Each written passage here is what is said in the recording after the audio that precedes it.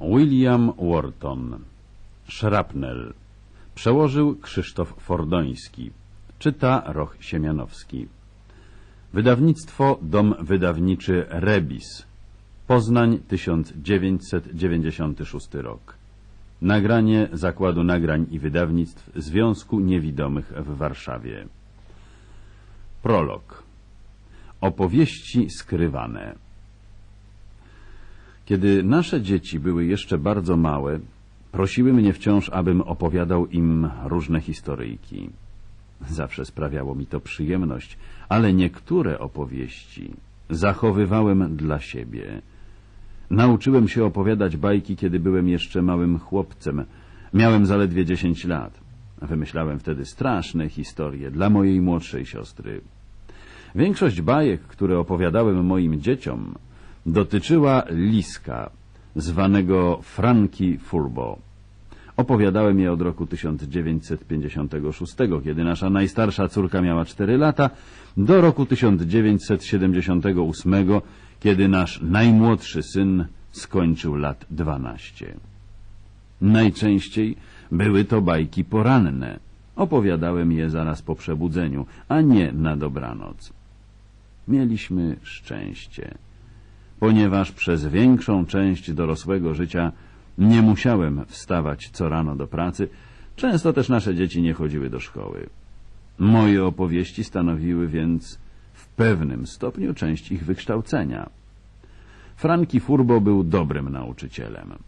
Później napisałem powieść, w której wykorzystałem bajki o nim. Zdarzało się jednak czasami, że dzieci domagały się opowieści nie o Frankim Furbo, ale o różnych innych sprawach, na przykład przygodach z mojego dzieciństwa albo prawdziwych baśni, takich jakie zwykle kończą się słowami i żyli długo i szczęśliwie. Nasza najstarsza córka nazywała je długimi i szczęśliwymi bajkami. Czasami też chcieli słuchać wojennych opowieści o tym, co przydarzyło mi się w czasie II wojny światowej. Na ogół nie chciałem o tym mówić i starałem się w takich sytuacjach odwrócić jakoś ich uwagę. Dzieci były jednak bardzo uparte, więc kiedy w końcu decydowałem się, aby opowiadać im o wojnie, wybierałem zawsze stosunkowo zabawne incydenty. Wspominałem na przykład, jak zdobywaliśmy jedzenie, czy omijaliśmy przepisy, albo inne, podobnie nieistotne wydarzenia. W przedostatnim rozdziale Ptaśka powróciłem do pewnego ważnego wydarzenia z czasów wojny. Jednego z tych, o których nigdy nie opowiadałem moim dzieciom. Cała książka w księżycową jasną noc dotyczy innego takiego wydarzenia. Napisałem ją, ponieważ wydawało mi się, że może dojść do ponownego ustanowienia obowiązkowej służby wojskowej, do tego, że będzie się wysyłać młodych ludzi, aby zabijali albo sami byli zabijani.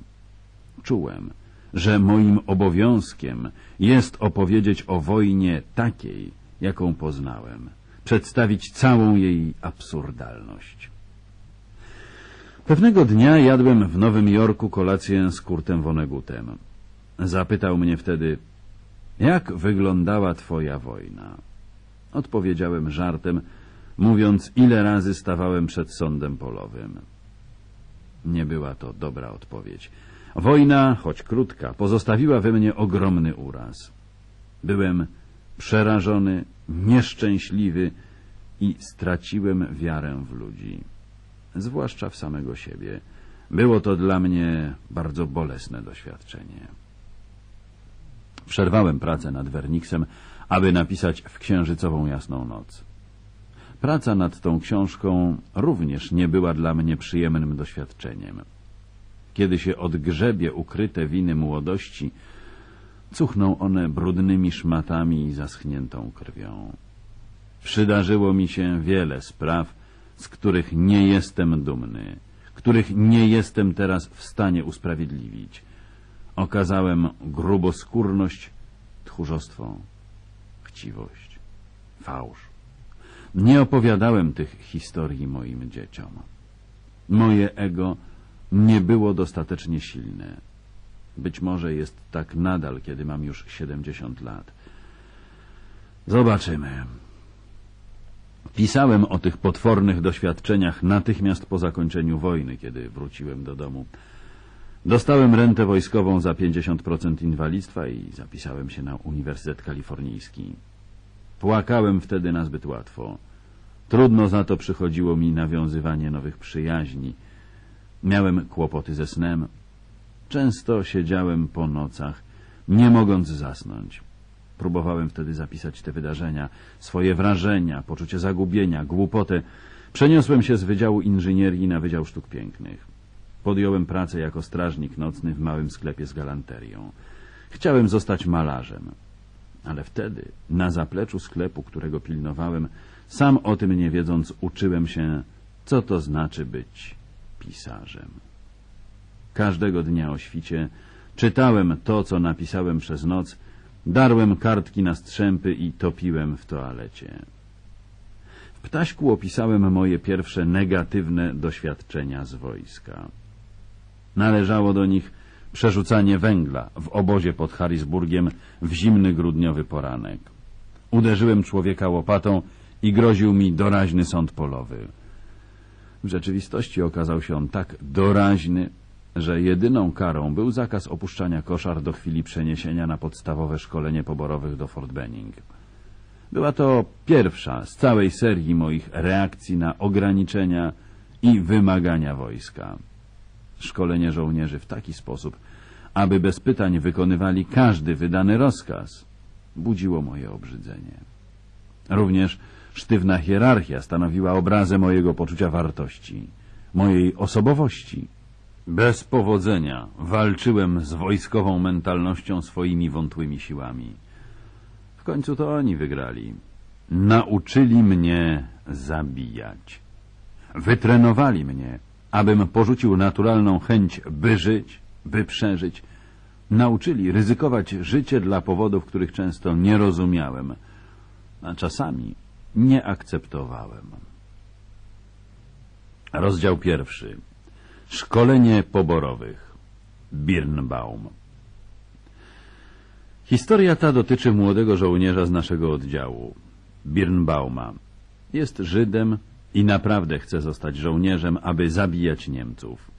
Lepiej niż większość spośród nas zdaje sobie sprawę z tego, czym naprawdę jest ta wojna. Teraz wiem, że jego nazwisko znaczy grusza. Birnbaum to wielki niezgraba, prawdziwy kluc, saftik, chłopak o twarzy niemowlaka, dwóch lewych rękach i dwóch lewych nogach. Wygląda na to, że nic nie potrafi zrobić jak należy. Już zapięcie guzików stanowi dla niego nie lada wyzwanie. Nawet z naszą pomocą niełatwo przychodzi mu pościelić pryczę tak, by przeszła inspekcję.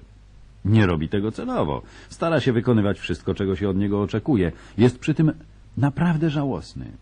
Kiedy z nieudolną koncentracją przystępuje do wykonywania najprostszych zadań, łzy same cisną się do oczu. Po prostu zawsze musi wszystko zrobić źle. Niezależnie od tego, jak bardzo staramy się mu pomóc. Przy każdym sobotnim przeglądzie biedny Birnbaum robi coś nie tak, jak należy. Ma brudną albo poplątaną siatkę maskującą, uwalaną saperkę, brudną manierkę, kubek pokryty warstwą zaschniętego cukru i kawy lub w jego plecaku brakuje jakiegoś elementu wyposażenia. W wojsku nie karze się pojedynczego człowieka. Choć Birnbaum i tak zawsze dostaje dodatkową służbę w kuchni albo czyszczenie latryn. Naciska się na człowieka, odbierając całej drużynie albo plutonowi przepustki na weekend. Po kolejnym przeglądzie wstrzymane zostają przepustki na weekend dla całej kompanii. Wszyscy zatem próbujemy pomóc Birnbaumowi i nie wynika to wcale z czystego altruizmu.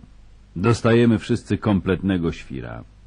Podoficerowie i oficerowie nie potrafią jakoś pogodzić się z tym, że Birnbaum nigdy nie będzie żołnierzem, jakiego próbują z niego zrobić.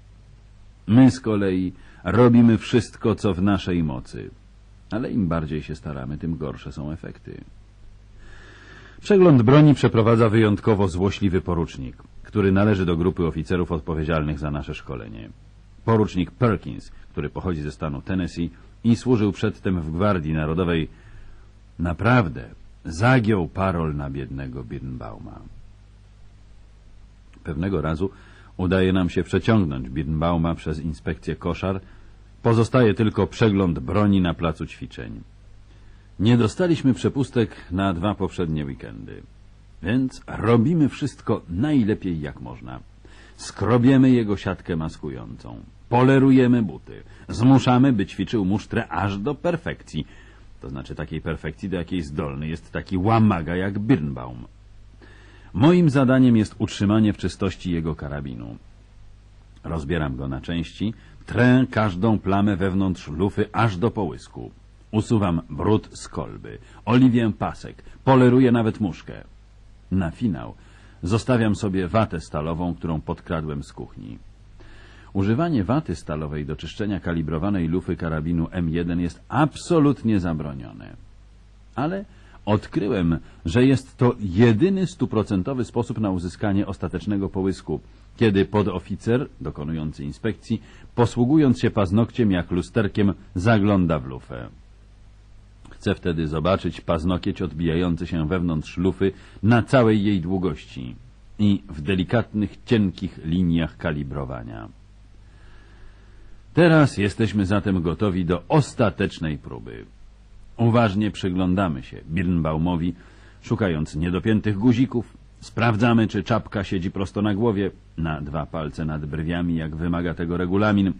Szkolimy go pospiesznie, co ma robić, by kolba nie ubrudziła się, kiedy padnie na rozkaz prezentuj broń albo spocznij. Uczymy go, jak ma najszybciej podać karabin do inspekcji. Jesteśmy przekonani, że Perkins wybierze właśnie Birnbauma. Zawsze się tak dzieje. Jednym z najbardziej zwariowanych momentów przeglądu jest rytuał sprawdzania, czy broń jest należycie wyczyszczona. Wszyscy stajemy w szeregu, trzymając karabiny przy boku. Oficer krzyczy baczność, później prezentuj broń, a następnie do przeglądu. Wszyscy zgodnie z regulaminem trzymamy karabiny przed sobą, odciągając zamek kciukiem. Przeprowadzający inspekcję oficer przechadza się przed frontem, przyglądając się wszystkim, szukając czegoś, co odbiega od regulaminu. Krzywo założonej czapki, niedopiętego guzika, plam na mundurze i tak dalej. Nagle, bez żadnego widocznego powodu, zatrzymuje się przed jednym z żołnierzy i wpatruje się w niego. Może wtedy zrobić wszystko. Zadawać pytania, zwrócić uwagę na jakąś część munduru albo fryzurę, co tylko sobie wybierze. Zazwyczaj chodzi za nim podoficer, który notuje wszystkie uwagi i stawia takiego żołnierza do raportu. Niedobrze. Kiedy oficer zatrzyma się przed żołnierzem, najbardziej prawdopodobne jest, że będzie chciał obejrzeć jego broń. Dokładnie mówiąc, wyrwie mu karabin z rąk. Jeśli zrobi to poprawnie, oczywiście z jego punktu widzenia, to znaczy jak najgorzej z punktu widzenia żołnierza, kolba trafia żołnierza w krocze. Celem naszych ćwiczeń jest opanowanie sztuki puszczenia karabinu jak najszybciej. Ideałem byłoby, gdyby oficer upuścił broń na ziemię. Obserwujemy oczy i ręce oficera. Czasami próbuje nas oszukać. Gdyby któryś z nas puścił karabin, którego oficer nie próbowałby złapać, byłby martwy na miejscu. Naprawdę, staramy się wyczuć odpowiedni moment, żeby samemu nie oberwać kolbą.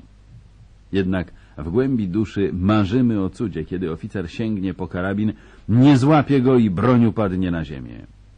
Słyszeliśmy o takich wypadkach, ale nigdy nie udało nam się nic podobnego zobaczyć na własne oczy.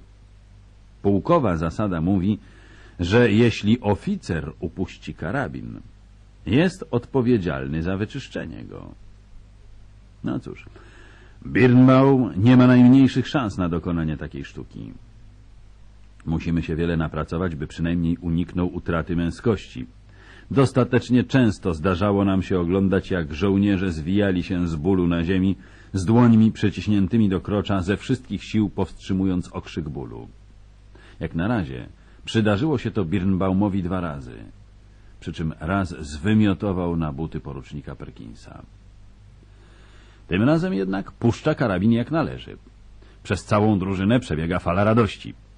Perkins ogląda kolbę, spust, a potem przykłada palec, by obejrzeć lufę. Tu nie mamy się czego obawiać. Osobiście sprawdziłem lufę, zanim wieczorem odstawiłem karabin na stojak. Wszystko było w idealnym porządku. Porucznik Perkins nadal jednak wpatruje się w lufę. Porusza bronią, by mieć lepsze światło, potem patrzy drugim okiem. Robi się najpierw biały, a potem czerwony na twarzy. Stoję w pierwszym szeregu, trzeci od Birnbauma. Zastanawiam się, co może być źle.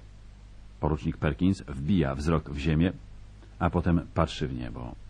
Podaje karabin kapralowi Millerowi, który stoi za jego plecami. Miller przykłada do lufy swój obgryziony do krwi paznokieć i mało sobie oka nie wykłuje.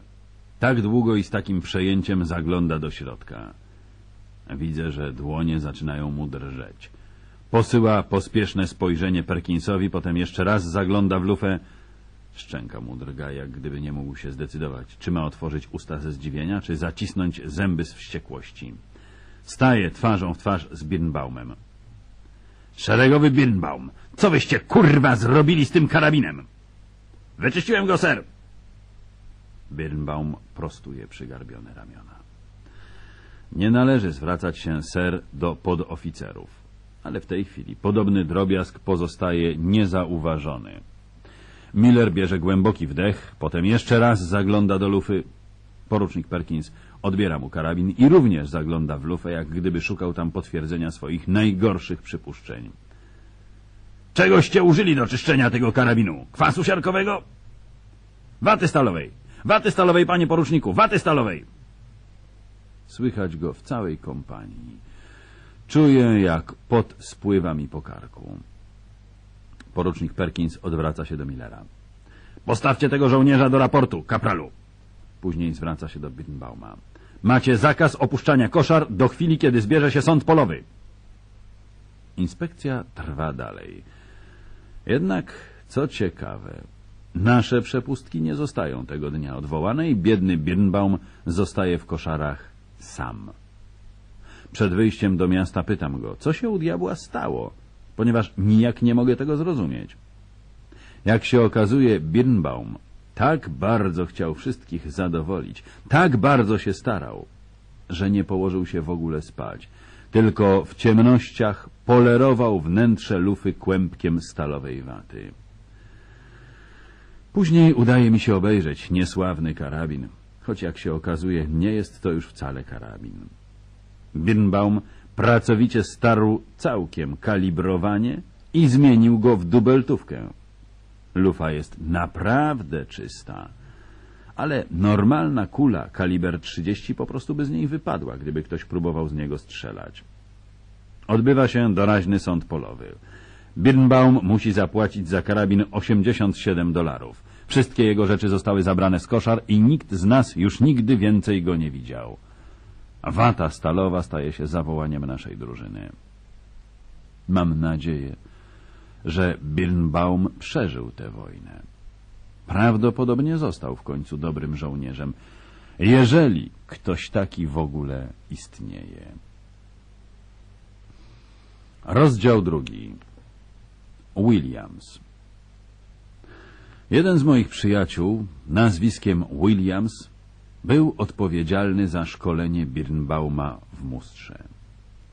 Po wyroku sądu polowego postanawia pomścić Birnbauma, oszukać Perkinsa tak, by ten upuścił karabin na ziemię. Udaje mu się namówić mnie do współpracy. Pomysł ten zdecydowanie ma dla mnie pewien urok. Stoimy godzinami naprzeciwko siebie i ćwiczymy.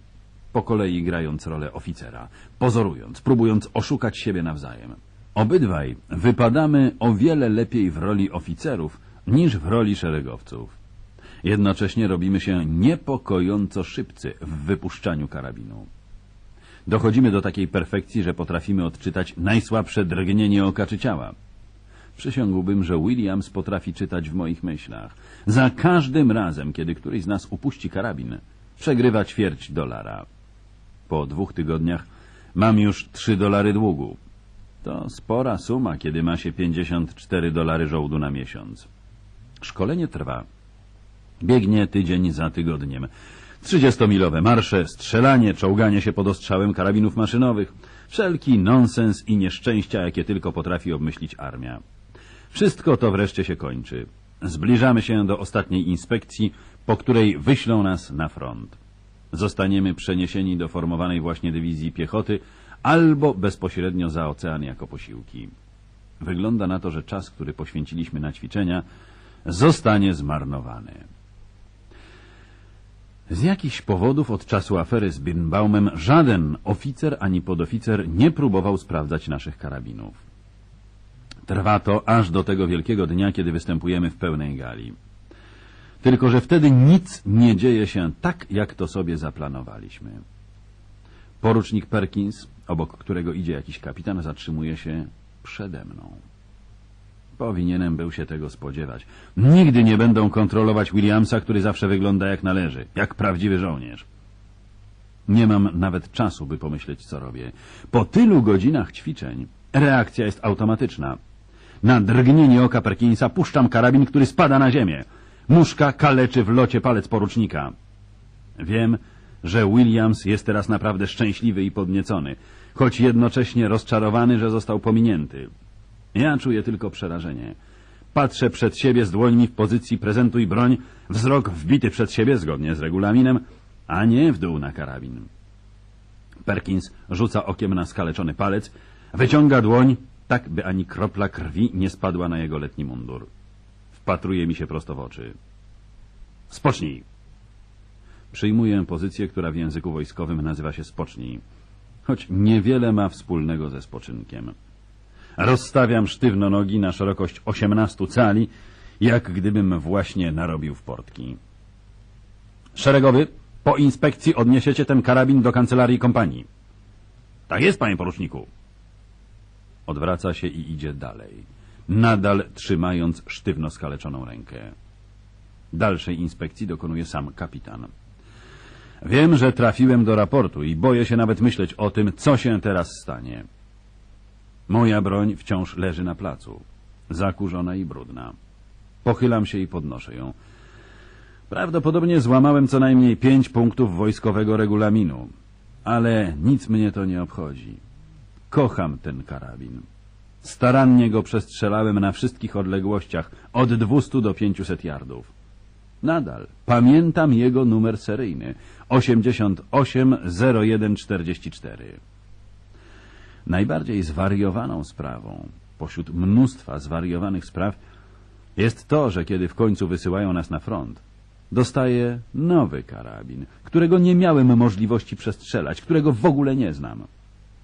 Nic do niego nie czuję. Zabijam nim ludzi, ale tak naprawdę nie czuję, że jest mój. Może właśnie o to chodziło wojskowym. Nic osobistego. Wracamy do koszar. Williams jest podniecony do szaleństwa. Odciąga mnie na bok i prowadzi do latryny. Ma ze sobą papierowy worek pełen miału węglowego i tubkę kleju lotniczego. Patrzę tempo, jak miesza je, uzyskując czarną, lepką pastę, którą wlewa do lufy i magazynka. Aż drży jednocześnie z wściekłości i uciechy. Teraz ten skurwysyn naprawdę będzie musiał popracować. To będzie zemsta za Birnbauma. Aż mnie kusi, żeby dołożyć mu jeszcze paczkę stalowej waty. Uznaję, że byłoby to już zbyt wiele. Mogliby mnie postawić przed plutonem egzekucyjnym. Popychany przez Williamsa odnoszę broń do kancelarii. Pędem wracamy do koszar. Następnego dnia karabin zostaje dostarczony przez naszego listonosza. Czyściutki, jak nowy. Sprawdzam numer seryjny. Wszystko się zgadza. Nie wiem, kto go wyczyścił, ani jak to zrobił. Wszystko odbyło się bez jednego słowa. Mam nadzieję, że karabin czyścił Miller. Jestem pewien, że nie zrobił tego sam Perkins. Podejrzewam, że robota spadła w końcu na listonosza. Trzy dni później zostajemy wysłani do dywizji piechoty, która stacjonuje w Fort Jackson w Karolinie Południowej. Mam nadzieję, że nigdy więcej nie zobaczę już porucznika Perkinsa. Od tamtej pory nie rozglądałem się za nim zresztą szczególnie uważnie. Rozdział trzeci. Corbill Następne opowiadanie o szkoleniu poborowych będzie dotyczyć faceta, który sypiał na pryczy pode mną. Należy do tej nielicznej grupki żołnierzy, których wykształcenie wykraczało poza szkołę średnią. Kończył studia na Uniwersytecie Columbia, kiedy został powołany do wojska. Nienawidził armii jeszcze bardziej niż ja.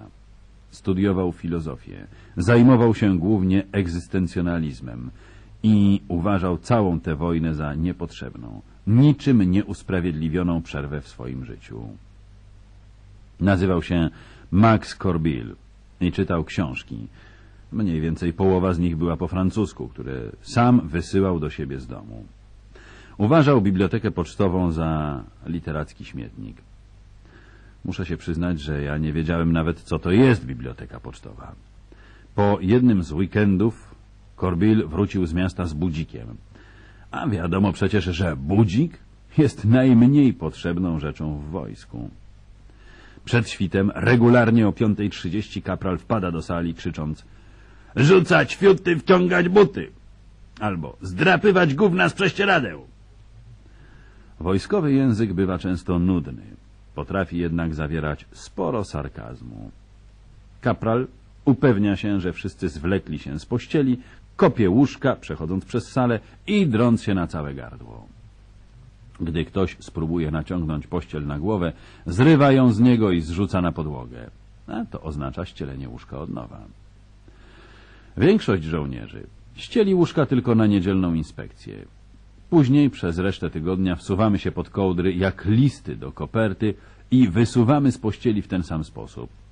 Koce są praktycznie przyklejone do ram łóżek. W ten sposób możemy dotrzeć do latryny kilka minut wcześniej, nim dotrze tam z tupotem całe stado. O szóstej musimy stać w równych szeregach, ubrani, ogoleni, umyci, z karabinami i hełmami. Później odbywa się apel poranny, przekazanie rozkazów na dany dzień. Słyszymy kilka ciepłych słów od Millera lub Perkinsa o tym, jakie to z nas zawszone patałachy, a później maszerujemy do kantyny na śniadanie. Kucharze muszą wstawać już o czwartej rano. Po co ci budzik? Pytam zatem Korbila z niedowierzaniem. Ten robi tajemniczą minę, przykłada budzik do ucha i uśmiecha się do mnie szeroko. Ten mały zegareczek wyciągnie mnie z wojska. Domyślam się, że wszystkie te książki doprowadziły go do szaleństwa. Moja matka zawsze twierdziła, że czytanie rozmiękcza mózg. W nocy słyszę, że nakręca budzik. Przechylam się przez krawędź pryczy i widzę, że wkłada go sobie pod poduszkę. Później w ciemnościach rozlega się dzwonek. Mam dość lekki sen. Max leży nieruchomo przez kilka minut, później ostrożnie wysuwa się z łóżka i klęka obok niego. Zsuwa koc na podłogę. Później, nie podnosząc się z kolan, zaczyna sikać na łóżko starając się zalać całe prześcieradło. Zapala małą latarkę i na nowo nastawia zegarek. Zdejmuje z łóżka suchą poduszkę, owija się kocem i kładzie na podłodze. Budzik dzwoni po raz drugi na chwilę przed wejściem kaprala o 5.30. Korbiel podskakuje, chowa zegarek na belce stropowej, a później ponownie owija się kocem. Po apelu odnosi wilgotną pościel do magazynu i dostaje świeżą. Powtarza się to codziennie rano przez tydzień. Miller dostaje kompletnego świra. Wysyła Korbila do ambulatorium. Tam dają mu jakieś tabletki, których nie łyka, tylko próbuje częstować nimi mnie. Po tygodniu sierżant magazynier nie chce już wydawać Maxowi świeżej pościeli. Przy okazji zabierają mu cuchnący moczem materac. Korbil sypia teraz na kocu narzuconym na metalowe pręty pryczy. Budzik dzwoni jednak co noc i w ciemnościach słyszę plusk, kiedy Korbil sika na swój koc. Nasza prycza zaczyna potwornie śmierdzieć. Szrapnel. Taśma pierwsza, koniec ścieżki pierwszej.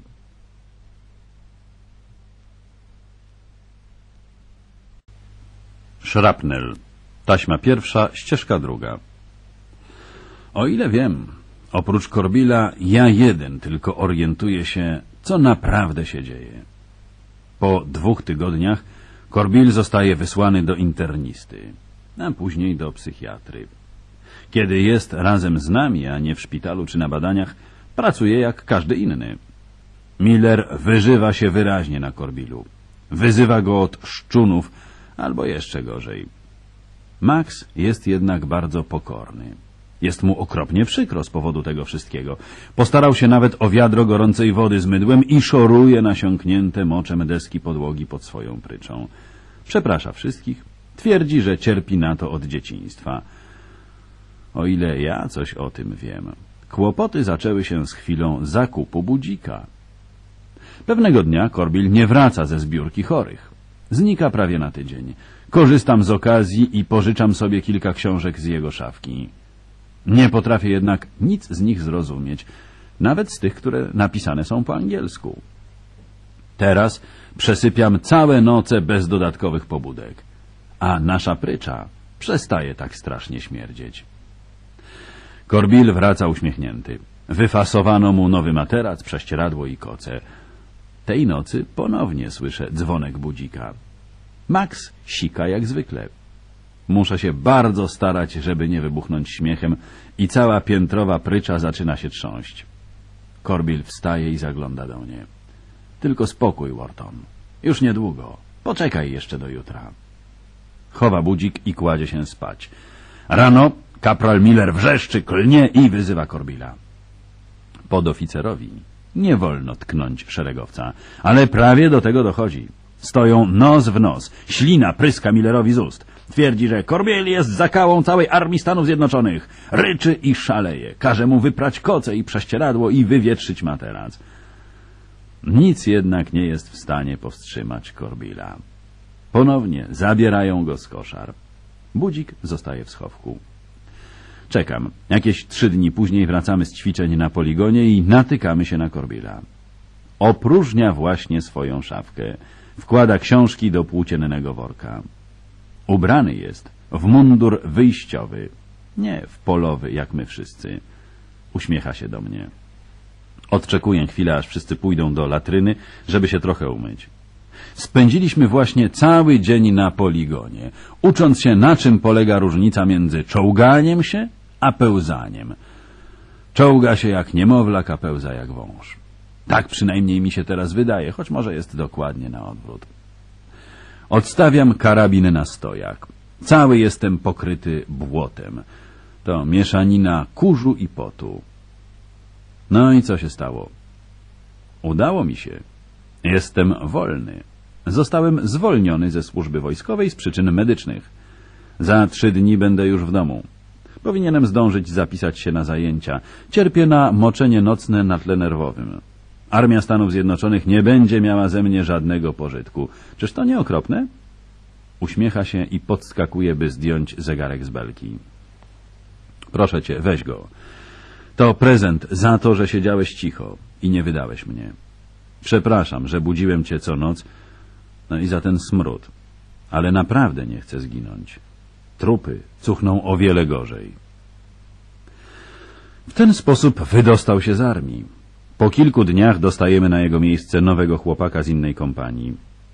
Nazywa się Gettinger. Gettinger jedzie razem z nami do Fort Jackson w Karolinie Południowej. Wiele razem przeszliśmy. Zginął pod Mecem.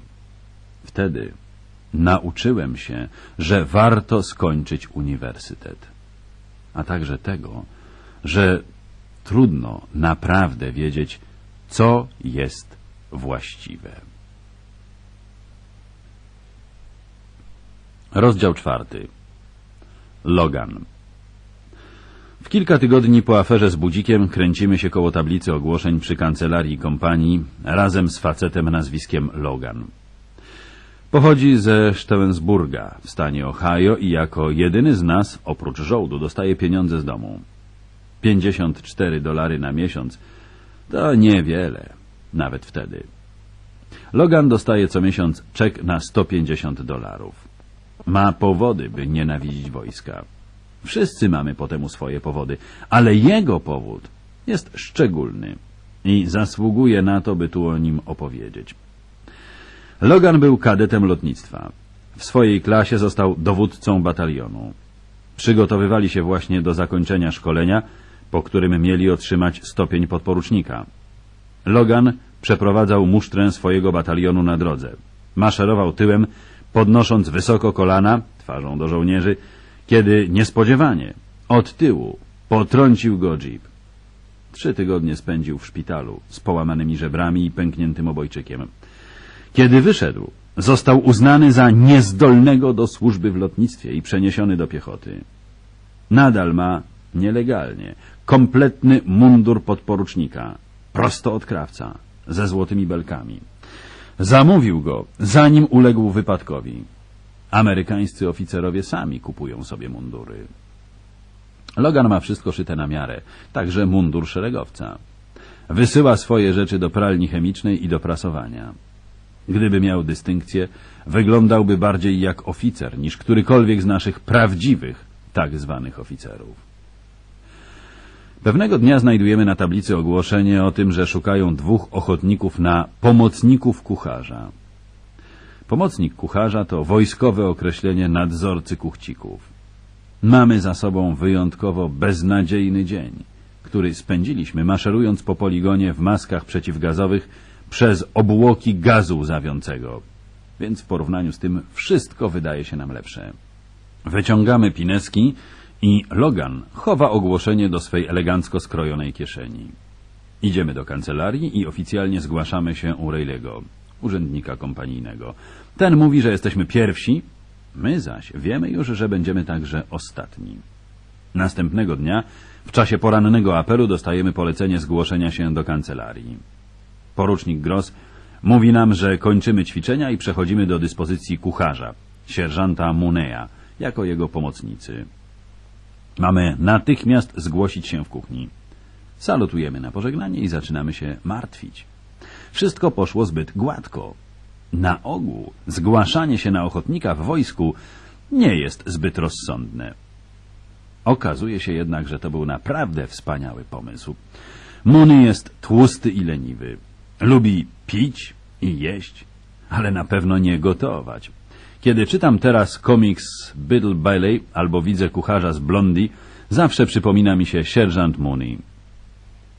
Nasza praca polega na tym, że o czwartej rano budzimy kuchcików, przydzielamy im robotę i przygotowujemy wszystko do śniadania na siódmą. Teoretycznie nie powinniśmy nic robić sami. Jedynie dopilnować, żeby kuchciki zrobili wszystko, co do nich należy. W nocy musimy zostać tak długo, aż jesteśmy pewni, że kuchnia jest wysprzątana, a jadalnia gotowa do śniadania następnego dnia. Robota jest wspaniała, ponieważ pracujemy na zmiany. Jeden dzień pracy, jeden wolny. Jeśli pisarz kompanii i dowódca wyrażą zgodę, możemy dostawać przepustki do miasta na dzień wolny. Nawet kiedy jesteśmy w pracy, możemy urwać się na kilka godzin między obiadem a kolacją i odpocząć w koszarach. Żyjemy w fantastycznych warunkach. Przydaje się teraz budzik, który dostałem od Korbina. Ogólnie rzecz biorąc, pomocnicy kucharza są równie kochani w wojsku jak klawisze w więzieniu. Uważani są za wtyczki, za ludzi, którzy sprzedali duszę diabłu. Logan i ja postanawiamy to zmienić. Jednym z naszych zadań jest podział obowiązków, do których należą najprostsze, jak nakrywanie do stołów i wydawanie jedzenia, aż do najgorszych, jak zmywanie garów. Od razu stawiamy sprawę jasno, że od tej pory podział będzie się odbywał w kolejności stawiania się do pracy. Kto przychodzi pierwszy, może wybrać sobie robotę. Kilka razy pożyczam mój budzik, kiedy sam nie mam dyżuru. Później udaje się nam coraz więcej robić wieczorem, tak byśmy mogli rano później budzić kuchcików. Dzień zaczynamy od śniadania przygotowywanego dla kuchcików. Jajecznica albo jajka sadzone na czterech albo pięciu plasterkach bekonu, sok pomarańczowy, płatki, mleko i kawa. Oprócz nas nikt tak nie jada. Okazuje się, że Logan oprócz eleganckich ubrań lubi też dobre jedzenie. I potrafi gotować. Prawdziwy z niego epikurejczyk. Dopóki w kuchni wszystko idzie jak należy, kucharz niczym się nie przejmuje. I tak nigdy nie pojawia się tu przed szóstą. Teraz zaczynamy budzić kuchcików o piątej, zamiast o czwartej. Żaden z nas nie jest szczególnie agresywny czy złośliwy. Stopniowo więc przeciągamy ich na swoją stronę. A może to my przechodzimy na ich stronę. To zależy od tego, jak chcecie na to spojrzeć. Jesteśmy przyjaźnie nastawieni do wszystkich.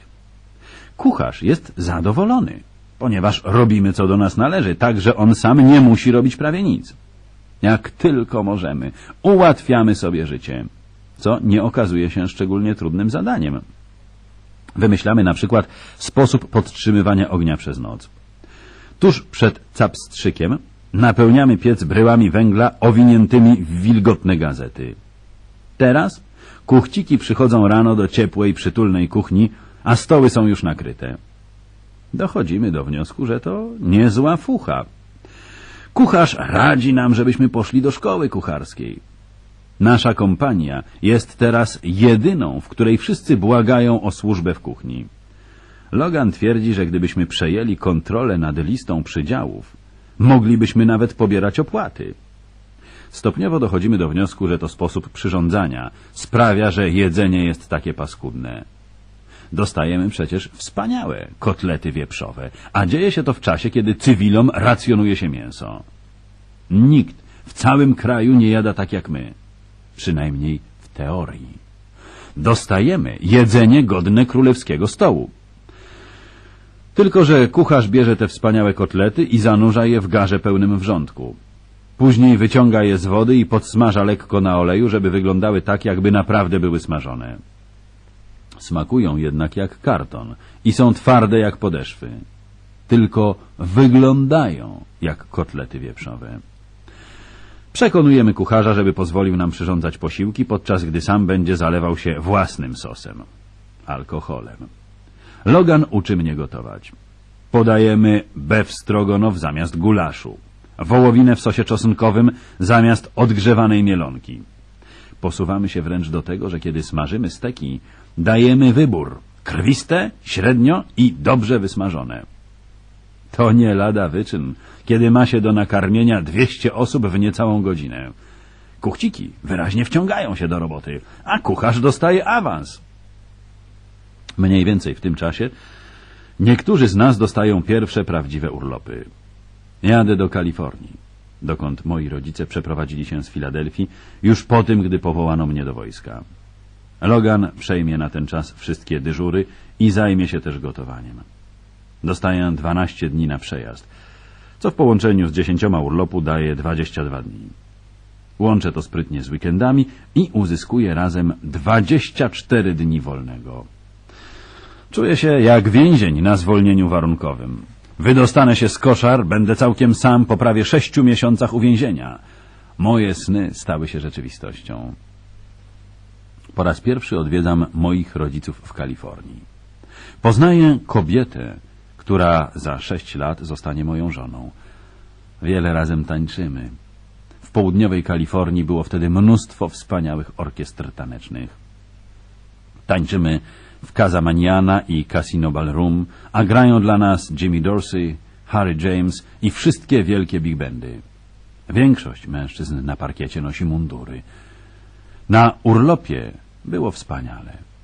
Jednak kiedy wracam do jednostki, okazuje się, że znowu znalazłem się na wykazie dyżurów. Wprost nie potrafię w to uwierzyć. Logan trafił do szkoły kucharzy, a dawny kucharz został zdegradowany do szeregowca. Na jego miejsce przyszedł nowy, który nie chce mieć żadnych pomocników. Z powrotem ląduje w kompanii liniowej. Czuję się wystrychnięty na dudka. Dużo później dowiedziałem się, że w czasie walk w Ardenach, kiedy wszyscy kierowcy, kucharze, urzędnicy, a nawet orkiestra pułkowa zostali wysłani do walki, Logan strzelił sobie w ramię z karabinu.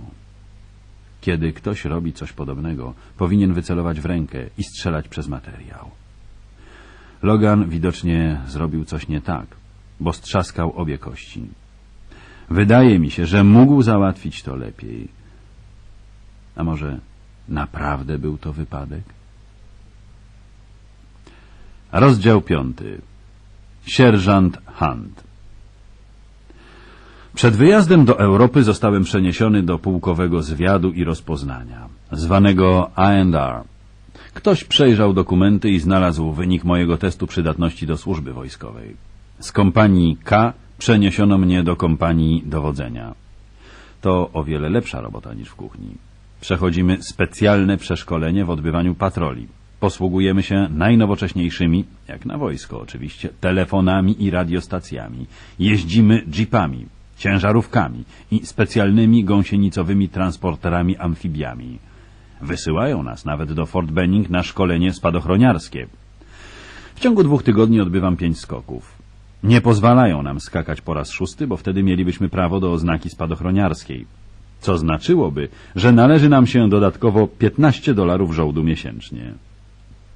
Szef kompanii to bardzo dziwny człowiek. Prawdopodobnie jest to najzłośliwszy typ, jakiego poznałem w swym życiu. Choć zawsze jest radośnie uśmiechnięty od ucha do ucha. Ma malutkie oczka i wielki brzuch. Jest prawdziwym żołnierzem i południowcem. Nie wiem, jak to jest naprawdę z tą jego inteligencją, jednak jeśli chodzi o szefowanie kompanii piechoty, to prawdziwy geniusz. Zachowuje się tak, jak gdyby była to jego prywatna armia, zorganizowana wyłącznie po to, aby on miał z tego zysk. My, szeregowcy, podobnie jak wszyscy inni, jesteśmy jego niewolnikami. Dowódca kompanii i pozostali oficerowie kochają go, ponieważ dzięki niemu nie muszą nic robić. Dowódca jest jedynie ozdobą kompanii. Sierżant Hunt dwukrotnie otrzymał propozycję awansu i dwukrotnie odmówił. Poustawiał sobie wszystko tak, że żyje lepiej, jada lepiej i zarabia więcej pieniędzy niż sam pułkownik. Popełnia jednak jeden błąd. Robi się zbyt zachłanny. Odkrywa to któryś z jego podwładnych. Możliwe, że jakiś pisarz, któremu Hunt zatruwał życie, zauważył, że sierżant wysyła dodatek rodzinny do trzech kobiet mieszkających w różnych stanach. Mogło mu to uchodzić na sucho, ponieważ sam podpisuje wszystkie rozliczenia. Ma jedną żonę w Alabamie, drugą w Karolinie Południowej i trzecią w Mississippi. Jeśli się nad tym zastanowić, Hunt nie był pewnie zbyt inteligentny, choć na pewno sprytny. Staje przed sądem polowym i zostaje zdegradowany do szeregowca. Musi spłacić bezprawnie pobrane dodatki i spłaca je. Wydaje mi się, że jest dość bogatym człowiekiem. Każdy inny wylądowałby w więzieniu federalnym w Leavenworth, ale Hunt potrafi załatwić sobie pomoc. A oficerowie go lubią. Zostaje przeniesiony do koszar, gdzie wszyscy mieszkamy, my zaś dostajemy nowego szefa. Teraz każdy, komu kiedyś nadepnął na odcisk, korzysta z tego, by odegrać się na szeregowym hancie. Jego życie robi się naprawdę ciężkie. Co noc dostaje kocówę. W swojej tubce z pastą do zębów znajduje krem do golenia. Co wieczór musi ścielić swoje łóżko, zanim się do niego położy. Pod kocem znajduje wszystko. Pająki, skorpiony, węże, kondomy pełne wody, po prostu wszystko. Nigdy jednak nie mówi nawet słowa. Uśmiecha się tylko z przymrużonymi oczami i zrzuca wszystko na podłogę, a potem ścieli łóżko od nowa. Przydzielają mu najbardziej parszywe obowiązki. Sprzątanie latryn, pracę w kuchni i nocne warty. Każdy szeregowiec stara się jeszcze bardziej utrudnić mu życie. On jednak tylko się uśmiecha, a pod małymi oczkami układają mu się tłuste fałdki. W takich chwilach wydaje się jeszcze bardziej niebezpieczny. Na rękawach jego munduru wciąż widnieją ślady zerwanych naszywek. Staram się usilnie trzymać od niego z dala. Jest o wiele starszy od wszystkich oficerów w kompanii, a włącznie z nowym dowódcą. Prawdopodobnie zbliża się dopiero do trzydziestki. Dla nas jednak jest już naprawdę stary. Trzyma język za zębami, robi co mu każą, niezależnie od tego, co to jest. Nawet jeśli są to prace, których nie musi robić, jak mycie podłogi w koszarach przed pobudką. A nikt nie zna regulaminów wojskowych tak dobrze jak Hunt. Jestem pewien, że szykuje się coś złego. Rzeczywiście, nie trwa to długo. Udaje mu się jakoś załatwić przeniesienie do kompanii C. A potem zaczyna awansować z zastraszającą szybkością. Przyszywa sobie nowe belki luźnym ściegiem, aż wraca do stopnia sierżanta. Te belki przyszywa już na stałe. Od tej chwili zaczyna organizować przeniesienia z kompanii dowodzenia do kompanii C około dwudziestu podoficerów i szeregowych. Ta dwudziestka to ci, którzy najbardziej się na nim wyżywali. Codziennie rano z lękiem spoglądamy na tablicę ogłoszeń. Potem już nie słyszymy nic o tych żołnierzach, chyba że ich nazwiska pojawiają się na liście zdegradowanych. Niszczy ich, jednego po drugim. Boję się nawet myśleć o zemście, jaką dla nich przygotował. Od tej pory boję się wielkich, uśmiechniętych, tłustych południowców. To swego rodzaju osobiste uprzedzenie. Rozdział szósty. Woda. Częścią naszego szkolenia w Fort Jackson są 30-milowe marsze wodne. Pierwszego dnia maszerujemy 30 mil. Nocujemy, a następnego wracamy. Wolno nam zabrać tylko jedną manierkę wody. Musimy zatem przemaszerować 60 mil na jednym litrze wody. A to niewiele, zwłaszcza, że jest bardzo gorąco i wilgotno. Do dziś nie wiem, co mieliśmy przez to osiągnąć. Jeden z moich przyjaciół, Pete, postanawia zrobić na tym interes. Lutuje czy spawa, sam nie wiem jak to zrobił, trzy puszki numer dziesięć, obciąwszy najpierw dna i wieczka. Montuje do tego nawet niewielki kranik. Obserwuję go, jak po ciemku, po ćwiczeniach robi swój zbiornik i powoli dochodzę do wniosku, że zwariował. Normalnie zabieramy na takie marsze pełen plecak i karabin M1 razem z amunicją i ładownicami. W plecaku mamy komplet sztućców, namiot zawinięty w koce, jeden maszt, śledzie i zmianę bielizny. Pełen plecak wystaje nam ponad głowę i waży około 30 kg. W zbiorniku pita mieści się co najmniej kilkanaście litrów wody. W plecaku nie mieści się jednak połowa płachty namiotu, maszt ani śledzie. Wiem, że litr wody waży kilogram, więc jego plecak jest teraz bardzo ciężki. Kiedy wyruszamy na kolejny marsz, Pit zabiera swój pojemnik. Muszę przyznać, że jego plecak wygląda tak samo jak wszystkie inne. Kiedy docieramy na miejsce i rozbijamy biwak, wszyscy umierają z pragnienia. Bardzo trudno jest powstrzymać się od picia w czasie marszu, a na miejscu nie ma żadnego źródła. Oficerowie pokonują tę trasę jeepem, wznosząc nam prosto w twarz tumany kurzu, popijając wodę z pełnych manierek. Zasada jest taka, by przed wyruszeniem wypić tyle wody, ile się zmieści, aby potem pić jak najmniej. Wszyscy jednak pocą się i sikają, więc trzeba mieć sporo szczęścia, by zostało pół manierki na noc i następny dzień. Język przykleja się do podniebienia, zęby do warg, wargi do siebie. Następnego dnia, jeśli jesteśmy w stanie maszerować, dyszymy jak psy z wywalonymi językami.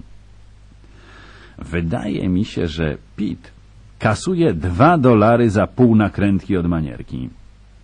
W zbiorniku mieści się chyba dwadzieścia manierek, a to oznacza mnóstwo pieniędzy.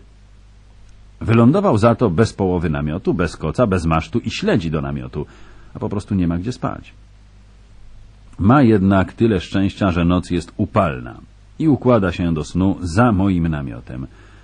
Układamy stos z gałęzi i sosnowych igieł tak, by nikt go nie zobaczył. Namioty stawia się w wojsku w następujący sposób. Każdy szeregowiec nosi w plecaku połowę namiotu. Później dwóch żołnierzy spina dwie połowy i posługując się dwoma masztami i śledziami ustawia namiot. Sąsiad Pita z namiotu, który nie bierze udziału w wodnym biznesie, ma swoją połówkę namiotu. Nie może jednak nic z nią zrobić. Musi schować się razem z Pitem i spróbować przespać się pod połową płachty. Stanowczo nie jest z tego powodu zachwycony. Cały ten zwariowany plan udaje się zupełnie nieźle. Pit obdziela wszystkich wodą i zbiera w sumie ponad 40 dolarów. Piątkę daje swojemu koledze, żeby ten trzymał gębę na kłódkę. Popełnia jednak jeden błąd. Zapomina zostawić choć trochę wody dla siebie. Gdyby jednak potrzebował alibi, jest to całkiem niezłe posunięcie. Jest równie spragniony jak każdy z nas, a może nawet bardziej. Prawie udaje mu się przechytrzyć samego siebie. Dobrą stroną jest to, że teraz jego plecak jest pusty i waży mniej niż 5 kilogramów. Pete jednak za bardzo lubi hazard. W ciągu następnego tygodnia traci zarobione 35 dolarów, a może nawet więcej. Wydaje mi się, że tę historyjkę mógłbym opowiedzieć moim dzieciom. Uznałyby pewnie, że jest bardzo zabawna. Oczywiście, podobnego numeru nie da się utrzymać w tajemnicy.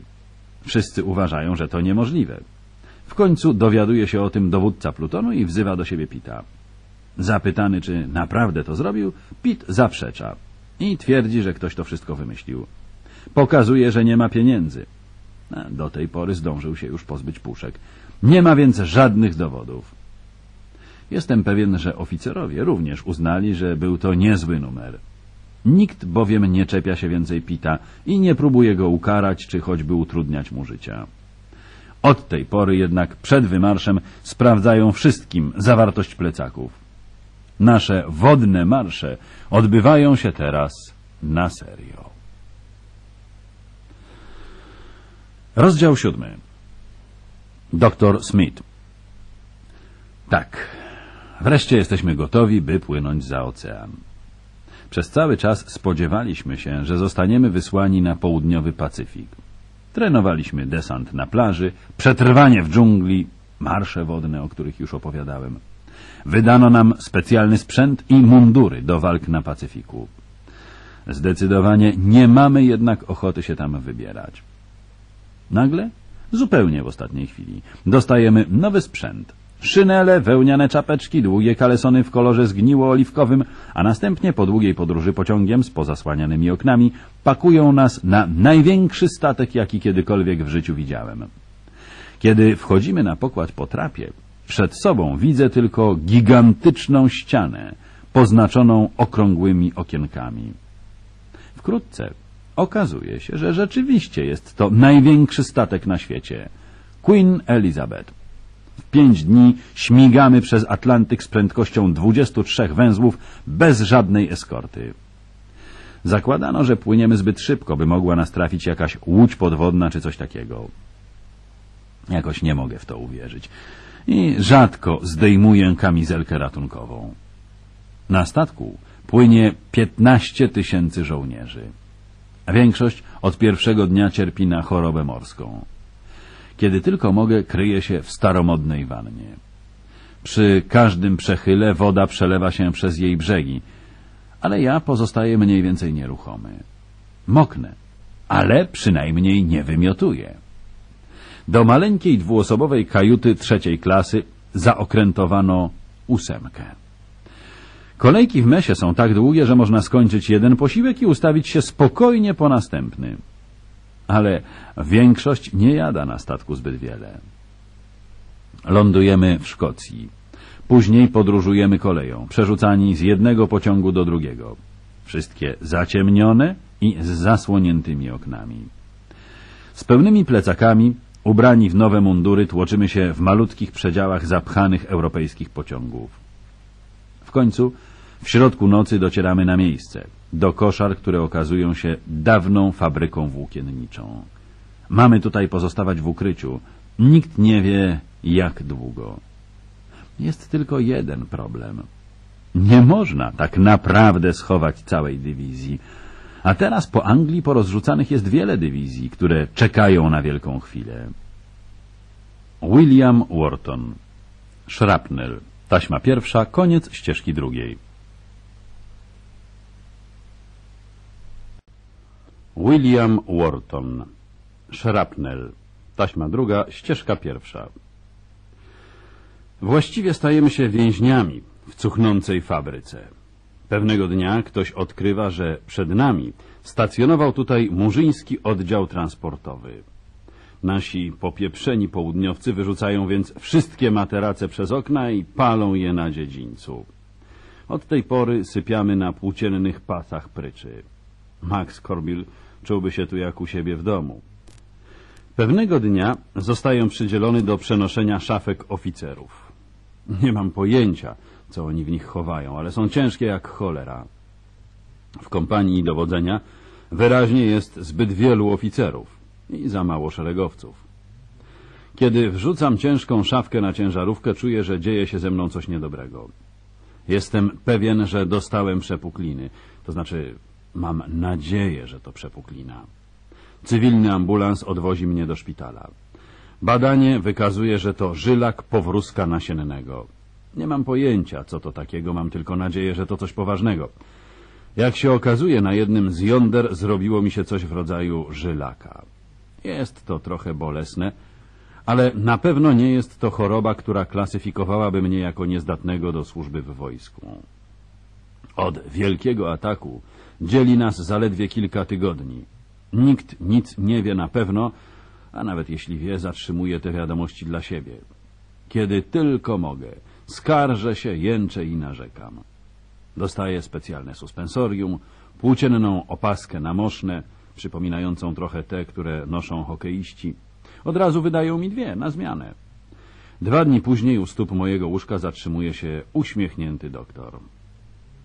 Sądzę, że należy to zoperować, ale nie umrzesz od tego i nie będziesz już musiał niczego dźwigać. Mogę się domyślać, że nigdy w życiu nie musiał podnosić oficerskiej szafki. Leż teraz spokojnie, a nawet się nie obejrzysz, kiedy znajdziesz się z powrotem w swoim oddziale. Nie masz się o co martwić. Mówi to w taki sposób, jak gdyby znalezienie się z powrotem w moim oddziale było moim najskrytszym marzeniem, jak powrót do domu. Doktor wychodzi, a ja czuję, jak ogarnia mnie ból i gniew.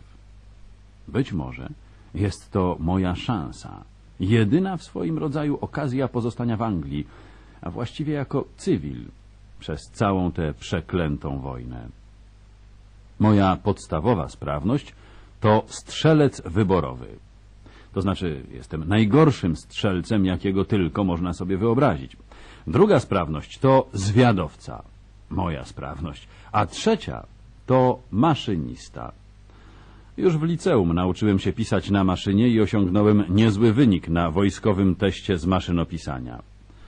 To właśnie jest mój as w rękawie. Niestety siedzi bardzo głęboko i obawiam się, że nijak nie zdołam go stamtąd wyciągnąć. Wiem, że nawet jeśli pułk ruszy na front beze mnie, przydam się w Anglii. Zgłoszę się na ochotnika, żeby wypełniać formularze, a może jakiś major zażyczy sobie, bym przepisał jego wielką powieść wojenną? Wszystko mi jedno, palce już mnie świeżbią, by zacząć pisać cokolwiek. Kiedy doktor Smith ponownie staje obok mojego łóżka, zwijam się z bólu. Bardziej z przyzwyczajenia niż dlatego, że naprawdę cierpię, ale mój żylak powrózka nasiennego nie robi już na nim żadnego wrażenia. Tak jest. Postanowił zrobić mi wielką przysługę i odesłać mnie z powrotem do jednostki. Jest moim przyjacielem. Uratuje mnie przed tą paskudną operacją. Wygląda, jakby oczekiwał, że pocałuję go za to w rękę. To jednak nie koniec niespodzianek. Jak się okazuje, zaciekawiła go moja prawa stopa. Jeszcze jako dzieciak miałem na prawej pięcie niewielki wzgórek. Kiedy kupowałem nowe buty, zawsze miałem w tym miejscu pęcherz. Człowiek uczy się żyć z podobnymi przypadłościami. Lekarz naciska wzgórek palcem, później wbija w niego igłę. Przesuwa nim w tył i w przód, pytając przy tym ciągle, czy mnie to boli. W odpowiedzi wyje z bólu, a w oczach stają mi łzy. Lekarz zapisuje coś na niewielkiej kartce. Później wraca z drugim lekarzem, aby i on przyjrzał się mojej pięcie. Krzyczę jeszcze trochę, udając, jaki to jestem dzielny. Doktor Smith mówi, że mam ostrogę piętową. Pyta, czy boli mnie podczas chodzenia. Tak, panie doktorze, boli. Zaognia się i puchnie w czasie marszu, mam potem pęcherze i otarcia. Notuję coś na swojej kartce. A może to moja druga szansa na pozostanie w Anglii? Spędzam w szpitalu następne cztery dni. Kiedy nikt nie patrzy, kopię piętą w metalową ramę łóżka. Idąc do łazienki, kuleję. Teraz boli mnie tak, że nie muszę udawać. Nie śpię w nocy i ciągle jęczę. Pielęgniarki podają mi aspirynę, żeby mnie tylko uciszyć. Następnego dnia Doktor Smith zjawia się z jeszcze innym lekarzem. Ten wygląda na specjalistę. Każe mi przewrócić się na brzuch, zgina mi nogę w kolanie, wykręca stopę w kostce we wszystkich kierunkach i stuka w piętę małym gumowym młoteczkiem. Oczywiście, przez cały ten czas drę się w niebogłosy. Nie muszę wcale udawać. Przez to kopanie w łóżko moja pięta przypomina teraz surowy mielony kotlet. Dwaj lekarze odchodzą na bok. Pora na konsultacje, jak się domyślam. A może uznają, że trzeba mnie zwolnić z wojska z przyczyn medycznych? Dostanę rentę inwalidzką. Drugi lekarz staje obok mojego łóżka. Pod pachą trzyma kartkę przypiętą do tekturowej podkładki. Służycie w kompanii dowodzenia. Zgadza się, żołnierzu? Ta jest, panie doktorze. Pluton zwiadowczo-rozpoznawczy. No, tam nie będziecie musieli zbyt wiele maszerować. Uważajcie tylko na tę stopę. Znowu notuje coś na kartce. Podnosi wzrok i mruga do mnie. Lekarze, a zwłaszcza lekarze wojskowi, nigdy nie powinni mrugać. Wracacie do służby. Pielęgniarka wyda wam bandaże, którymi będziecie owijać stopę. Wcale udana próba. I w ten sposób przyszły malarz, inżynier, nauczyciel, psycholog i pisarz zostaje skazany na śmierć jednym mrugnięciem. Rozdział ósmy.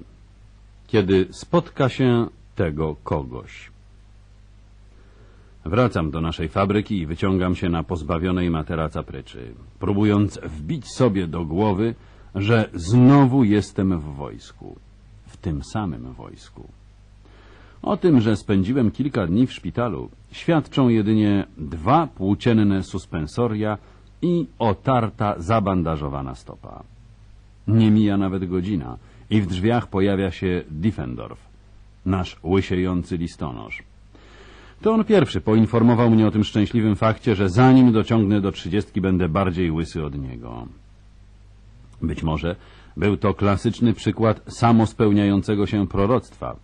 W każdym razie od tamtej pory obserwuję moje stale powiększające się czoło, które w tej chwili sięga właściwie do karku.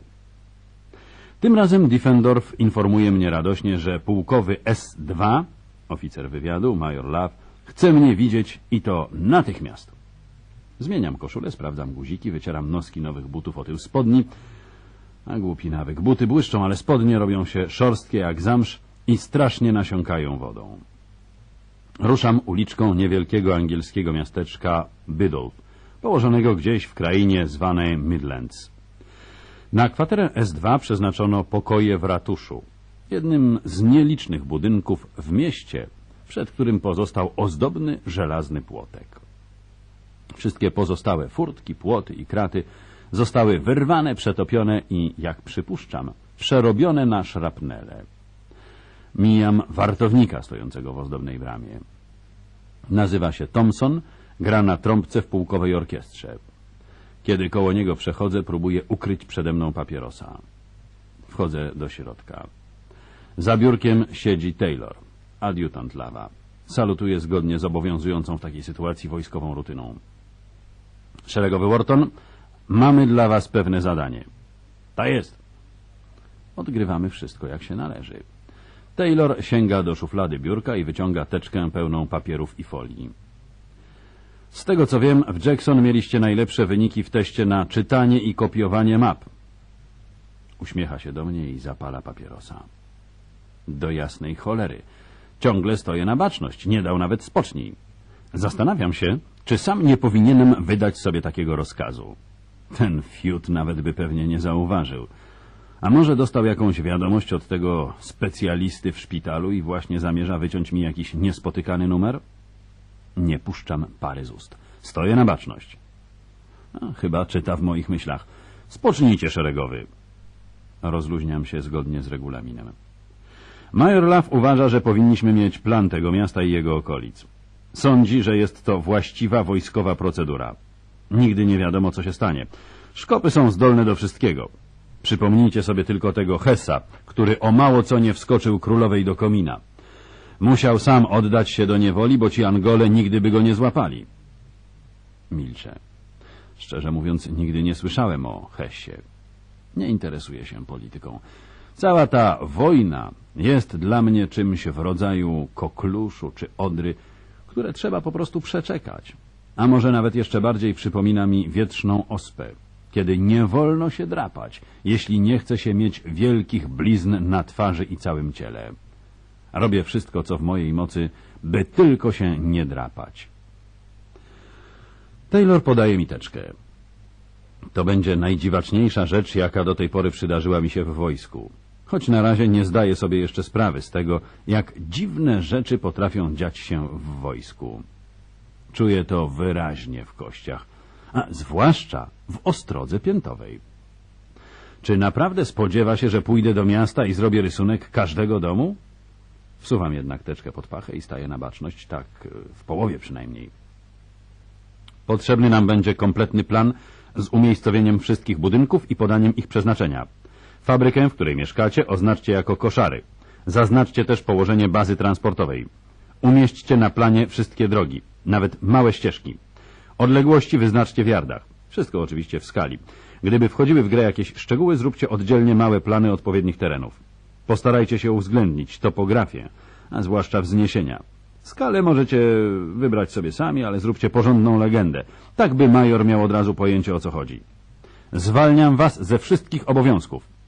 Tutaj macie przepustkę, żebyście mogli chodzić po mieście bez kłopotów. A postarajcie się nie rzucać w oczy, na ile to możliwe. Gdybyście potrzebowali stołu kreślarskiego, możecie go pobrać z magazynu. Tam też dostaniecie wszystko, co może wam być potrzebne. Zrozumiano?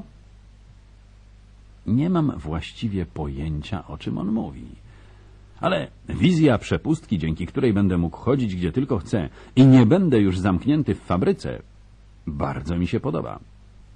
Kiwam głową z entuzjazmem. To jest. Zrobię wszystko, co w mojej mocy. Salutuję, odpowiadam mu zamaszyście i odwracam się napięcie steczką pod pachą. Będę potrzebował kilku ołówków i piórek kreślarskich, ale nie chcę teraz o nie prosić, żeby niczego nie zepsuć. Zatrzymuję się przed drzwiami biura, przy biurku dyżurnego i odbieram moją przepustkę. Dostaję też dwa ołówki 2B i, co zabiera mi trochę czasu, wyłudzam od niego czarne wieczne pióro. Uznaję, że teraz pora przejść się po mieście i rozejrzeć za jakimś sklepem papierniczym, gdzie będę mógł kupić prawdziwe piórko kreślarskie i tusz. Przyda mi się też liniał i przykładnica. A coraz bardziej angażuję się w tworzenie planu. Poza tym teraz stałem się turystą. Wspinam się na wzgórze, aby obejrzeć miejscowy kościół.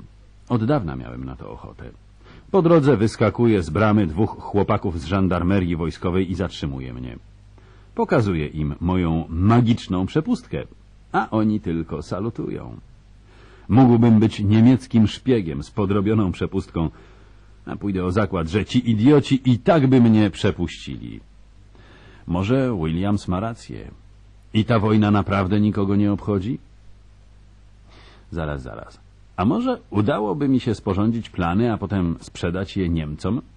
A w ten sposób mógłbym wydostać się z wojska. Podciągnąłbym mój niemiecki, zniknął w Alpach i nikt nawet nie zauważyłby różnicy. A nie, dostaliby mnie w końcu. Przy moim szczęściu jakiś zwariowany amerykański narciarz znalazłby malutką chatkę na zboczu i doniósłby na mnie. Drzwi kościoła są zamknięte na klucz. Ale po drugiej stronie wzgórza widzę niewielki sklepik stanowiący połączenie kiosku z gazetami i z papierniczym. Za ladą stoją starsza pani i bardzo śliczna dziewczyna. Kieruję się w stronę młodszej, ale starsza pani zdecydowanie zastępuje mi drogę. Jest wyraźnie zaskoczona widokiem żołnierza.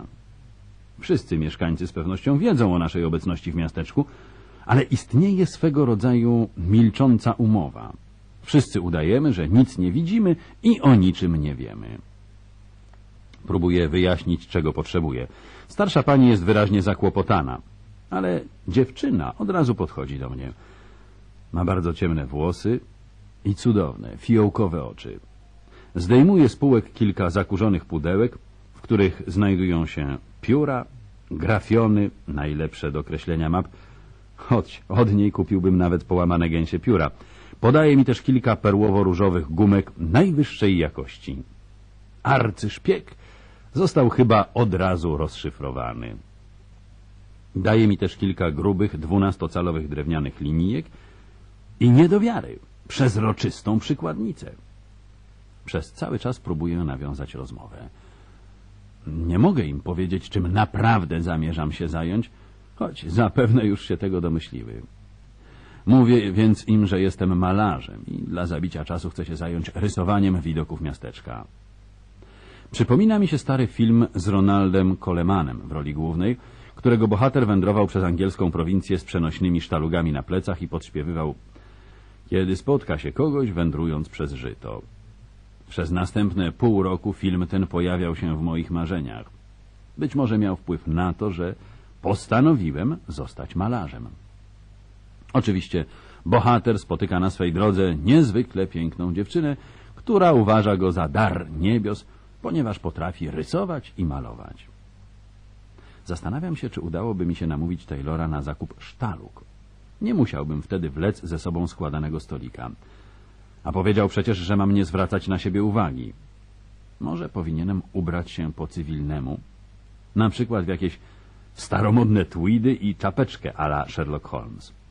Anglicy nie zastrzeliliby mnie chyba jako szpiega. Choć kto wie. Nie mam już zaufania do ludzi, którzy podejmują takie decyzje. Na wystawie sklepu stoją wspaniałe drewniane sztalugi ze skrzynką. Pytam o cenę. Kosztują niecałe 10 funtów. Taylor nigdy nie zdobędzie dla mnie takich pieniędzy, nawet gdyby próbował. Udaje jednak, że poważnie zastanawiam się nad zakupem, a wszystko dla bezpieczeństwa narodowego. Pytam dziewczynę o nazwisko. Przedstawia się jako panna Henderson. Spoglądam na nią, udając Ronalda Colemana. Mogę nazywać cię fiołkiem? W odpowiedzi rumieni się i odwraca. Domyślam się, że spieprzyłem sprawę. Co zrobiłby na moim miejscu Ronald Coleman? Na szczęście mam w kieszeni nieco ponad 10 funtów. Więcej niż potrzeba. Proszę tylko o rachunek. Spróbuję odzyskać pieniądze, jeśli będzie to możliwe. Nagle przypominam sobie, że będzie mi jeszcze potrzebny tusz i proszę o niego. Dziewczyna odwraca się bez słowa i bierze z półki butelkę. Odkręca ją, aby sprawdzić i rzeczywiście tusz wysechł. Otwiera tak kolejno trzy butelki, zanim znajduje dobrą. Tusz już taki jest. Gęstnieje i zasycha. Pełno w nim wtedy okruchów i nie da się go już użyć do pisania piórem czy grafionem. Miło, że pamiętałaby to sprawdzić. Dziękuję, panno Henderson. Nie ma nic gorszego od czarnego piasku zamiast tuszu. Przygląda mi się fiołkowymi oczami. Tak naprawdę mam na imię Michel. Brzmi z francuska, prawda? Ja mam na imię William, ale przyjaciele mówią mi Will. Mam nadzieję, że jeszcze się zobaczymy. Uśmiecha się, wydaje resztę i patrzy mi prosto w oczy. Być może, Williamie, będziesz potrzebował następnej buteleczki tuszu. Zaczynam teraz chodzić po mieście. Mierzę odległości, liczę budynki, robię notatki, nucę pod nosem, kiedy się spotka kogoś, wspominając cudowne, fiołkowe oczy. Szykuje mi się fantastyczne zadanie bojowe. Idę właśnie, licząc kroki od kościoła do urzędu burmistrza, kiedy zauważam Michelle, która zbliża się ku mnie. Niesie niewielką, płócienną siatkę pełną zakupów. Chodząc po miasteczku zauważyłem, że dzisiaj jest dzień targowy. Okoliczni rolnicy przyjeżdżają, aby sprzedać swoje towary, które nie są objęte racjonowaniem. Podnoszę wzrok i w tej samej chwili gubię się w obliczeniach. Michel zatrzymuje się przede mną. Co ty robisz, Williamie? Widzę czasami, jak chodzisz ulicami i notujesz coś na kartkach. Nie wygląda mi na to, byś zajmował się rysowaniem. Przyznaję się jej do tego, co robię. Najpewniej zdradzam właśnie tajemnicę wagi państwowej nieprzyjacielskiemu szpiegowi, który został przysłany do tego miasteczka 20 lat temu i ma w sypialni radiostację. Lubię rozmyślać o jej sypialni. Próbuję narysować plan miasteczka. Mój dowódca uważa, że to dobry pomysł. Na wypadek, gdyby Niemcy chcieli szturmować ze wzgórz, lepiej wiedzieć, w którą stronę mamy uciekać. Chwyta w obie dłonie siatkę i przez chwilę wymachuje nią w powietrzu. Spogląda na mnie pytająco, tak jak wtedy w sklepie. Williamie, jestem pewna, że w miejskim archiwum są plany. Myślę, że pozwolą ci z nich skorzystać, jeśli tylko poprosisz. Jeśli zechcesz, mogę o to zapytać. Mój wuj jest radnym miejskim. Uśmiecha się i odchodzi. Dzieli ją już ode mnie pięć kroków, kiedy nagle przypomina o sobie Ronald Coleman. Jak się dowiem, czy będę mógł skorzystać z planów? Do kogo mam się zwrócić, Michel? Przyjdź dzisiaj po południu do sklepu. Wtedy będę już wszystko wiedziała. Rusza dalej w górę wzgórza. Czuję się zupełnie zagubiony. Nie potrafię sobie przypomnieć nawet z dokładnością do stu, do ilu kroków doliczyłem. Czekam, aż Michel zniknie mi z oczu, a później ponownie wspinam się na szczyt i zaczynam liczyć od nowa. U stóp wzgórza, całe miasteczko położone jest na jego zboczu, ciągnie się drewniany płot z bramą, otaczający, jak mi się wydaje, pastwisko dla krów. Wystarczy otworzyć bramę, by znaleźć się na otwartej przestrzeni. Wszystko wokół mnie ma barwę głębokiej zieleni. W Pensylwanii mamy trochę ładnej zieleni, ale takiego koloru można by się spodziewać wyłącznie w Irlandii. Taylor mówił, że mam umieścić na planie również okolice miasteczka. Przechodzę zatem przez bramę i ruszam przez pole w stronę niskiego wzgórza, z którego szczytu rozpościera się wspaniały widok na całą okolicę. Widzę stąd kościół na szczycie wzgórza, a linię większych ulic i przecinających je małych uliczek schodzących do ogrodzenia u stóp wzgórza. Na polu pasą się owce. Domyślam się teraz, że płot wzniesiono po to, by nie wchodziły do miasta. Podobna bramka zamyka każdą boczną uliczkę. Spędzam wczesne popołudnie, rysując panoramę miasta. Później wykańczam rysunek tuszem. Nie wracam do fabryki nawet na obiad. W sklepie kupiłem kilka twardych bułek i trochę sera i pogryzam je w czasie pracy. Kurczę, naprawdę coraz bardziej upodabniam się do Ronalda Colemana. Powtarzam w kółko, kiedy się spotka kogoś. Około wpół do trzeciej mój obrazek jest gotowy. Nie podobają mi się wprawdzie pewne elementy, a zwłaszcza wielki budynek fabryczny z cegły, wznoszący się w środku miasta. Wystaje z krajobrazu jak spuchnięty kciuk. Może nie powinienem był go umieszczać na rysunku? Ale nie tego spodziewa się po mnie Taylor. Gdyby chciał sprawdzić, co zrobiłem, będzie to dowód, że solidnie zabrałem się do pracy. Kieruję się w stronę sklepu papierniczego. Michelle czeka na mnie sama. Starszej pani nigdzie nie widać. Uśmiecha się, kiedy wchodzę. Podaje mi kartkę zapisaną staroświeckim charakterem pisma. Idź do biblioteki i pokaż to kobiecie, która tam pracuje. Będzie na ciebie czekać. Gdzie jest miejska biblioteka? Wszyscy szukamy czegoś do czytania, ale nikomu nie udało się znaleźć biblioteki. Wiesz, gdzie jest drogeria? Chodzi ci o sklep chemiczny? Tak, u was nazywa się to sklepem chemicznym. Tuż obok drzwi drogerii jest drugie wejście, mniejsze. Nie ma tam żadnego szyldu. Wejdź na górę i zastukaj do drzwi. Jak już mówiłam, bibliotekarka będzie na ciebie czekać. Nie powinieneś mieć żadnych kłopotów. Znajdziesz tam wszystko, czego możesz potrzebować. Chcę pokazać jej mój rysunek. Ale zamiast tego kupuję jeszcze jedną perłowo-różową gumkę, której wcale nie potrzebuję. Michel ponownie posyła mi czarowny uśmiech. Dziękuję za wszystko, panno Henderson. To na pewno oszczędzi mi mierzenia i chodzenia po mieście. Pospiesznie ogląda się przez ramię. Kiedy jesteśmy sami, możesz mi mówić Michel albo fiołku, jak wolisz. Mamusia ciągle się boi, że za bardzo się zaprzyjaźnię z naszymi amerykańskimi gośćmi. Znowu się uśmiecha. Próbuję odpowiedzieć znaczącym uśmiechem Ronalda Colemana i wycofać ze sklepu, ale omal nie przewracam przy tym kolekcji wiecznych piór ustawionych na wystawie przy drzwiach. Znajduję bibliotekę. Pani za biurkiem rzeczywiście już na mnie czeka. Pokazuję jej kartkę, którą dała mi Michelle, rzuca na nią pospieszne spojrzenie i wycofuje się do sąsiedniego pokoju. W bibliotece jest najwyżej tysiąc książek i trochę czasopism. Oraz coś, co, jak sądzę, można by nazwać archiwum. Właśnie w tej części pomieszczenia znika bibliotekarka. Wyciąga trzy kartonowe teczki i wraca do dzielącego nas wąskiego kontuaru przypominającego półkę. Kontuar umocowany jest na zawiasach. Można go więc uchylić, aby wejść do biblioteki. Pani otwiera pierwszą teczkę i rozkłada ją przede mną. To jest dokładnie to, czego potrzebuję. Trafiłem na żyłę złota. Leżą przede mną wspaniałe mapy topograficzne miasteczka i okolic. Wszystko narysowane jest w skali. Wpatruję się z podziwem w rysunek. Wykonano go z większą troską i talentem, niż ja byłbym w stanie włożyć w tę pracę. Uśmiecham się do bibliotekarki. Czy nie będzie pani miała nic przeciwko temu, że skopiuję te mapy? Mój dowódca polecił mi przygotować plan miasta do celów obronnych. Bibliotekarka przygląda mi się z uśmiechem, a później jednak ściąga wargi. Tak, ale nie wolno panu wynosić ich z biblioteki. To zabronione. Będzie pan musiał pracować tutaj. Jest mi to jak najbardziej na rękę.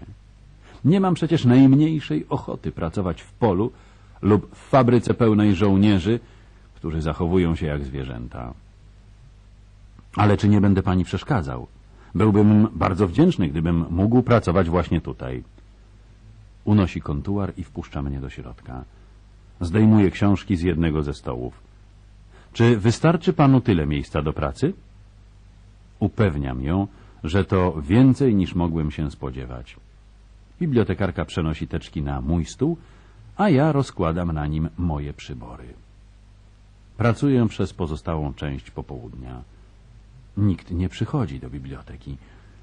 Może jest to biblioteka publiczna, ale wygląda mi na to, że publiczność nie domyśliła się jeszcze, jak należy z niej korzystać. Pozostałe plany są równie dobre. Drugi przedstawia wszystkie budynki publiczne. Wpisano nawet datę budowy.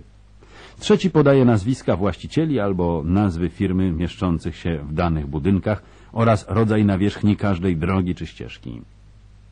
Decyduję się połączyć wszystkie trzy plany w jeden. Posługując się kalką kreślarską, wykonuję pierwszą kopię, którą wykorzystuję później do narysowania tuszem oryginału.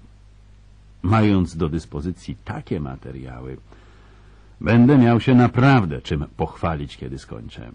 Mogę pracować nad tym kilka tygodni, oczywiście, jeśli będziemy stacjonować tutaj dostatecznie długo.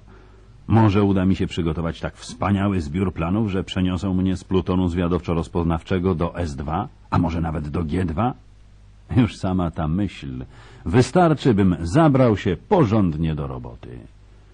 Wielki drewniany zegar wiszący na ścianie pokazuje pół do szóstej, kiedy bibliotekarka mówi, że musi już zamykać.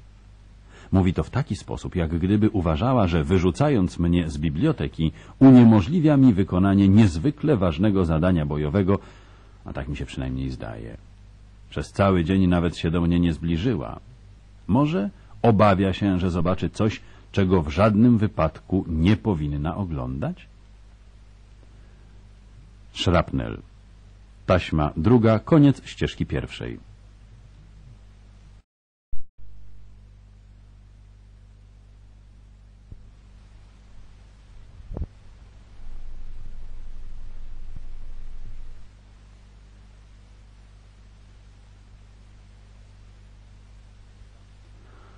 Szrapnel. Taśma druga, ścieżka druga. Czy mógłbym zostawić moje rysunki w bibliotece? Oczywiście, tylko czy jest pan pewien, że będą tutaj całkowicie bezpieczne? Tak będzie najwygodniej. O której pani jutro otwiera? Powtarza wyuczoną odpowiedź. Biblioteka jest otwarta od 9 do 12 i od 2 do 6, codziennie z wyjątkiem sobot i niedziel. W soboty jest otwarta przez cały dzień od 9 do 6. W niedzielę biblioteka jest nieczynna. Jeśli jednak pan sobie życzy, może pan przychodzić tutaj i pracować, kiedy pan tylko chce. Zostawię klucze Michelle Henderson, a ona wpuści pana do środka. Nawet nie marzyłem o czymś takim. Ronald Coleman byłby ze mnie dumny. Zabieram ze sobą kilka kalek, które dzisiaj wykonałem, żeby pokazać je Taylorowi, gdyby pytał, czym się zajmowałem. Panoramę miasta postanawiam zatrzymać dla siebie. I tak jest już codziennie. Rano zasiadam przy bibliotecznym stoliku. Naprawdę, czuję się tak, jakby wypuszczono mnie z wojska. Zdobywam mnóstwo arcyciekawych informacji i wykonuję wiele rysunków. Nie mógłbym chyba mniej rzucać się w oczy. Wydaje mi się, że w całym miasteczku są najwyżej trzy osoby, które wiedzą o mojej pracy. Tylko Michelle przestała się pojawiać. Raz zachodzę do jej sklepu, by kupić buteleczkę tuszu, ale tym razem spotykam tylko jej matkę. Jest dla mnie uprzejma, ale domyślam się, że lepiej będzie, jeśli nie będę pytał o Michelle. Starsza pani daje mi buteleczkę bez sprawdzania jej zawartości, ale kiedy wracam do biblioteki, przekonuję się, że wszystko jest w porządku. Szkoda. Miałem nadzieję, że będę miał wymówkę, by wrócić do sklepiku. Wszyscy w fabryce zastanawiają się, co robię, gdzie codziennie znikam. Dostaliśmy materace ze słomy i juty. Żołnierze powoli świrują. Krążą tysiące plotek o tym, co zdarzy się za chwilę. Ćwiczenia na dziedzińcu trwają całymi dniami. Musztra, strzelanie i walka na bagnety. Udało mi się, naprawdę. Nadchodzi niedziela. Sklep papierniczy jest oczywiście zamknięty. Właśnie się odwracam, kiedy okno nad wystawą sklepową otwiera się i pojawia się w nim Michel. W wyciągniętej ręce trzyma klucz. Zaraz zejdę na dół. Mamusia poszła do kościoła. Schodzi po schodach, podobnych do tych, które prowadzą do biblioteki. Bez fartuszka, który zakłada do pracy w sklepie, wygląda jeszcze piękniej. Próbuje nie gapić się na nią zbyt otwarcie. Ona odwraca wzrok i razem ruszamy ulicą. Zaskakujące. Jak ciche potrafi być w wojenną niedzielę takie małe miasteczko. Michel prowadzi mnie do biblioteki i puszcza przodem. Przez chwilę obawiam się, że nie wejdzie do środka, ale nie. Wchodzi i zamyka za sobą drzwi na klucz. Chciałabym zobaczyć, co robiłeś przez cały ten czas. Mamusia powiedziała mi, że kupiłeś następną butelkę tuszu, więc musiałeś coś robić. Chyba, że wylałeś poprzednią.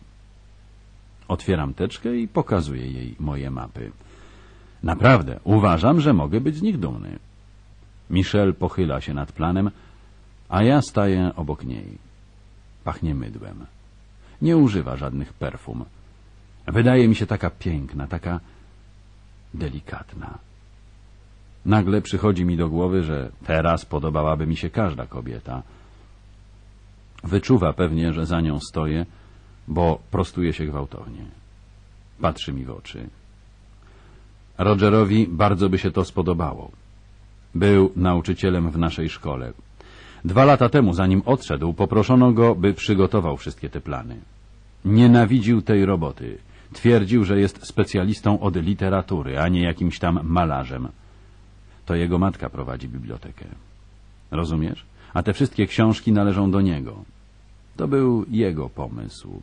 Chciał, żeby mieszkańcy miasteczka i jego dawni uczniowie mieli łatwy dostęp do biblioteki, żeby nie musieli jeździć do Congleton czy Henley. Bardzo kochał książki. Był takim cudownym człowiekiem. A zatem wiem już na czym stoję. Nawet dla Ronalda Colemana byłoby to wyzwanie.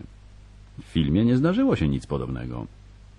Nagle, zanim udaje mi się cokolwiek powiedzieć, Michel patrzy mi prosto w oczy. Naprawdę chcesz się tym dzisiaj zajmować? Odpowiadam jej uśmiechem. Czuję się tak, jak gdyby czytała w moich myślach. Musiała się domyślić, że przyszedłem dzisiaj do sklepu tylko po to, by ją zobaczyć. Nie dała się oszukać udawanemu Ronaldowi Colemanowi. Pracuję jednak mniej więcej przez godzinę. W tym czasie opowiadam jej o panoramie miasteczka, którą narysowałem z sąsiedniego wzgórza. Michel chce już iść. W drzwiach odwraca się do mnie. Mamy dzisiaj piękny dzień, a ze wzgórza, z którego rysowałeś, rozciąga się najpiękniejszy widok na okolice. Może wybralibyśmy się razem na piknik? Kiwam bezmyślnie głową. Zdecydowanie. nie w sposób godny Ronalda Colemana, a potem uśmiechamy się do siebie. Michel mówi, że zapakuje do koszyka trochę prowiantu. Umawiamy się o jedenastej przy płocie na końcu uliczki. Jej matka wróci do domu dopiero o wpół do pierwszej. No cóż, przez pozostałą część tego poranka nie udaje mi się wiele zrobić. Wpatruję się w zegar wiszący na ścianie. Co jakiś czas wydaje mi się, że stoi. W końcu jednak nadchodzi jedenasta. Dłuższa wskazówka posuwa się naprzód krótkimi skokami, aż obie wskazówki zatrzymują się na za pięć jedenasta. Zamykam bibliotekę i kieruję się w stronę płotu, starając się nie spieszyć i nie biec. Ronald Coleman maszerowałby ulicą bardzo pewny siebie. Nie mogę powiedzieć tego o sobie.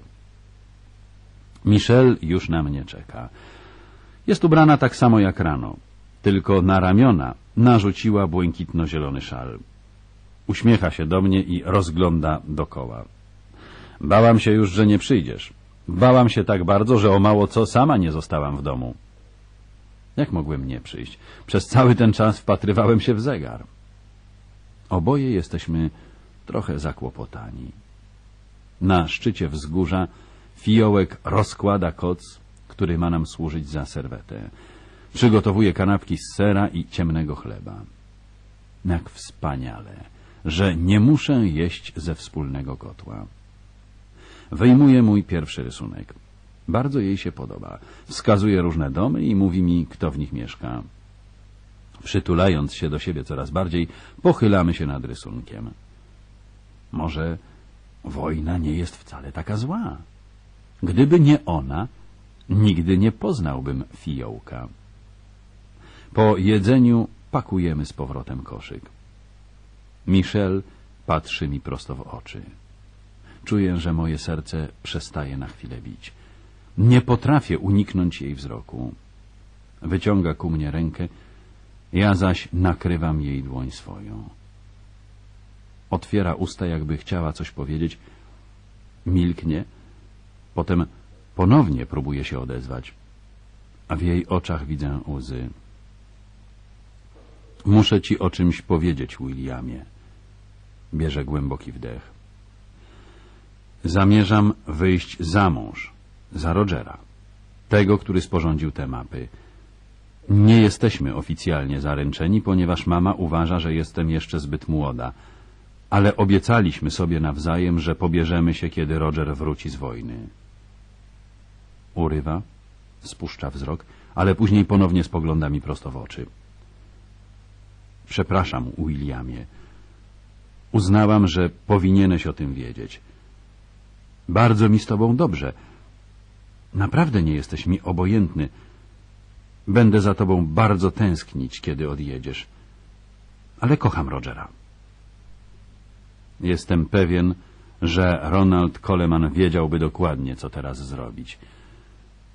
Ale ja z całą pewnością nie wiem. Siedzę i milczę. Jeśli spojrzę w jej oczy, zacznę płakać. Michel sięga do koszyka i wyjmuje z niego małą zaklejoną kopertę.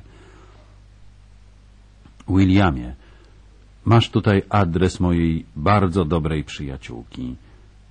Przekaże mi wszystkie listy, które przyślesz. Obiecuję, że odpiszę. Zgadzasz się? Nie potrafię powiedzieć nie. Obiecuję, że napiszę do niej gdziekolwiek bym się znalazł. Wstajemy i idziemy powoli w stronę bramy. Nie odzywamy się do siebie. Zatrzymujemy się przy bramie i przez długą chwilę patrzymy sobie w oczy. Oboje jesteśmy bliscy łez. Ogarnia mnie wstyd. Jaki tam ze mnie Ronald Coleman? Nie pamiętam, by on kiedykolwiek płakał. Michel podaje mi kopertę i ucieka. Stoję i patrzę za nią. Dwa dni później przerzucili nas na wybrzeże. Nigdy więcej nie spotkałem fiołka. Nie skończyłem pracy nad planami. To, co zdążyłem zrobić, przekazałem majorowi. Jestem pewien, że nigdy nikomu na nic się nie przydały. Nie piszę do niej. A ona nie pisze do mnie. Nie mam adresu, który mógłbym jej podać, a koperta z adresem jej przyjaciółki zginęła. Dużo później dociera do mnie kartka od fiołka, ale bez adresu zwrotnego. Roger zginął w walkach powietrznych nad Wielką Brytanią. Michelle pisze, że nie chce już dłużej żyć. Czuje się szczęśliwa, że mogła być ze mną choć przez tak krótki czas. Nadal nie potrafię się zebrać, by do niej napisać. Przetrząsam wszystkie moje rzeczy w poszukiwaniu koperty z adresem, ale nie mogę jej znaleźć. W czasie wojny bardzo trudno jest zachować coś osobistego. Rozdział dziewiąty D3 Opuściliśmy Bidolf równie cicho i szybko, jak przybyliśmy. Nie minął nawet miesiąc od przyjazdu, a już otrzymujemy nowe rozkazy. Mamy dwa dni na doprowadzenie wszystkiego do porządku i ponownie wsiadamy do nocnego pociągu. Zasadniczo wszyscy wiemy, co mamy robić. Nikt jednak nie ma pojęcia, kiedy i gdzie. Nawet oficerowie, nie mówiąc o podoficerach i szeregowcach. Kiedy przybywamy na miejsce, panują kompletne ciemności. Na niebie nie widać księżyca, a chmury sprawiają, że wydaje się jeszcze ciemniej. Rozbijanie namiotów w szczerym polu po ciemku jest nie lada wyczynem. Wysiadamy z pociągu i oczywiście otrzymujemy rozkaz rozbicia namiotów. Teraz dzielę namiot z Gettingerem, który zajął miejsce Korbila. Dobry z niego sąsiad. Nie chrapie, nie wierci się za bardzo przez sen. Należy przy tym do tych nielicznych ludzi, którzy potrafią zasnąć, kiedy tylko się położą. Zdecydowanie nie jestem w tym do niego podobny, ale staram się nie kręcić i nie przewracać z boku na bok.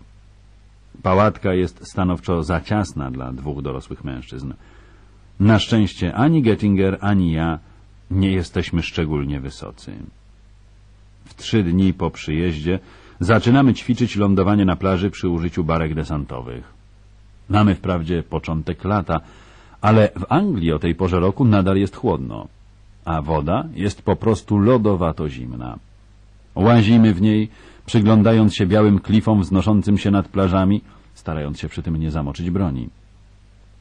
Mamy tylko nadzieję, że we Francji nie ma podobnych klifów. Wielkim problemem jest codzienne suszenie mundurów.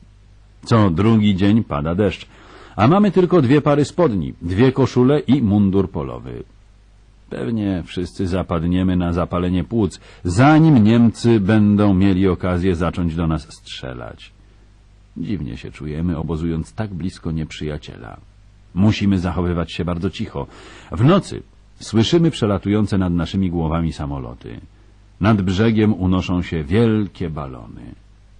Nie wygląda jednak na to, by ktoś próbował utrzymać całą sprawę w tajemnicy. No, chyba, że przed nami Teraz zaczyna się przygoda, o której nie tylko nie opowiadałem dzieciom, ale w ogóle nikomu, oprócz mojej żony. A w wypadkach, które nastąpiły, nie tylko zachowałem się jak młody głupiec, ale zostałem postawiony w sytuacji tak niewiarygodnej, że sam po dziś dzień nie potrafię ani w nią uwierzyć, ani jej zrozumieć. W pierwotnej wersji opuściłem tę przygodę. Wysłałem do mojej agentki wersję, którą uznałem za ostateczną. Byłem bardzo zadowolony, kiedy zadzwoniła do mnie, by powiedzieć, że książka zrobiła na niej ogromne wrażenie. Także czytała ją przez całą noc. A podobne rzeczy rzadko zdarzają się agentkom. Czytanie manuskryptów stanowi znaczną część jej pracy i zwykle jest nimi zasypana. Zdecydowanie nie chodzi tu o jakość, a wyłącznie o ilość. Prosi mnie o ostateczną wersję maszynopisu, którą mogłaby wysłać do wydawców. Ma właściwie tylko jedną sugestię. Książka jest zbyt krótka. I jeśli to możliwe, dobrze byłoby włączyć do niej jeszcze przynajmniej jedną ciekawą przygodę. Najlepiej taką, która rozdzieliłaby romantyczny pobyt w Biddulph i przejazd przez Francję w kierunku Paryża. Wyjaśniam jej, że ta książka opowiada o prawdziwych wydarzeniach i jest odmienna od poprzednich, które powstawały jako fikcja literacka. Ja zaś nie mam nic ciekawego do powiedzenia o okresie, o którym wspomniała. Nagle zdaję sobie sprawę z tego, że kłamie. Dzwonię do Rozali raz jeszcze i opowiadam jej niewiarygodną historię o mojej tak zwanej pierwszej walce. Mimo upływu tak wielu lat brzmi ona równie głupio i niewiarygodnie jak wtedy, kiedy się to wszystko zdarzyło. Rozali jednak jest pod ogromnym wrażeniem. Twierdzi, że byłby to najciekawszy fragment książki. Myśli kategoriami literackimi. Nie zdając sobie sprawy z ograniczeń, jakie narzuca fakt, że pisząc tę książkę muszę wiernie odtwarzać wszystko w pamięci. Dostatecznie wiele razy zdarzało mi się już powtarzać, że wszystko, co przechodzi przez ludzki mózg, automatycznie staje się fikcją, ze względu na nieunikniony wpływ osobowości. Pracując nad tą książką, starałem się jednak osiągnąć coś więcej. Martwi mnie ten pomysł i niełatwo przychodzi mi zabrać się do opisania tej przygody. Szukam w pamięci jakichś innych ciekawych wydarzeń, ale nic nie przychodzi mi do głowy. Maluję właśnie portret mojego dobrego przyjaciela prawnika w altanie stojącej w ogrodzie jego nadmorskiego domu w Delmar, wspaniałym miejscu na spędzenie zimy. Przedstawiam mu mój dylemat jako kwestię prawną. Wyobraź sobie, Dwight, że masz klienta. Część jego sprawy stanowi pewne wydarzenie. Twój klient twierdzi, że miało ono miejsce naprawdę i ma na to dowody. Mimo to wydaje ci się to absolutnie niewiarygodne. A wiesz jednak, że gdyby uwzględnił je w swoich zeznaniach, przegrałby proces przed każdym sędzią czy ławą przysięgłych. Co byś mu poradził? Dwight jest dobrym modelem i równie dobrym prawnikiem. Zastanawia się nad moim pytaniem przez trzy minuty. No cóż, a w układzie klient-prawnik przyjmuje zawsze zasadę, że sprawa należy do klienta, nie do adwokata. Udzieliłbym mu porady, powiedziałbym, co moim zdaniem wydarzy się przed sądem, doradziłbym mu, by nie ujawniał takiej sytuacji, chyba że zostanie o nią zapytany bezpośrednio, kiedy będzie zeznawał pod przysięgą. To on musi podjąć decyzję. Zbyt wielu prawników uważa, że każda sprawa należy właśnie do nich, a nie do klientów. Ja tak nie sądzę. Prawdopodobnie zatem nie jestem odpowiednią osobą, by udzielić odpowiedzi na Twoje pytanie. Ustawia się ponownie, a ja wracam do malowania, nadal nie podejmując żadnej decyzji. Następnego dnia jednak siadam do pisania przed moim komputerem. Wiem, że mój syn, który pomagał mi zbierać materiały do tej książki, chce bardzo, bym umieścił w niej jeszcze jedną przygodę. Wie nawet nieco o historii, nad którą tak bardzo się teraz zastanawiam. Postanawiam, że opiszę to wszystko dla niego. Wyślę drugi egzemplarz do Rozali i pozwolę im zadecydować. Teraz wszystko leży w ich rękach. Co zrobiłem źle? Jak powinienem był wtedy postąpić? Pamiętajcie, że miałem wtedy dziewiętnaście lat. Wszystko zaczyna się od tego, że zaraz po obiedzie w naszym obozie pojawił się wóz z dowództwa. Kończę właśnie koktajl owocowy, który kucharz wlał do mojej menażki na resztki ziemniaków i gulaszu. Kolejka do wiadra, w którym mógłbym umyć menażkę, jest zbyt długa. A w końcu i tak wszystko to zmiesza się w moim żołądku. Umyję menażkę i sztućce, kiedy wszyscy już skończą. Okazuje się, że porucznik, który przyjechał wozem z dowództwa prowadzonym przez kierowcę w stopniu plutonowego, szuka właśnie mnie. Nie mam pojęcia, czego powinienem się spodziewać. Może nagle zmienili zdanie i postanowili nie wysyłać do walki kaleki z żylakiem na jądrze i chorą piętą.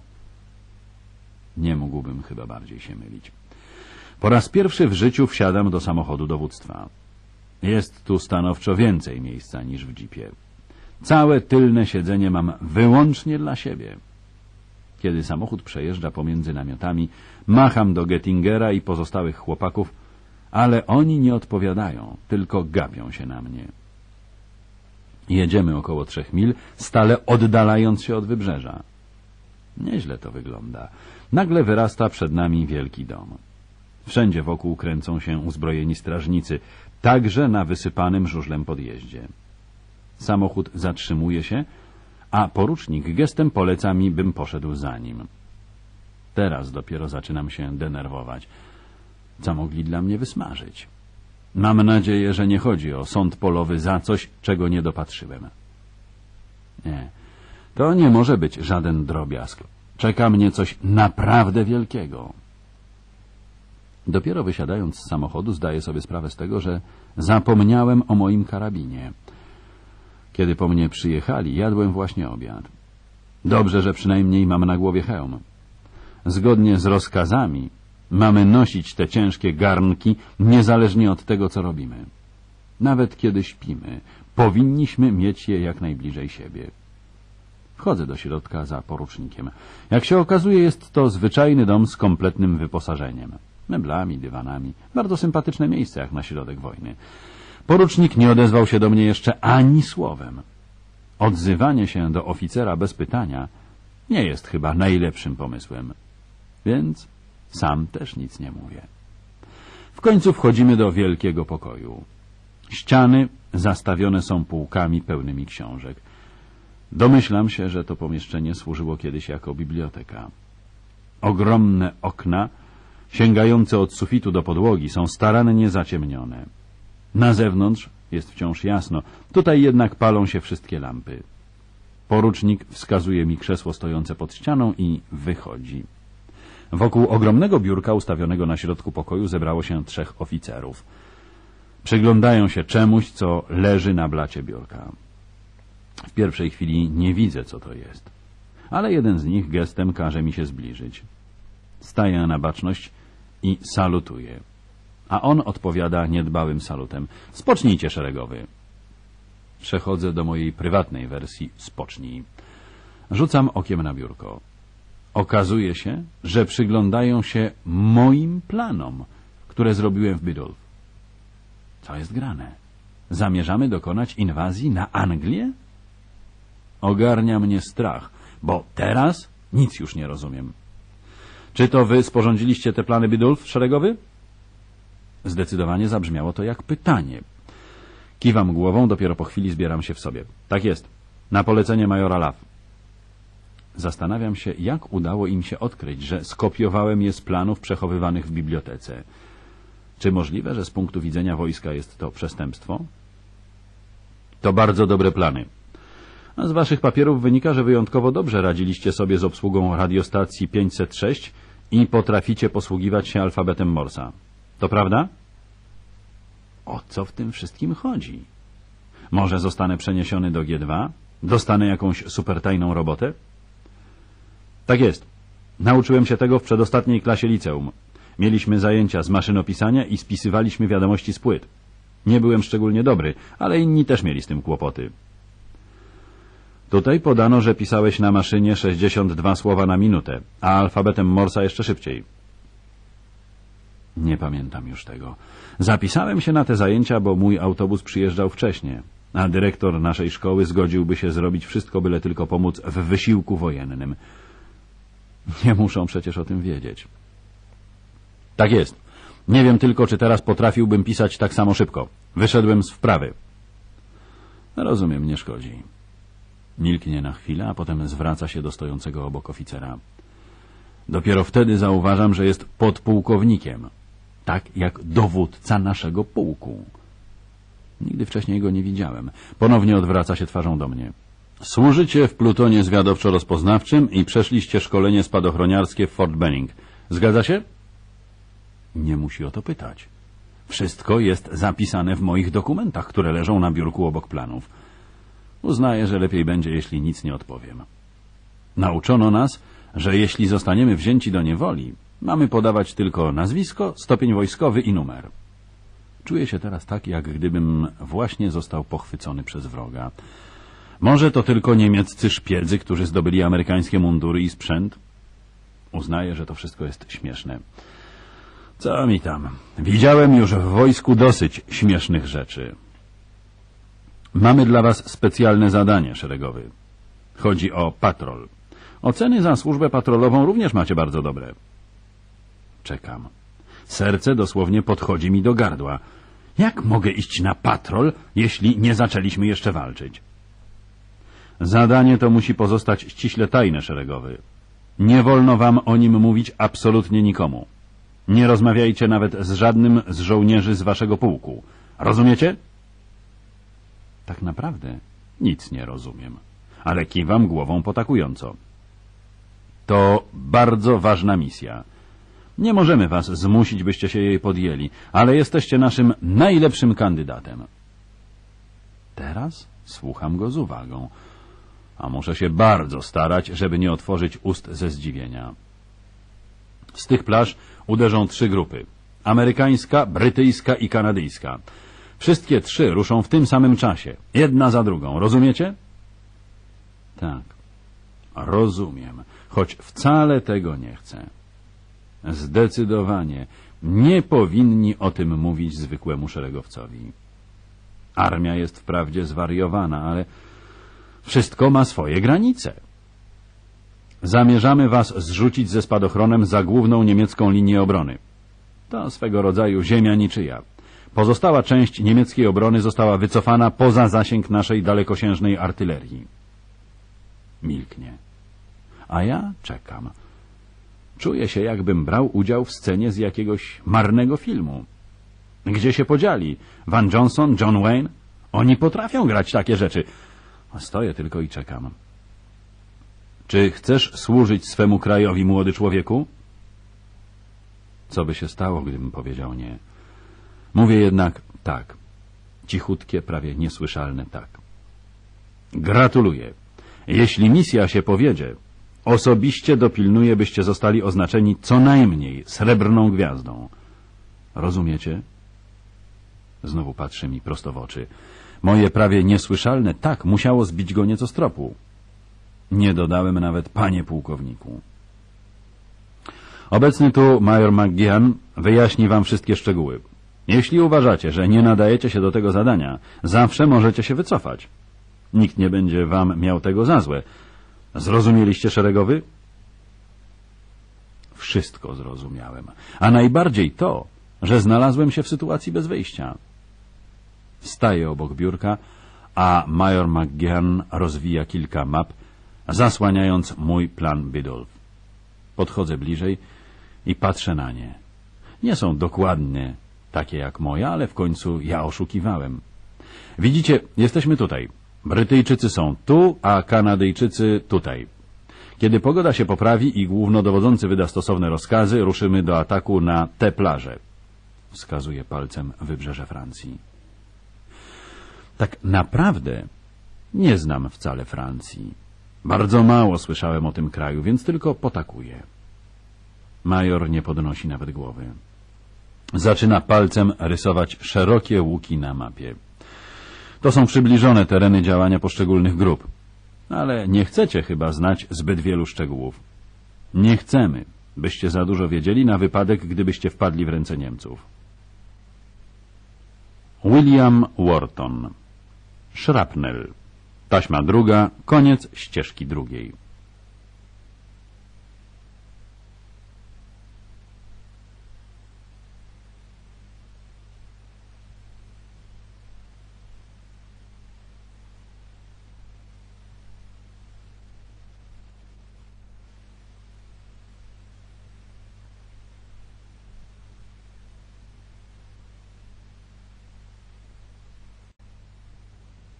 William Wharton Szrapnel Taśma trzecia, ścieżka pierwsza Zastanawiam się, jak Niemcy mogliby mnie schwytać. Czy zamierzają dokonać inwazji na Anglię? Nikt nic o tym nie wspominał. Nie jesteśmy nawet okopani. Chlapiemy się tylko w wodzie, śpimy w mokrych mundurach.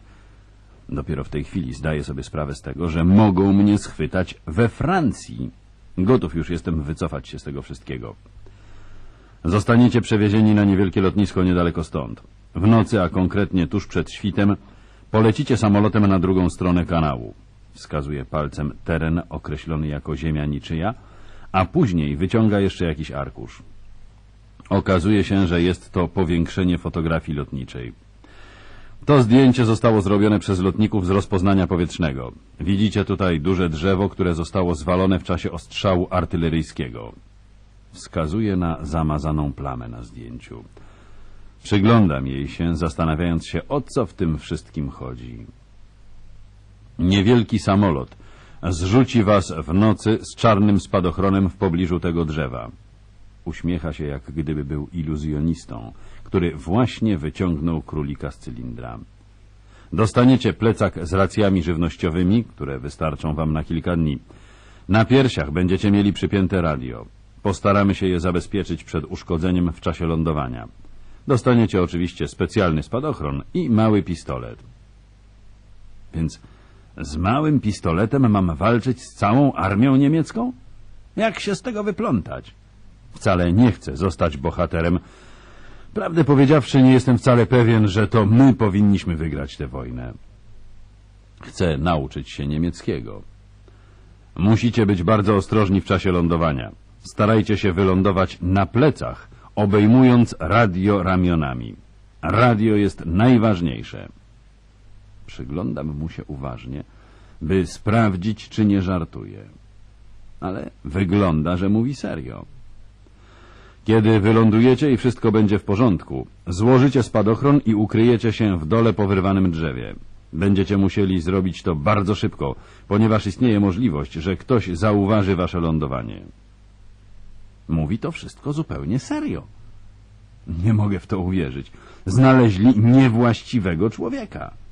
To musi być jakaś potworna pomyłka. Rozłożycie spadochron w dziurze, nakryjecie się nim i uruchomicie radio. Postarajcie się nawiązać kontakt z nami albo ze sprzymierzeńcami. Sierżant Malins poda wam częstotliwości, na których macie nasłuchiwać. Przerywa i ponownie bacznie mi się przygląda. Jakieś pytania? Jak i kiedy mam się stamtąd wydostać? Bojownicy francuskiego ruchu oporu, z którymi pozostajemy w kontakcie, będą was szukać. Wiedzą, kiedy nastąpi zrzut i pomogą wam, jeśli inwazja zostanie z jakichś powodów opóźniona. Co mam tam robić? Nadal tego nie rozumiem. A mamy dla was kilka zadań. Przede wszystkim będziecie próbować nawiązać kontakt zarówno z Brytyjczykami, jak i Kanadyjczykami oraz Amerykanami, żeby upewnić się, że utrzymują ustalony kierunek ataku i nie zaczną strzelać do siebie w ciemnościach. W podobnych sytuacjach zawsze istnieje taka ewentualność. Następnie tak szybko, jak tylko będzie to możliwe, przekażecie radio Francuzom. Oni już wiedzą, co z nim robić. Zajmą się wami i pomogą wydostać się z tego wszystkiego. Nie macie się czym przejmować. Sierżant Malins wyjaśni wam wszystko szczegółowo. Major spogląda na zegarek. Wykonał już swoje zadanie. Pochyla się nad biurkiem i ściska mi dłoń. Ja mam w głowie zupełny mętlik. Powodzenia! Kierowca czeka już na was przed budynkiem. Zawierzę was z powrotem do jednostki, żebyście mogli spakować swoje rzeczy. Nie musicie zabierać hełmu, karabinu, bagnetu ani amunicji. Sierżant Malins dostarczy wam wszystko, co będzie wam potrzebne. Pamiętajcie tylko, ani słowem nie wolno wam wspomnieć o niczym, co tutaj usłyszeliście, a zwłaszcza o waszej misji. Liczymy na was. Po tych słowach, jak gdyby na jakiś niewidoczny sygnał, wchodzi kierowca. Do wozu wsiadamy tylko we dwóch. Siadam z przodu i próbuję raz jeszcze przemyśleć wszystko, co wydarzyło się w ciągu ostatniej godziny czy dwóch. Dochodzę do wniosku, że albo oszalałem, albo to wszystko to jeden wielki żart, z którego wszyscy będą się jutro śmiali. Docieramy do obozu i samochód odjeżdża. Przez całą drogę nie zamieniliśmy nawet słowa. Jest już prawie noc. Kieruję się do namiotu. Gettinger chce wiedzieć, co się stało. Stan. Nawet gdybym ci opowiedział, nie uwierzyłbyś. Sam prawie nie mogę w to uwierzyć. Nie zadawaj mi żadnych pytań. W głowie mi się tak kręci, że zaraz zacznie mnie boleć. Stan przewraca się na bok i jak zwykle natychmiast zasypia. Pakuję moje nieliczne rzeczy do płóciennego worka i odnoszę je do kuchni polowej. Zostawiam Stanowi moją połówkę namiotu, maszt i śledzie. Czuję się jak mąż, który wymyka się cichaczem z domu, ale niestety nie czeka na mnie żadna kochanka. Samochód przyjeżdża po mnie zaraz po śniadaniu. Zmywam z mojej menażki resztki jajecznicy, wsadzam ją do plecaka, zarzucam płócienny worek na ramię i już jestem gotowy do drogi. Jedziemy mniej więcej przez godzinę. Tym razem wzdłuż plaży. Prowadzi ten sam plutonowy. Rozmawiamy tyle, co poprzedniego wieczoru. To znaczy wcale. Może facet ma coś z uszami, a armia trzyma go, by woził takich straceńców jak ja, którzy godzą się brać udział w samobójczych misjach. Docieramy na niewielkie lotnisko. Plutonowy gestem poleca mi, bym został w samochodzie, a sam wchodzi do hangaru. Po kilku minutach wraca, każe mi zabrać rzeczy i ruszać za nim. Wysiadam z samochodu, wtedy po raz ostatni w czasie wojny zdarzyło mi się podróżować w podobnie luksusowych warunkach, i idę do hangaru. Sierżant, który przedstawia się jako Pat Mullins, służy na kontrakcie. W hierarchii wojskowej znajduje się więc pomiędzy oficerami zawodowymi i rezerwy. Z formalnego punktu widzenia jest to czarna dziura. Zazwyczaj dysponują oni jakąś wyjątkową specjalnością. A w wypadku Malinsa chodzi zapewne o umiejętność pilotowania. W hangarze stoi niewielki samolocik, pomalowany w szare plamy, a nie na oliwkowo-zielono jak większość wojskowego sprzętu. Malins prowadzi mnie do małego kantorka. Podsuwa mi krzesło. Zwykły oficer? Nigdy nie zrobiłby nic podobnego. Posłuchaj, Wharton. To jest najbardziej świrnięta misja, o jakiej w życiu słyszałem. To nie ja ją wymyśliłem. Słyszałem różne plotki, ale o ile wiem, jest to pomysł jakiegoś faceta ze sztabu. Wymyślił to wszystko, ale nie życzy sobie, by ktokolwiek wiedział, kim jest.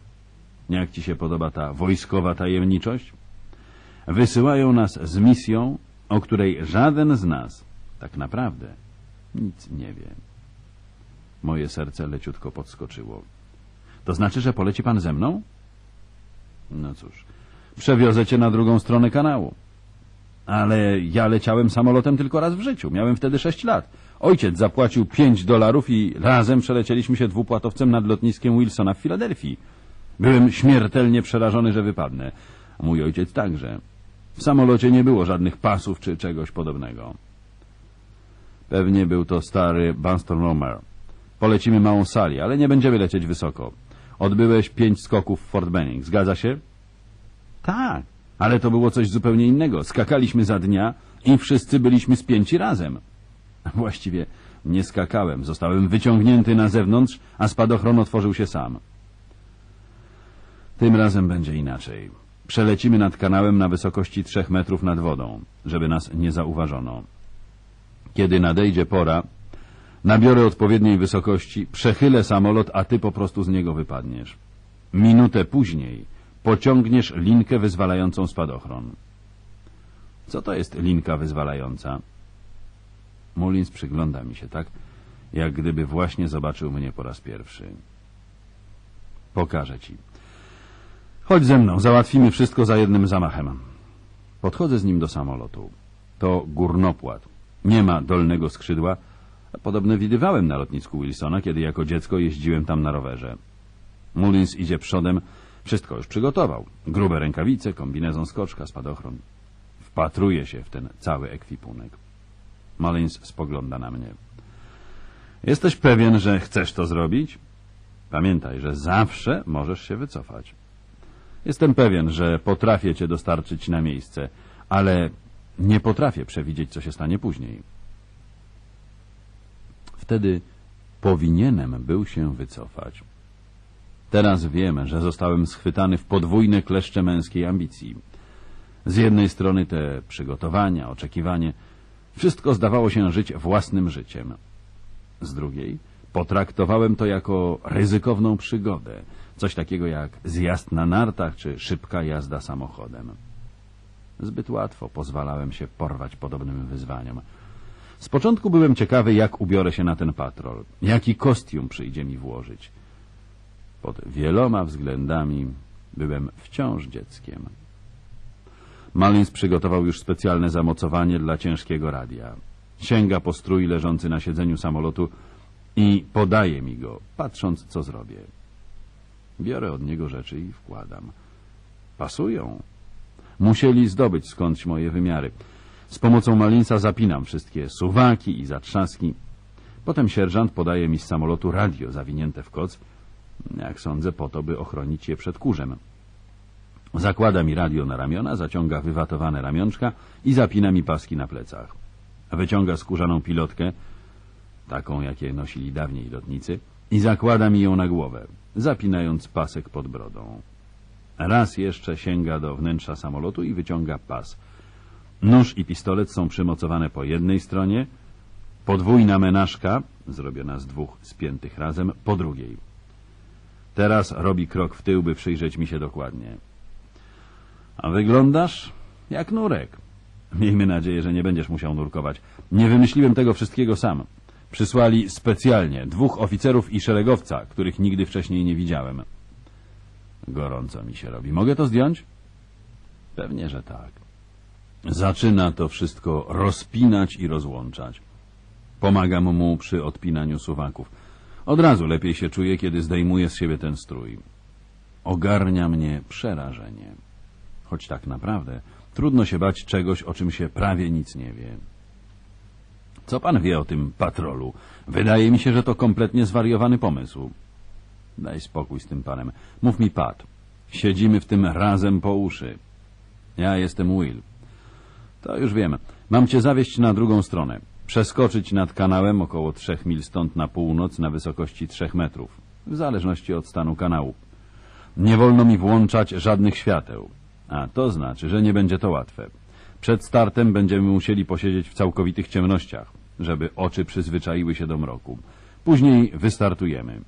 Technicy założyli mojej biednej sali specjalne tłumiki, tak, że prawie w ogóle jej nie słychać. Wykonałem próbny lot. Straciła mnóstwo mocy, ale jest naprawdę cicha. Będę musiał napełnić zbiorniki do pełna, żeby dolecieć tam i z powrotem, bo teraz zużywa mnóstwo paliwa. Milknie. Przyglądam się jego twarzy. Poci się cały. Ja siedziałem w kombinezonie, a to on się poci. Problemem będzie znalezienie odpowiedniego miejsca, gdzie mógłbym dostatecznie przyspieszyć, by podnieść maszynę na 500 stóp, zawisnąć w powietrzu i wyrzucić ciebie. Robi głęboki wdech i spuszcza głowę. A co ty wiesz, Will? Nie wolno mi nikomu o tym mówić. Ale skoro lecisz tam ze mną, to chyba wszystko w porządku. Mam wylądować, zwinąć spadochron, a później ukryć się w wyrwie po drzewie, zwalonym przez ostrzał artyleryjski. Tam mam prowadzić nasłuch, zwłaszcza na trzech podanych częstotliwościach. Nie wolno mi nadawać, żeby Niemcy nie mogli mnie namierzyć. Później jacyś bojownicy francuskiego ruchu oporu mają przyjść po radio i wyciągnąć mnie z tego. Jak? Tego nie wiem. Wydaje mi się, że nie powinienem wiedzieć, jak to zrobią. Jezu Chryste, to naprawdę szaleństwo. Jesteś pewien, że nie chcesz się z tego wycofać? Teraz? Nie jestem już niczego pewien. A wciąż o tym myślę. W takim razie masz około ośmiu godzin na podjęcie decyzji. Dowiedziałem się, że wstrzymają ostrzał artyleryjski strefy twojego lądowania pomiędzy trzecią a czwartą rano. Myślę, że jeśli dotrzemy bezpiecznie na miejsce, wstrzymają go na dłużej. Opiera dłonie na biodrach, a później zabiera się do pakowania mojego uniformu, radia i całej reszty z powrotem do samolotu. No tak, mam pokazać ci jeszcze to. Wyciąga pełen karton racji żywnościowych, opatulonych i zapakowanych w ten sam sposób jak radio. Zrzucę je zaraz po twoim skoku. Powinny wylądować blisko ciebie. Naprawdę? Zamierzasz wyrzucić mnie z samolotu? Takie mam rozkazy. Zobacz, wyjąłem drzwiczki z twojej strony. W kombinezonie i z całym tym ekwipunkiem na pewno nie zdołasz wyskoczyć o własnych siłach. Zastanawiam się, dlaczego nie miałbym się wycofać właśnie teraz. Jestem już dostatecznie przerażony. Po chwili jednak strach mija. Wchodzę w to. O wpół do drugiej jestem już w kombinezonie i wsiadam do samolotu. Pat zajmuje miejsce za sterami. Jakiś żołnierz wynurza się z mroku hangaru, popycha śmigło i za trzecim razem silnik zapala. Pat trzyma dłonie na półkolistym sterze, między nogami ma jakiś drążek. Kiedy byłem jeszcze mały, wysyłałem kupony, wycięte z różnych opakowań i dostałem od środki Annie, czy może Bobiego Bensona, już nie pamiętam, broszurkę, z której miałem się nauczyć, jak pilotować samolot. Ćwiczyłem w piwnicy, posługując się kijem od szczotki. Kiedyś mama zeszła na dół i zapytała, co robię. Odpowiedziałem, że bawię się moim drążkiem i uczę się latać. W pierwszej chwili Wściekła się na mnie, ale kiedy zobaczyła broszurkę, zostawiła mnie w spokoju i poszła na górę. Fajnie jest w końcu zobaczyć prawdziwy drążek sterowy. Pat trzyma na nim rękę, ale do sterowania używa pedałów i steru. Pędzimy po pasie startowym. Gdy odrywamy się od ziemi, samolot kołysze się nieco. Lecimy szybko. Ziemia zdaje się uciekać pod nami. Uznaję, że będzie lepiej, jeśli nie będę patrzył w dół. Lecimy nad wodą. Widzę w ciemnościach białe grzywy fal. Samolot wyrównał lot. Więc nie boję się już, że wypadnę, ale mimo to trzymam się czegoś, co przypomina tablicę rozdzielczą samochodu. Nie wiem, jak długo trwa lot.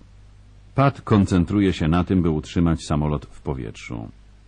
Czasami trafiamy w dziury powietrzne. Woda pod nami jest coraz bardziej wzburzona, a robi się też coraz zimniej. Teraz jestem zadowolony, że mam kombinezon i rękawice. Kiedy na horyzoncie pojawia się wybrzeże francuskie, Pat zwraca się do mnie. Teraz podciągnę trochę, żebyśmy mogli przelecieć nad pozycjami niemieckiej obrony. Zobaczą nas za późno, by trafić. Ale zawsze lepszy jest nadmiar ostrożności. Widzę teraz coś, co wygląda jak domki z betonu. Pat twierdzi, że to bunkry. Później przelatujemy nad otwartym terenem. Nie widzę żadnych świateł. Pat ponownie odwraca się w moją stronę. Teraz zacznę się wznosić prawie pionowo. Potem zawisnę na chwilę w powietrzu, wtedy przechylę samolot na bok, a ty wypadniesz. Nie zapomnij złapać za linkę wyzwalającą, którą pociągniesz w odpowiednim momencie. Postaraj się wylądować na nogach i padaj na plecy, obejmując rękoma radio. Samolot ustawia się prawie pionowo i zwalnia. Przechyla się na bok i, zanim zdążę się zorientować, co się dzieje, wiszę w powietrzu. Pociągam za linkę wyzwalającą i po chwili, która mnie wydaje się wiecznością, otwiera się spadochron. Kołyszę się na prawo i lewo, a ziemia zbliża się ku mnie z ogromną prędkością. Pochylam się ku przodowi. Po niecałych trzech minutach ląduję. Nogi uginają się pode mną, ale padam na plecy, tuląc do siebie radio. A potem przed oczami robi mi się kompletnie czarno.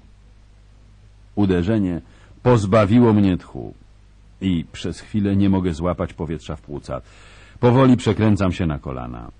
Czasza spadochronu łapie wiatr i pociąga mnie za sobą, przewraca na bok. Wciąż staram się złapać oddech, a jednocześnie ściągam ku sobie linki spadochronu.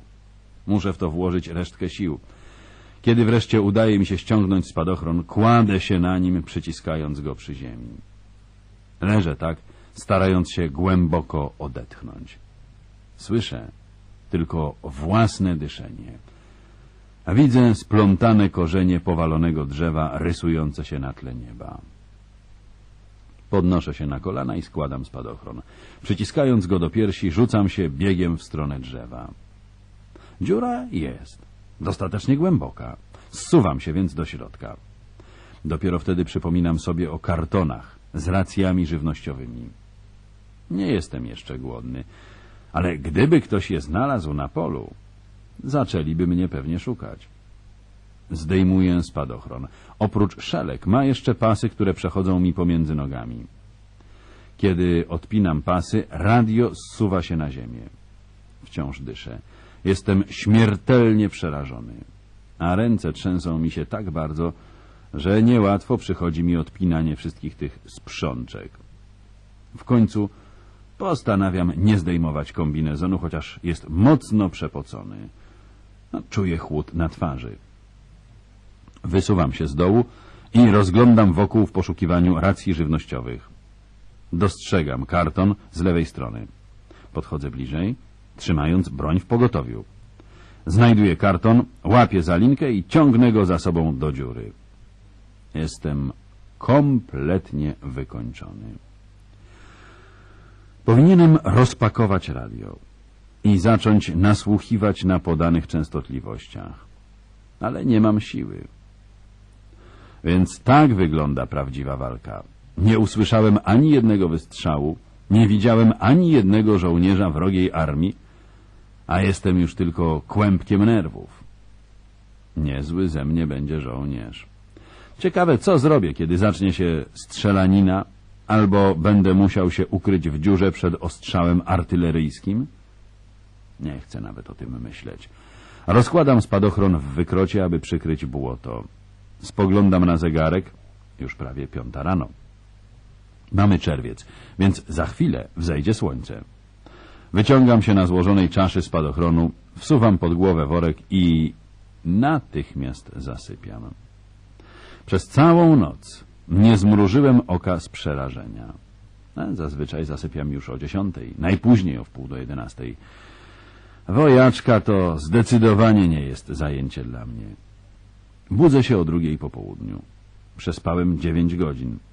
Plecy i ramiona bolą mnie od szelek spadochronu. Ale poza tym czuję się całkiem nieźle. Pada deszcz i woda sączy się do mojej jamy. Zbieram trochę kamieni i buduję małą tamę, by nie zalało mojego wykrotu. Następnie rozpakowuję radio. Mam nadzieję, że będzie działać. Nie wygląda na uszkodzone. Kiedy przekręcam gałkę, radio rozgrzewa się. Zaczynam więc poszukiwać częstotliwości, których nauczyłem się wcześniej na pamięć. Bez skutku. Czuję pokusę, by nadać krótką wiadomość, żeby wiedzieli, że jestem na miejscu. Ale się powstrzymuję. Rozciągam antenę na maksymalną długość. Jednak nadal nic się nie dzieje. Jestem głodny. Otwieram karton, ale w środku są tylko racje żywnościowe K. Rozpakowuję porcję obiadową. W pudełku jest ser, ciastka i papierosy, które mnie akurat są niepotrzebne. Żuję ser, próbując uspokoić żołądek. Zastanawiam się, jak długo będę tak siedział samotnie. Może inwazja już się rozpoczęła, tylko ja nic o tym nie wiem? A może postanowiono ją odwołać? Jedzenie trochę mnie uspokaja. W jednej z moich menażek mieszam odrobinę rozpuszczalnej kawy z zimną wodą. Menażka wyposażona jest w oddzielny kubek. Napełniam go do połowy wodą. Już teraz myślę o konieczności racjonowania wody.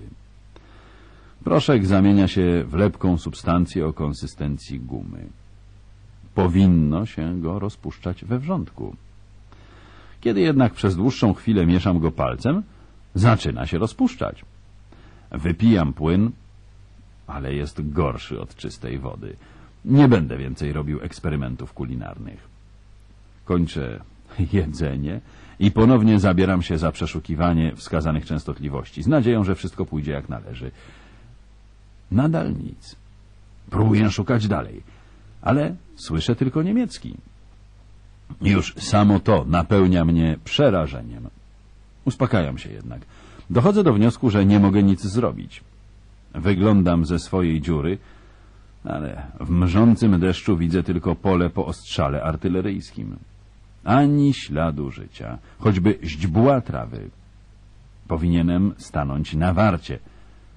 Ale ponieważ jestem jedynym wartownikiem, nie miałoby to sensu. Po prostu będę musiał na wszystko uważać. Postanawiam próbować uruchomić radio o każdej pełnej godzinie. No tak chyba postąpiłby prawdziwy radiooperator. Próbuję też nie spać za dnia. Wiem, że nocą nie wytrzymam bez snu, choć w tej wyboistej jamie pełnej dziur i kamieni nie usnę na długo. Za każdym razem, kiedy się budzę, rozglądam się dokoła i nasłuchuję przez radio. Zastanawiam się, gdzie są bojownicy francuskiego ruchu oporu i kiedy się tu zjawią. Zakładam, że wiedzą o tym powalonym drzewie. Może jednak liczę na zbyt wiele. Z kamieni zebranych z dna jamy buduję podwójny murek na krawędzi wykrotu i umacniam go ziemią. W ten sposób nie tylko mam lepszą osłonę przed deszczem i wiatrem, ale także więcej miejsca, a na dnie leży mniej kamieni. Zdjąłem pas z pistoletem i menażkami, powiesiłem je w suchym miejscu na wystających korzeniach drzewa. Mam nadzieję, że nie będę zmuszony posłużyć się bronią. Nie zrobię tego. Jeśli Niemcy mnie znajdą, po prostu się poddam. Nawet nie będę próbował się bronić. Opracowuję plan działania. O każdej pełnej godzinie włączam radio i prowadzę na słuch. Nie mogę robić tego zbyt długo, ponieważ obawiam się, że wyczerpią się baterie. Następne racje żywnościowe zjadam o siódmej rano, w południe i o szóstej wieczorem. Nakręcam zegarek przed kolacją. Pogoda nieco się poprawia. Chmury są teraz mniej zwarte, co pewien czas wychyla się za nich słońce. Pogoda we Francji w czerwcu jest stanowczo wyjątkowo paskudna. Nie straciłem jeszcze całkiem nadziei, ale jestem już tego bardzo bliski. Wiem, że próba przejścia przez niemiecką linię obrony byłaby samobójstwem. Nie miałbym nawet szansy oddać się do niewoli. Zastrzeliliby mnie od razu. A zatem nie mam wyboru. Nie powinienem był się zgodzić na udział w podobnym przedsięwzięciu. Mam tylko dwie szanse. Albo Amerykanie, Brytyjczycy czy Kanadyjczycy przebiją się do mnie, albo pomogą mi tajemniczy członkowie francuskiego ruchu oporu, którzy przyjdą po radio. Nie pozostaje mi nic innego jak czekać. Mam dosyć jedzenia na cztery dni. Później będę musiał zastanowić się, co dalej. Przyglądam się sobie uważnie. Kombinezon mam uwalany błotem. Wyglądam teraz jak Buck Rogers w filmie, w którym poleciał w XXV wieku na inną planetę. Dni mijają i nic się nie dzieje. Słyszę strzały artyleryjskie, ale tu, gdzie jestem, nie trafiają żadne pociski. Zdążyli już wcześniej rozwalić to miejsce w drobiazgi. Rozglądam się, nasłuchuję, jem, drzemię i nakręcam zegarek. Trwa to trzy dni. Wyglądam nagle na zewnątrz i widzę przed sobą kilku żołnierzy, biegnących przez pole z karabinami gotowymi do strzału. Nie czekam ani chwili. Zrzucam z siebie kombinezon, żeby wyglądać na amerykańskiego żołnierza. Ściągam też pilotkę, którą miałem cały czas na głowie, żeby nie marzły mi uszy. Po hełmach poznaję, że to nie Niemcy, ale nie są to też Amerykanie. Zaczynam krzyczeć po angielsku. Zostawiam wszystko, a włącznie z pistoletem, radiem i żywnością. Wychodzę z rękami podniesionymi do góry i krzyczę Jestem Amerykaninem! Nie strzelajcie! Jestem Amerykaninem! Zatrzymują się jak wryci. Wstaję i ruszam wolno w ich stronę. Padają w błoto, celując we mnie z karabinów. Nie ruszaj się! Staję w miejscu. Jeden z nich rusza w moim kierunku. Nadal trzymam ręce na głowie. Zaczynamy rozmawiać. Mówi po angielsku z brytyjskim akcentem, ale okazuje się, że to Kanadyjczycy. Pokazuję mu moje blaszki identyfikacyjne. Teraz mi wierzy. Prowadzę go do mojej jamy. Jezu! Wy, Jankesi, to macie pomysły. Nikt nam nie powiedział, że tu będziesz. Mieli mnie stąd zabrać Francuzi. Mieli przyjść po radio. Czy możecie jakoś odstawić mnie do mojego oddziału w Anglii? Kończy mi się jedzenie. Szrapnel. Taśma trzecia, koniec ścieżki pierwszej. Szrapnel. Taśma trzecia, ścieżka druga.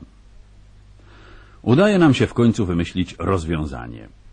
Radzą mi wziąć pistolet, spadochron, kombinezon i pozostała żywność zostaje w wykrocie. Kanadyjczycy zadają mi mnóstwo pytań. Oni też poruszają się na ślepo. Oczywiście nic nie potrafię im powiedzieć, poza tym, że nie widziałem nikogo aż do chwili, gdy oni się pojawili. Dowódca przydziela mi jednego z żołnierzy, by odstawił mnie na plażę. Okazuje się, że inwazja zaczęła się trzy dni temu. Mówi, że była to cholerna łaźnia. Myśleli, że nie uda im się zdobyć przyczółka, ale teraz sytuacja wygląda trochę lepiej i ląduje coraz więcej oddziałów. Radzi mi uważać na miny i niemieckich snajperów, którzy wciąż mogą być ukryci w bunkrach. Jednak na brzeg dostajemy się bez żadnych kłopotów. Nikt jeszcze do mnie nie strzelał. Przynajmniej nic o tym nie wiem. Pociski ciężkiej artylerii przelatują nad naszymi głowami, hucząc jak pociągi towarowe. Ale nic nie spada w zasięgu wzroku. Plaża wygląda jak wojskowe wysypisko śmieci. Wszędzie, również w wodzie, porozrzucany jest sprzęt. Na piasku leżą ciała zabitych żołnierzy. Lekarze biegają z miejsca na miejsce, próbując przenosić rannych na jednostki desantowe, które wciąż dowożą nowych żołnierzy. Trudno mi w to wszystko uwierzyć. Jakiś porucznik, namówiony przez mojego przewodnika i przekonany widokiem moich blaszek identyfikacyjnych, pozwala mi wsiąść do jednej z łodzi. Teraz Po raz pierwszy trafiam pod ostrzał. Niemcy próbują powstrzymać przypływające i odpływające jednostki desantowe. Dwa pociski artyleryjskie eksplodują tuż przy burtach naszej łodzi. Wszyscy ci, którzy nie są ranni, zasłaniają rannych własnymi ciałami, a marynarze robią wszystko, co w ich mocy, by jak najszybciej nas stąd wydostać. W końcu docieramy na duży statek. Najpierw wchodzą na jego pokład wszyscy ranni, dopiero potem ja. Zajmuje się mną jakiś oficer. Każe mi stanąć pod ścianą, a sam gdzieś znika. Po pięciu minutach zostajemy wprowadzeni do wygodnej kabiny, w której jakiś angielski oficer siedzi za biurkiem zasłanym mapami. Wyjaśniam mu wszystko, on zaś siedzi nieruchomo, dopóki nie dochodzę do skoku z samolotu. Wtedy zdejmuję czapkę i widzę, że jest łysy. Niezwykłe. A zatem twierdzicie, że przez ostatnie trzy dni znajdowaliście się za linią frontu? Cztery dni, proszę pana, licząc dzień, kiedy tam wylądowałem. Muszę to sprawdzić. To wprost niewiarygodne. Sięga po słuchawkę jednego ze stojących przed nim telefonów. Okręca krzesło tak, że siedzi teraz tyłem do mnie. Po dłuższej chwili odwraca się ponownie i odkłada słuchawkę na widełki. Zostaniecie przewiezieni na amerykański okręt szeregowy. Niejaki pułkownik Mink chce rozmawiać z wami tak szybko, jak to tylko możliwe. To jest, ser. Padają niezbędne rozkazy, przygotowują dla mnie transport i wkrótce znajduję się na pokładzie amerykańskiego okrętu, gdzie wprowadzają mnie do innego, równie elegancko umeblowanego gabinetu. W środku siedzi pułkownik, od którego wszystko się zaczęło. Przygląda mi się z uśmiechem. A zatem wciąż żyjecie. To jest, panie pułkowniku. Co się stało? Dlaczego nie nawiązaliście z nami kontaktu? Nasłuchiwaliśmy waszego sygnału, ale nic nie udało się złapać. Mieliśmy mały kłopot, bo nikt nie wpadł na to, by zapisać numer waszego sprzętu. Tak jest, panie pułkowniku. Nasłuchiwałem na podanych częstotliwościach, ale łapałem tylko niemieckie stacje. Polecono mi, bym nie próbował nadawać, ponieważ wtedy Niemcy mogliby ustalić moje położenie. Mój Boże, co za bajzel. Nie wiem, czy mówi o mnie, czy o całej operacji. Nie wydaje mi się, bym coś spieprzył. Tylko, że wszystko to nie miało żadnego sensu. Dobrze. Szeregowy, biorąc pod uwagę okoliczności, odwaliliście kawał dobrej roboty. Czy przekazaliście radio Francuzom? Nie, panie pułkowniku, nikt się nie zjawił. Gdzie jest teraz w takim razie? Zostawiłem je tam, mając nadzieję, że w końcu się zjawią i je znajdą. Musieli przecież wiedzieć o drzewie, pod którym się ukrywałem. Pułkownik wbija wzrok w biurko, potem podnosi oczy na mnie. Macie zegarek? Odpinam zegarek i podaję go pułkownikowi, a on sprawdza godzinę. No cóż, twoja jednostka nie została jeszcze przerzucona przez kanał. Może minąć jeszcze kilka tygodni, zanim zdobędziemy odpowiedni przyczółek. Zaraz cię odeślę. Zachowuje się tak, jakby oczekiwał, że mu podziękuję. Nie robię jednak nic podobnego. Przypomina mi teraz lekarza, który zajmował się moim żylakiem i ostrogą piętową. Sprawia wrażenie, że robi mi przysługę. Wyciąga ku mnie dłoń i wymieniamy uściski. Do kajuty wchodzi jakiś marynarz. Dopilnujcie, żeby ten żołnierz trafił do swojej jednostki. Podaję mu numer mojego pułku, salutuję i wychodzę z marynarzem. O mojej srebrnej gwieździe? Ani słowa. W ciągu trzech dni docieram z powrotem do mojego pułku w Anglii. Gettinger nadal trzyma dla mnie miejsce w namiocie. Odbieram mój worek. Gettinger chce wiedzieć, co się ze mną działo przez ostatni tydzień. Dochodzę do wniosku, że mogę mu powiedzieć, skoro moja misja została zakończona. Nie potrafi uwierzyć w to, co mówię. Ja zresztą też nie. W końcu zostajemy przewiezieni na drugi brzeg. Wzniesiono tymczasowe nabrzeża, więc nie musimy taplać się w wodzie. Jest już po przełomie pod Saint-Malo, więc całą walkę przesiedzieliśmy w krzakach. Nikt jednak nie skarży się z tego powodu. Rozbijamy obóz w jabłoniowym sadzie, skąd wkrótce wyruszymy w dalszą drogę. Wszyscy jesteśmy poruszeni tym, że na dzwonnicy miejscowego kościółka, w miejscu, w którym powinien znajdować się krzyż, jest kurek. Jesteśmy przekonani, że to sprawka bezbożnych faszystów. Miejscowi mieszkańcy częstują nas butelkami czegoś, co wygląda jak cydr. Bardziej łebskie chłopaki z Tennessee twierdzą, że to Applejack, wódka z jabłek. Piją ją prosto z butelek i padają jak podcięci. Słabiej uświadomieni myślą w pierwszej chwili, że to sok jabłkowy i ciągną do chwili, gdy również zaleją się w trupa. Nieźle już podpici, postanawiamy ściągnąć faszystowskiego koguta z wieży kościelnej i zastąpić go krzyżem. Jeden z sierżantów przekonuje nas, że w cywilu pracował jako dekarz i potrafi wejść na iglicę. Pokazuje nam małe drzwiczki widoczne wśród dachówek tuż pod kurkiem. Wszyscy przyłączamy się do realizacji tego chrześcijańskiego pomysłu. Ktoś znajduje klucz do zamka w drzwiczkach prowadzących na wieżę. Sierżant Billy Dungray bierze wystrugany przez jednego z żołnierzy drewniany krzyż i, zataczając się nieco na schodach, rusza na górę. Wszyscy wychodzimy na zewnątrz i patrzymy, co się stanie. Nikt nie byłby specjalnie zasmucony, gdyby spadł. Zatruwał życie całemu oddziałowi. Patrzymy, jak wysuwa się z małych drzwiczek na wieży. Wokół kościoła zebrało się również kilku mieszkańców miasteczka. Jest wśród nich ksiądz, który biega tam i z powrotem, bablając coś po francusku. Wyraźnie próbuje zrozumieć, co się dzieje. Billy Den wyłazi na iglicę, obejmuje ją nogami i chwyta kurek i róże wiatrów. Odkręca je i zrzuca na dół. Spadający kurek o mało nie ucina głowi Smithersonowi, który gapi się w górę. Billy Den wyciąga z zapazuchy drewniany krzyż i wciska go w uchwyt pozostały po kurku i róży wiatrów. Udaje mu się nawet ustawić go wcale prosto. Wszyscy nagradzają go burzliwymi oklaskami, z wyjątkiem księdza, który podniósł kurek i uciekł z nim gdzieś. Domyślamy się, że na pewno sprzyjał Niemcom. Tak kończy się nasza krótka, bezmyślna przygoda z francuskimi kościołami.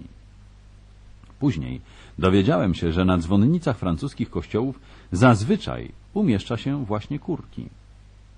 Po dwóch dniach zostajemy wszyscy zapakowani na dwutonowe ciężarówki i ruszamy w podróż przez Francję, w ślad za czołgami generała Pattona.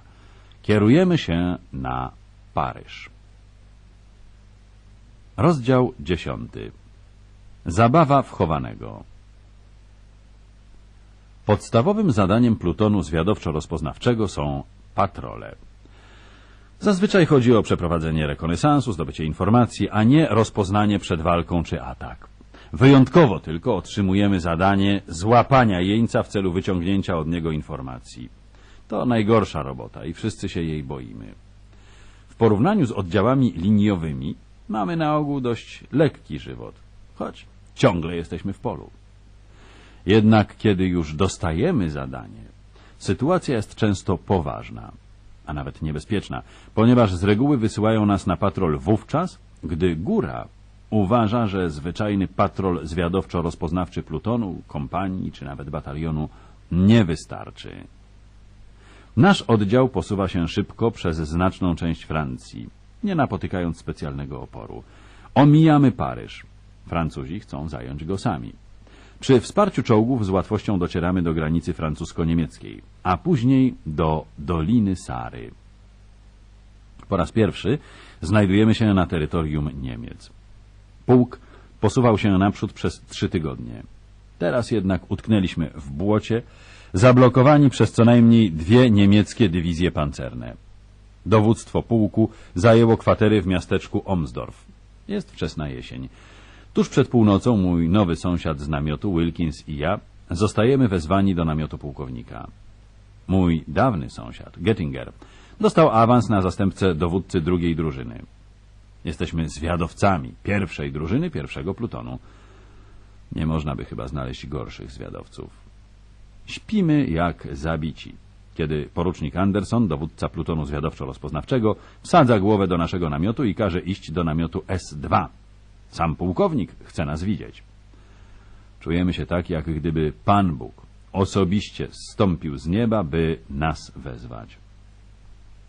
Namiot pułkownika przypomina namiot władcy pustyni. Jest tu wszystko, z wyjątkiem perskich dywanów i stojących w kącie nargili. Prycza z pucharowym śpiworem, stół polowy z rozłożoną mapą, stolik i kilka składanych krzesełek. Pułkownik ma na sobie długie wojskowe kalesony, głowę owinął przydziałowym ręcznikiem, nogi trzyma w wiaderku z gorącą wodą. Kiedy wchodzimy do namiotu, wyciera nos i podnosi wzrok. Przygląda się swojej przydziałowej chusteczce do nosa. Później spogląda na kartkę papieru leżącą na stoliku obok dużej mapy. Domyślam się, że sprawdza nasze nazwiska. Spocznij. Stajemy na spocznij. Wciąż jestem rozespany. Zauważyłem, że zostawiłem w namiocie manierkę. E, To znaczy, że mam niekompletne umundurowanie. Podłożyłem sobie manierkę pod głowę zamiast poduszki i zapomniałem o niej, kiedy w pośpiechu wychodziliśmy z namiotu. Nie możemy uskarżać się na brak wody. Przez cały dzień padał deszcz. Szeregowi Wilkins i Wharton. Potrzebne nam rozpoznanie poza pozycję kompanii B. Pułkownik pochyla się nad leżącą na stole mapą.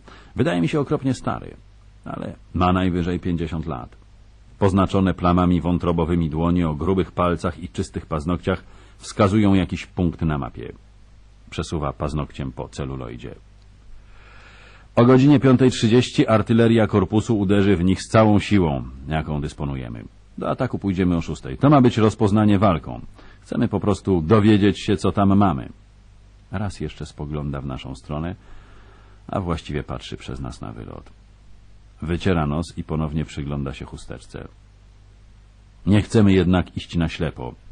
Niemcy mogą tam mieć bunkry, czołgi, kto wie co jeszcze. Raporty, które posiadamy są sprzeczne. Próbuje nie patrzeć na Wilkinsa. Jak niby mamy się tego wszystkiego dowiedzieć w taki sposób, by oni nie dowiedzieli się o nas? Tak jest, panie pułkowniku. Wilkins dołącza po chwili z nieco mniejszym entuzjazmem. Może wciąż jeszcze śpię, a to wszystko to tylko zły sen. Rozglądam się po namiocie. Są tu także major Love z S2 i major Collins, adiutant pułkownika. Porucznik Anderson stanął w wejściu, może próbuje ukryć się pod klapą namiotu. To rzeczywiście koszmar. Tylko, że ja już nie śpię. Wszyscy nas obserwują. Jak na dwóch zwyczajnych szeregowców mamy wcale niezłą widownię. Kiedy widzę wokół siebie tylu oficerów, ogarnia mnie strach, onieśmielenie, niepewność. Udaję, że słucham lawa, ale myślami odpływam daleko, daleko stąd. Rozpatruję wszystkie możliwości, od niesubordynacji do dezercji. Wydaje mi się, że dość się już narobiłem na tej wojnie.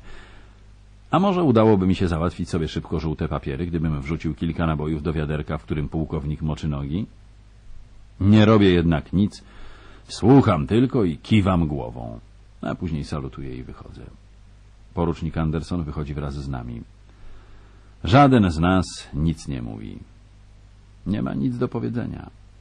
Chyłkiem opuszczamy namiot. Anderson prowadzi nas do jeepa, którego kierowca rozgrzewa już silnik. Jeep należy do pierwszego batalionu. Kierowca wyraźnie się spieszy. Jego też prawdopodobnie wyciągnięto z ciepłego pierdziworka. Prawie na nas nie patrzy, kiedy ładujemy się do wozu. Anderson czeka. Przy pasie ma rewolwer. Pochyla się ku nam. W świetle księżyca widzę, że mruga do nas porozumiewawczo. Nie róbcie niczego, czego ja bym nie zrobił, chłopaki. Cofa się o krok i jeep rusza. Na kołach ma przeciwbłotne łańcuchy. Żadnych reflektorów. Droga w zasadzie nie istnieje, więc żeby coś widzieć, kierowca opuszcza przednią szybę na maskę. Wilkins pochyla się w moją stronę. Coś mi się wydaje, że to mrugnięcie znaczyło, że mamy nic nie robić. Mam rację? Szepcze. A jednak już coś robimy. Jedziemy jeepem w środku nocy w niewłaściwym kierunku. W trzecim batalionie czeka na nas żołnierz z kompanii B. Koniec jazdy. Ruszamy za nim pieszo. Ostrzega, byśmy uważali na snajperów i moździerze. Snajperzy i moździerze o północy? Idziemy za nim do dowódcy kompanii. Im dalej się posuwamy, tym bardziej brudni, zaniedbani i nerwowi są żołnierze, których mijamy. Dwa razy żądają podania hasła. Dowódca kompanii B już na nas czeka. Odbywamy szybką odprawę nad następną mapą. Ta zostaje wyciągnięta z kieszeni mundurowej kurtki. Żadnego celuloidu. Kapitan jest blady i zdenerwowany. Wskazuje podejrzane punkty. Małymi krzyżykami oznaczone są miejsca, w których ponieśli straty. Wypytuje o wszystko, co wiemy. Mówimy o ataku artylerii o 5.30 i natarciu o 6.00.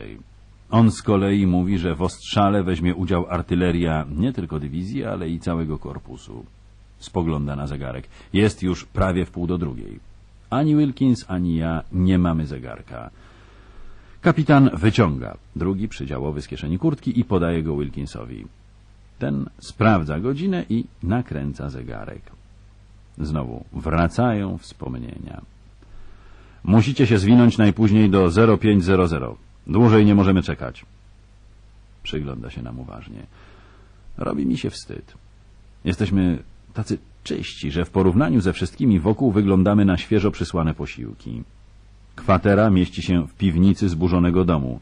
Wszędzie leżą porozrzucane racje żywnościowe, koce, pierdzi worki i broń. Trzymajcie się z dala od tego lasu. Jestem prawie pewien, że mają tam przynajmniej jeden posterunek. Gdybyście zobaczyli czołgi, transportery opancerzone, czy jakiś oddział większy od drużyny, od razu bierzcie nogi za pas. Koc, wiszący w drzwiach prowadzących do piwnicy, odsuwa się i staje w nich uwalany błotem żołnierz. Kapitan odwraca się. Maurice, zabierz tych chłopaków do Brennera i Miolizera. Tylko uważaj, żebyś nie ściągnął nam czegoś na głowę. To chłopaki z pułkowego zwiadu. Idą na patrol. Uśmiecha się krzywo, a Morris spogląda na nas tak, jak gdybyśmy byli przysłani prosto z niemieckiej kwatery głównej. Kapitan odwraca się i kładzie na pryczy, nie zdejmując nawet zabłoconych butów. Wychodzimy w ciemność. Niewiele widać, bo księżyc skrył się za chmurami. Idziemy bez słowa jakieś sto yardów. Morris pędzi przed siebie, trzymając karabin gotowy do strzału. Księżyc wysuwa się z za chmur. Morris pada na ziemię za stertą gruzu, która kiedyś była chyba kościołem. Ponad rumowiskiem wciąż wznosi się rama okienna, a w niej coś, co może być resztkami witraża. Machnięciem dłoni przywołuje nas do siebie. Możemy być obserwowani, Szepcze. więc ani mrumru. Podprowadzę was kawałek i pokażę, w którą stronę macie iść dalej. W jego głosie wyczuwam strach. Zaczynamy czołgać się przez gruzowisko, wykorzystując do osłony każdy skrawek cienia. Czołgamy się naprawdę szybko, z karabinami na plecach, posuwamy się przed siebie na łokciach i kolanach. Teraz również my jesteśmy brudni. Morris próbuje nam wyjaśnić, jak mamy trafić na posterunek. Jest pewien, że nie możemy zabłądzić. Wskazuje na niewielkie zagłębienie w terenie. Podczołgujemy się tam, nie wiedząc nawet, że znaleźliśmy się dokładnie na linii frontu. Przez ostatnie 70 yardów posuwamy się na brzuchach. Wreszcie docieramy na miejsce. Nasz przewodnik poczołgał się już z powrotem. Na posterunkach znajdujemy dwóch szeregowców. Niewiarygodnie brudnych, prawie niewidocznych pod warstwą błota. Na wszelki wypadek podajemy hasło, a oni odpowiadają odzewem. Mówią, że boją się wrócić do jednostki. Są głodni, ale nie na tyle, by przejść przez teren, przez który my właśnie się przeczołgaliśmy.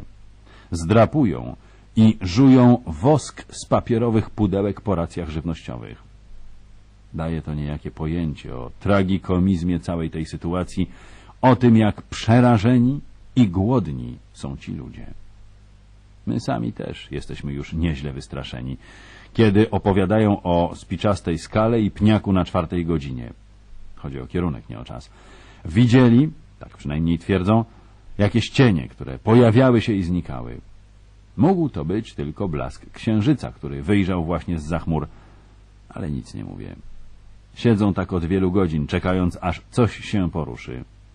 Noc jest księżycowa, więc światło odbija się we wszystkim, zwłaszcza w kałużach. Czołgając się na ten posterunek, ubrudziliśmy się jak świnie. Pomiędzy czołganiem się a pełzaniem jest zasadnicza różnica. Czołga się jak niemowlak, a pełza jak wąż, ale niezależnie od tego, co się wybierze, błoto wciska się w usta i w każdy inny otwór. Kiedy się tak posuwałem na brzuchu, pogubiłem guziki. Wilkins pyta w końcu, w którym kierunku powinniśmy teraz iść? Na chwilę zapada cisza. Chłopcy spoglądają po sobie nerwowo. Macie chyba nierówno pod sufitem. Nigdzie nie pójdziecie, siedźcie tu z nami, aż ktoś nas zluzuje. Wtedy powiemy, że wróciliście z patrolu. Patrzą na nas, jakbyśmy w naszych stosunkowo czystych mundurach spadli z księżyca. Mamy czyste twarze. Wyglądamy jak ludzie, którzy nie mieli nic wspólnego z wojną. W porównaniu z nimi jesteśmy nieskazitelnie czyści. Ci dwaj są naprawdę brudni. Po prostu cuchnie od nich jak od prawdziwych włóczęgów. Jeden kładzie się na plecach, wyciąga papierosa i zsie go, nie zapalając. Coś wam powiem. Nikt by mnie nie zmusił, żebym tam poszedł. Właściwie po co mielibyście to robić? Nie wychylając nawet głów ze swej dziury mówią. Spójrzcie w tamtą stronę. Widzicie? Na pierwszej godzinie. Myślimy, że ktoś kryje się za tą skałą. Chyba ma pistolet maszynowy. Wcale nie żartują. Są po prostu kompletnie przerażeni. Ostatecznie Wilkins i ja postanawiamy wyjść. Na chwilę, żeby zobaczyć, czy czegoś tam nie ma. Wysuwamy się ostrożnie. Ci dwaj w okopie mówią, że będą nas osłaniać. Uważają nas chyba za zwyczajnych wariatów. Kiedy docieramy do pierwszego miejsca, gdzie możemy schronić się w cieniu, dostajemy dreszczy. Wilkins wyciąga się na plecach. To wariactwo, Will. Zaraz nas zabiją. Ci faceci w wielkim, wygodnym namiocie wcale się nami nie przejmują. Chcieli tylko wysłać nas na front i zobaczyć, jak daleko uda nam się dotrzeć, zanim ktoś nas zastrzeli. Spróbujmy tam podejść. Lufą karabinu wskazuje pień zwalonego drzewa. Schowamy się i rozejrzymy po okolicy. Znowu przekręcamy się na brzuchy i zaczynamy pełznąć przez błoto, aż zupełnie bez tchu docieramy na miejsce. Kładziemy się i wpatrujemy w niebo. Układamy się tak, że głowa Wilkinsa jest przy moich stopach, a moja przy jego. W ten sposób widzimy wszystko dookoła. Rozmawiamy przyciszonymi głosami. Dochodzimy do wniosku, że to, co widzimy, to ślady gąsienic czołgów. W każdym razie, a w błocie są jakieś ślady. Nie jesteśmy tak do końca pewni, ale wydaje nam się, że słyszymy odgłosy silników. Ale być może się mylimy. Jesteśmy już śmiertelnie wystraszeni. Postanawiamy trzymać się tej wersji. Przede wszystkim dlatego, że ci dwaj w okopie powiedzieli, że też coś usłyszeli. Albo czołgi, albo wielkie ciężarówki. Naszym zdaniem były to zdecydowanie czołgi. Choć, biorąc pod uwagę, jak byli przerażeni, bardzo prawdopodobne jest, że usłyszeli jakiegoś szczura przemykającego między kałużami. Decydujemy się więc na czołgi.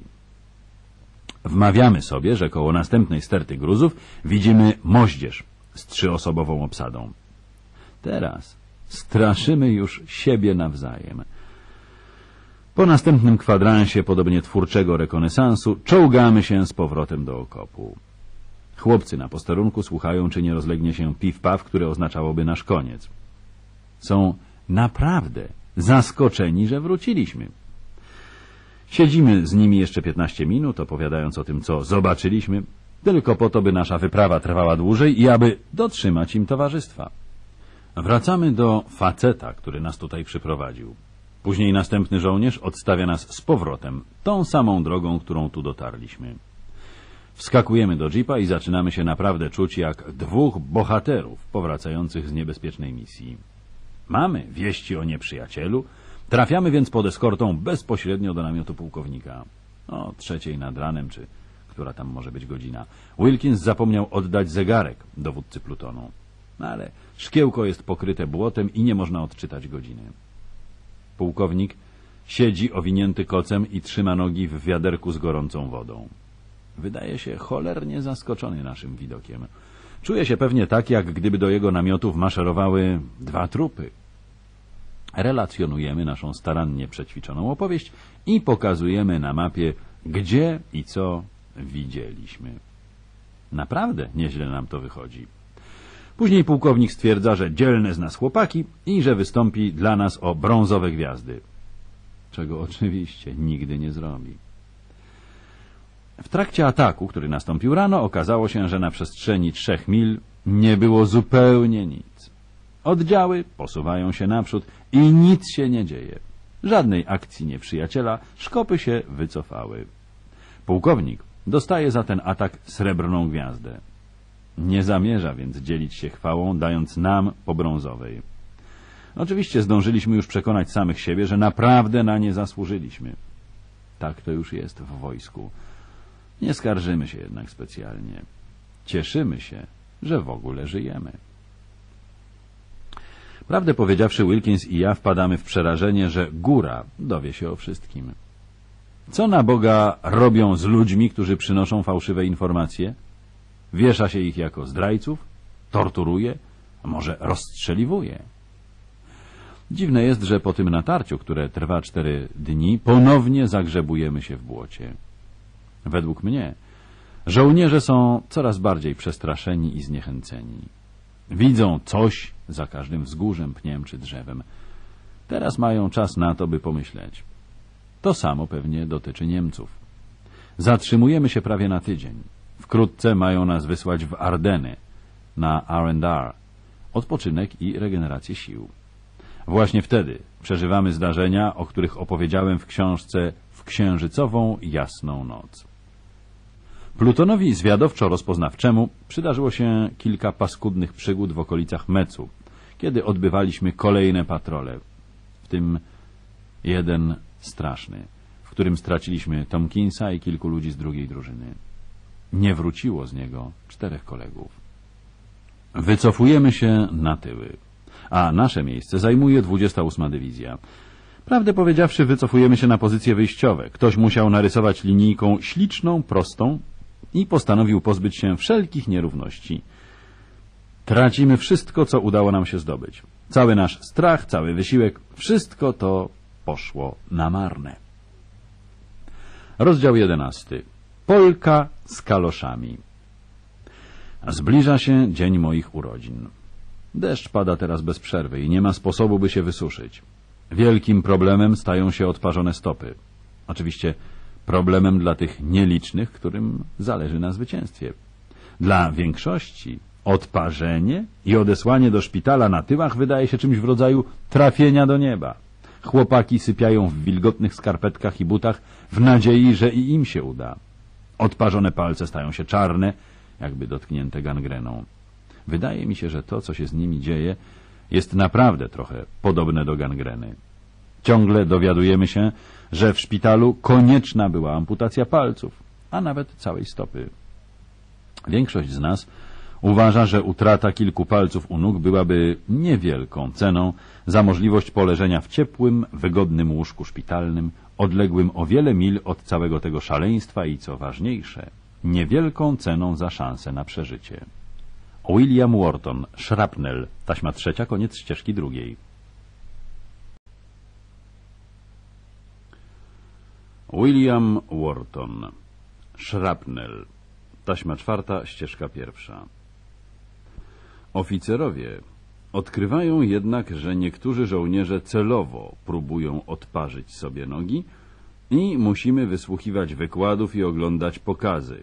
Mamy nie spać w butach, codziennie zmieniać skarpetki, a zdjęte wykręcać i kłaść sobie na piersiach na noc, żeby wyschły.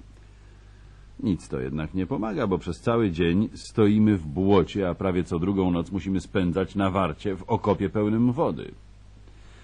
Sprowadzają zatem dla nas staromodne kalosze zapinane na metalowe klamerki. Problem polega na tym, że klamerki brzęczą. W podobnych jako dziecko chodziłem w zimie do szkoły. Kalosze robią tyle hałasu, ile tamburyn, więc chłopaki zaczynają je wyrzucać. Wolą odparzyć sobie stopy, niż dostać kulkę. Potrafię to chyba zrozumieć. Następnym posunięciem dowództwa jest obwieszczenie, że każdy, kto odparzy sobie stopy, zostanie postawiony przed sądem polowym i karnie usunięty z armii. W ten sposób znaleźliśmy się pomiędzy młotem a kowadłem. Ale żołnierze nadal celowo odparzają sobie stopy. Osobiście mam szczególny stosunek do stóp.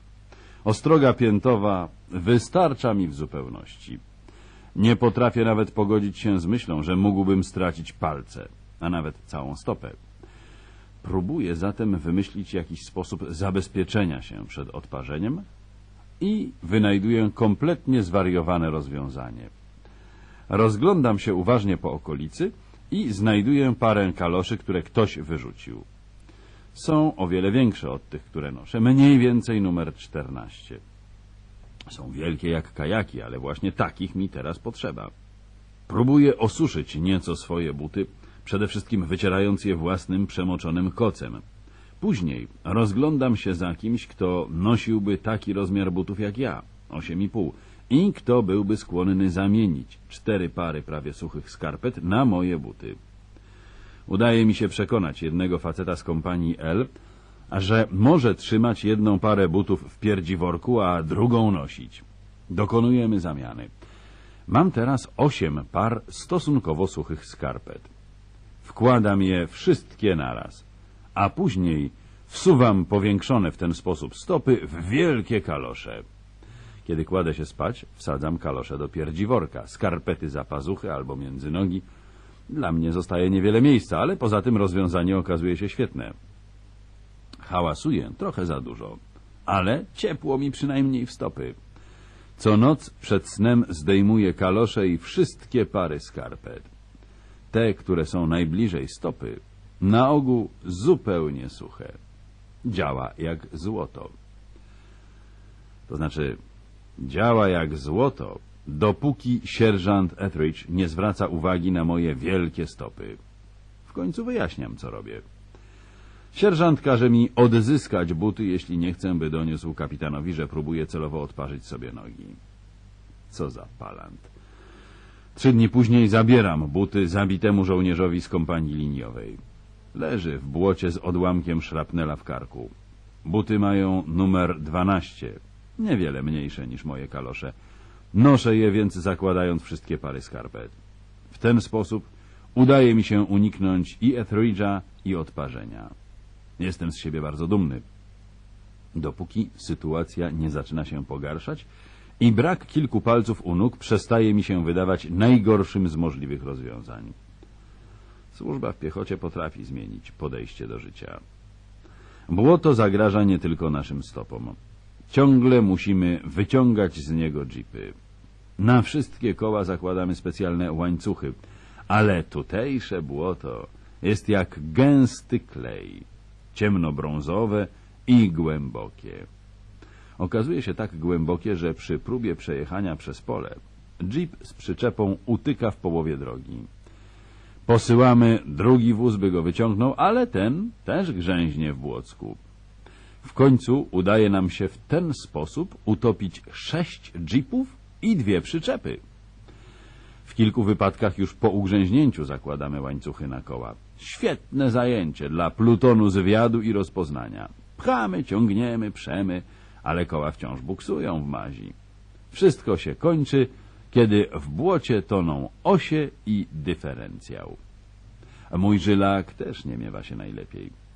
Pan doktor powinien być tutaj ze mną i pomóc trochę w pchaniu jeepów przez błoto. W końcu musimy skontaktować się z batalionem czołgów stacjonującym w naszym sektorze i poprosić, by wyciągnęli nasze auta. Jest to bardziej poniżające niż męczące. Następnego ranka budzę się tak bardzo obolały, że ledwie mogę się ruszyć. Nie zabrzmi to może wiarygodnie, ale wszyscy jesteśmy zadowoleni, kiedy nadchodzą prawdziwe mrozy i błoto zamarza. Teraz przynajmniej możemy chodzić, a jeepy radzą sobie jakoś na pozamarzanych, porytych kolejnami drogach. Rozdział dwunasty Mike Hennessy Niedługo później luzujemy dywizję 28, tak zwaną jankeską. Właśnie skończyli atakować wzgórze, stanowiące część dawnej linii Maginota, obecnie zwróconej frontem w stronę Francji. Większość żołnierzy z naszej jednostki nie ma specjalnej ochoty szarżować na żadne wzgórza. Kiedy chodziłem do szkoły podstawowej, uczył się tam młody Irlandczyk nazwiskiem Mike Hennessy. Kilka razy nie udało mu się zdać do następnej klasy. W ogóle mierny był z niego uczeń. Mierny to bardzo łagodne słowo na określenie neandertalczyka. Mike miał błękitne oczy, krzaczaste brwi i sterczące włosy. Nie był specjalnie wysoki, mniej więcej takiego samego wzrostu jak większość uczniów szóstej klasy, choć powinien być już w ósmej. Miałem wtedy 10 lat, ponieważ dwa razy przeskoczyłem klasę, a on 14 i musiał się już golić. Wydawało mi się, że największą radością jego życia jest pozbawianie mego życia wszelkiej radości. Hennessy był prawdziwym brutalem. Musiałem spędzać całe przerwy biegając po szkole i próbując się przed nim ukryć. Raz udało mu się złapać mnie w łazience. Podniósł mnie, obrócił głową w dół, wsadził moją głowę do muszli klozetowej i spuścił wodę. Od tej pory zawsze niepewnie czułem się w wodzie. Przez następne dziesięć lat nie myślałem zbyt wiele o Mike'u Hennessim.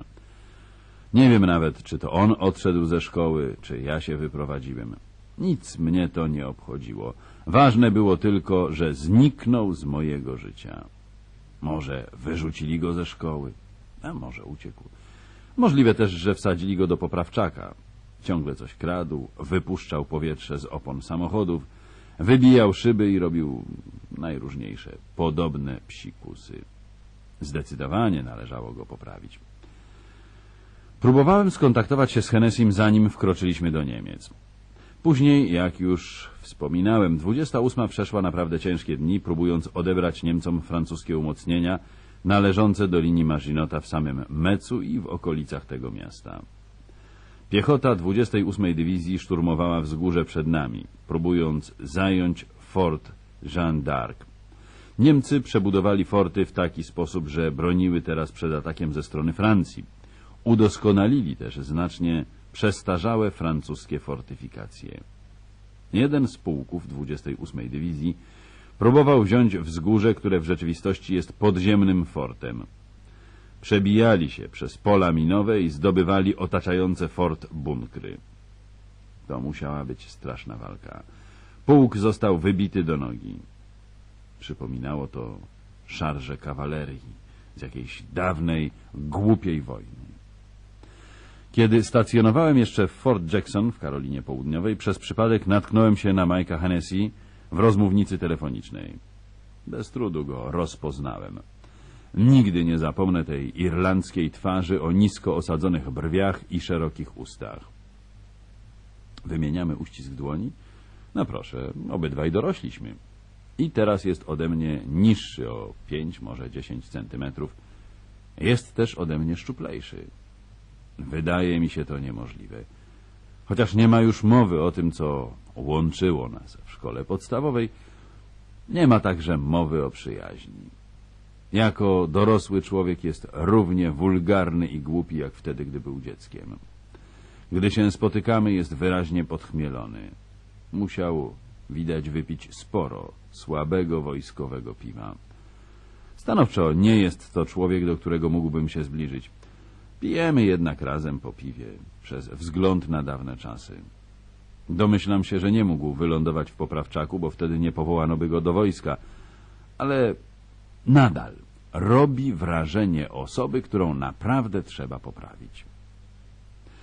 Kiedy dostajemy rozkaz zluzowania 28 na stromym wzgórzu pod Mecem, wiemy wszyscy, co się stało i jesteśmy przerażeni.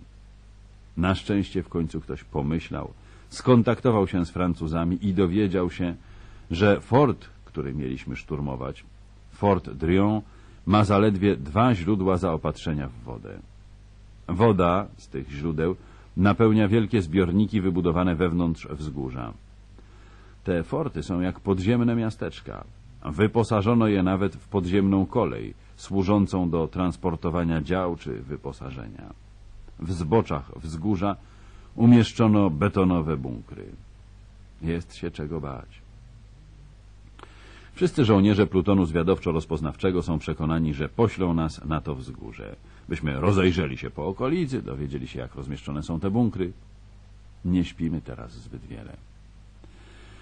Francuzi informują nas jednak, gdzie położone są źródła i udaje nam się je zatruć. Ot tak, po prostu. Taka właśnie jest wojna. Nie wiem jak, ale Niemcy dowiadują się o tym. Może dlatego, że ludzie zaczynają nagle padać jak muchy? Gdy tylko przybywamy na miejsce, idę się dowiedzieć, czy Mike Hennessy przeżył. Wypytuję chłopaków, którzy zbierają zabitych. W końcu udaje mi się trafić na kogoś, kto znał Majka. I jest pewien, że ten oberwał. Ściągnęli ze wzgórza większość trupów. Wydaje mi się, że w tym celu wynegocjowali jakieś zawieszenie broni. Zgadza się. Znajduję Majka Hennessy rozciągniętego na ziemi. Tylko głowa wystaje z worka. Czuję się potwornie. Ktoś, kto w dzieciństwie był dla mnie symbolem niesprawiedliwości, przemocy i lęku, kto pozbawiał moje życie radości, leży przede mną martwy, zalany krwią, pokryty błotem z odłamkami szrapnela wbitymi w ciało. Jego skóra ma teraz odcień sinawy. Oderwane ramię leży przyciśnięte do korpusu. Worek, w który wsadzono ciało, okazuje się w rzeczywistości pierdzi workiem.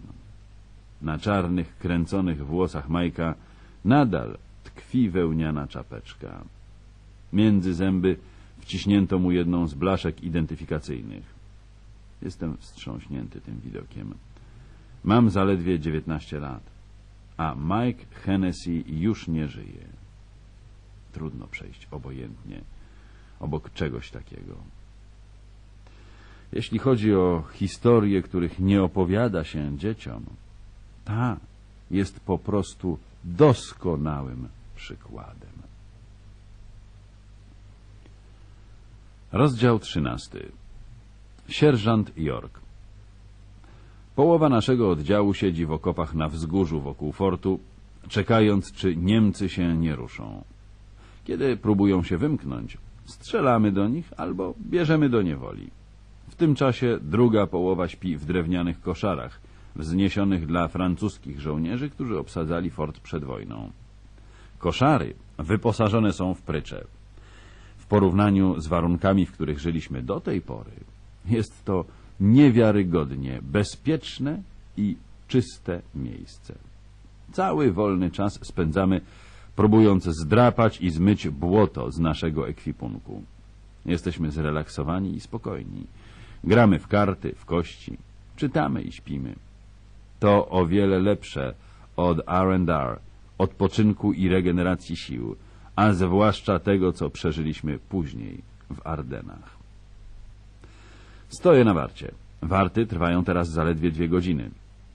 Mamy sześć godzin dla siebie i dwie godziny warty. Bardzo lekka służba. Opieram się o ścianę. Teren koszar otoczony jest ogrodzeniem. Mam zatrzymywać każdego, kto próbowałby wejść do środka. Dostałem rozkaz, aby nie opierać się o płot. Nie wiem dlaczego. Zgodnie z instrukcjami wartownik ma stawać na baczność i prezentować broń, kiedy mija go oficer i nie wpuszczać nikogo, kto nie ma specjalnej przepustki. Czuję się tak jakbym bawił się w wojsko. Ale w środku cały się trzęsę na wspomnienie Majka. Stoję tak, przysypiając, kiedy ktoś klepie mnie po ramieniu. Odwracam się, stoi przede mną niemiecki żołnierz, a w wyciągniętej ręce trzyma zakrętkę od manierki. Cofam się, jednocześnie zrywając z ramienia karabin. Wygląda na to, że Niemiec jest bezbronny i pokazuje, podnosząc kubek do ust, że chce tylko dostać wody. Jest blady i ma spierzchnięte, suche usta. Najwidoczniej zdołał jakoś wydostać się z fortu. Wycelowuje w niego karabin. Podnosi ręce do góry, nie wypuszczając z dłoni kubka. Biorę go do niewoli i prowadzę do koszar. Jak się okazuje, przyprowadził ze sobą trzech kumpli. Razem wymknęli się z fortu, ponieważ umierali z pragnienia. Dołączają do nas i odprowadzam ich na posterunek żandarmerii. Następnego dnia dochodzi do wielkiej kapitulacji. Wydaje mi się, że to Niemcy, których wziąłem do niewoli, doprowadzili do przełomu. Ale może tylko oszukuję samego siebie. Jak łatwo mogłem zginąć. Tak jak Mike Hennessy. Ten Niemiec mógł się okazać innym człowiekiem. Mógł mnie zaatakować. Miałem przy pasie manierkę pełną wody. Kiedy idziemy na posterunek żandarmerii, pozwalam Niemcom się napić. Napełniam wodą zakrętki ich manierek, a oni chłepcą wodę jak psy. Nadal nie potrafię uwierzyć w swoje szczęście. Ten Niemiec mógł mnie po prostu zabić i zabrać moją manierkę. Ale nie zrobił tego. Prawdopodobnie zasnąłem oparty o ścianę. Domyślam się, że uznał to za znakomity sposób oddania się do niewoli. Wracam na swój posterunek i podczas nocnej warty biorę do niewoli jeszcze 30 jeńców. Taki sukces odnoszę tylko ja i sierżant York. Oto następny z moich wojennych wyczynów. Rozdział 14 Sierżant Etheridge Im dłużej trwa ta wojna, tym bardziej się zmieniam. Prawdopodobnie przyczyną jest po prostu moje wrodzone tchórzostwo. Bez specjalnych wysiłków czy talentu odkrywam, że boję się o wiele bardziej niż inni. Do tego nie potrafię ukrywać strachu. Zdecydowanie nie uchodzę za najodważniejszego żołnierza w oddziale, nawet mimo to, że wziąłem do niewoli 30 jeńców. Nie jest ze mną tak źle, by tak naprawdę rozważano możliwość wyrzucenia mnie z plutonu zwiadowczo-rozpoznawczego, co oznaczałoby odesłanie do oddziałów liniowych. Ale zdecydowanie nie jest dobrze. Odkrywam teraz różnicę pomiędzy strachem a tchórzostwem. O tym pierwszym nie wie nikt poza tobą. Staje się prawdziwym specjalistą w czymś, co nazywamy odfajkowywaniem patroli. To jest fingowaniem ich, tak jak to zrobiliśmy z Wilkinsem. Uciekamy się do tego, kiedy sytuacja robi się niebezpieczna. Wtedy zaczyna pracować wyobraźnia i wymyślamy własną zastępczą wojnę. Świetnie wychodzi nam również ukrywanie się, schodzenie wszystkim z oczu, kiedy szykuje się niebezpieczny patrol. Dobrze pamiętam, zresztą bez specjalnej dumy, pewien dzień, kiedy wcześniej niż inni dowiedziałem się o tym, że szykuje się patrol. Jeden z tych, których baliśmy się najbardziej, w trakcie którego naszym zadaniem było wzięcie języka. Plutonem zwiadowczo-rozpoznawczym dowodził facet nazwiskiem Ezra Etheridge. Wiem, że będzie szukać właśnie mnie. O mało nie tracę przytomności, leżąc pod jeepem. Tak bardzo staram się nie oddychać. Etheridge to następny pomyleniec z południa. Najprawdziwszy pod słońcem podoficer. Wszyscy nienawidzimy go serdecznie. Myślę, że każdy człowiek sądzi, iż właśnie jego uczucia są silniejsze niż wszystkich innych ludzi, ale ta nienawiść jest naprawdę wyjątkowo intensywna. Czasami wydaje mi się, że moje miganie się szczególnie irytuje Etheridge'a. Bardziej niż kiedy robią to inni koledzy z oddziału. Zawsze właśnie mnie się czepia. W każdym razie tej nocy kroi się szczególnie nieprzyjemny patrol. Kiedy tylko szykuje się coś naprawdę paskudnego, wiem, że wypadnie właśnie na mnie. Dekuję się pod jeepem. Dzielę teraz namiot z dobrym kumplem nazwiskiem Vance Watson. Oczywiście, jeśli uda nam się w ogóle rozbić namiot. Najczęściej nadal śpimy w okopach. Dobrze nam ze sobą, ponieważ połączyła nas swego rodzaju rywalizacja. Porównujemy, który z nas ma większego Pietra. Po prostu wiemy, że właśnie my zostaliśmy wyznaczeni na ten patrol. Słyszeliśmy już o nim i jesteśmy w stu procentach pewni, że nie mamy najmniejszej ochoty brać w nim udziału. W pobliżu kwatery głównej znaleźliśmy starą stodołę, pełną siana. To nasza tajemnica. Ostatnia kryjówka. Schronienie. Włazimy na pięterko i obsypujemy się sianem.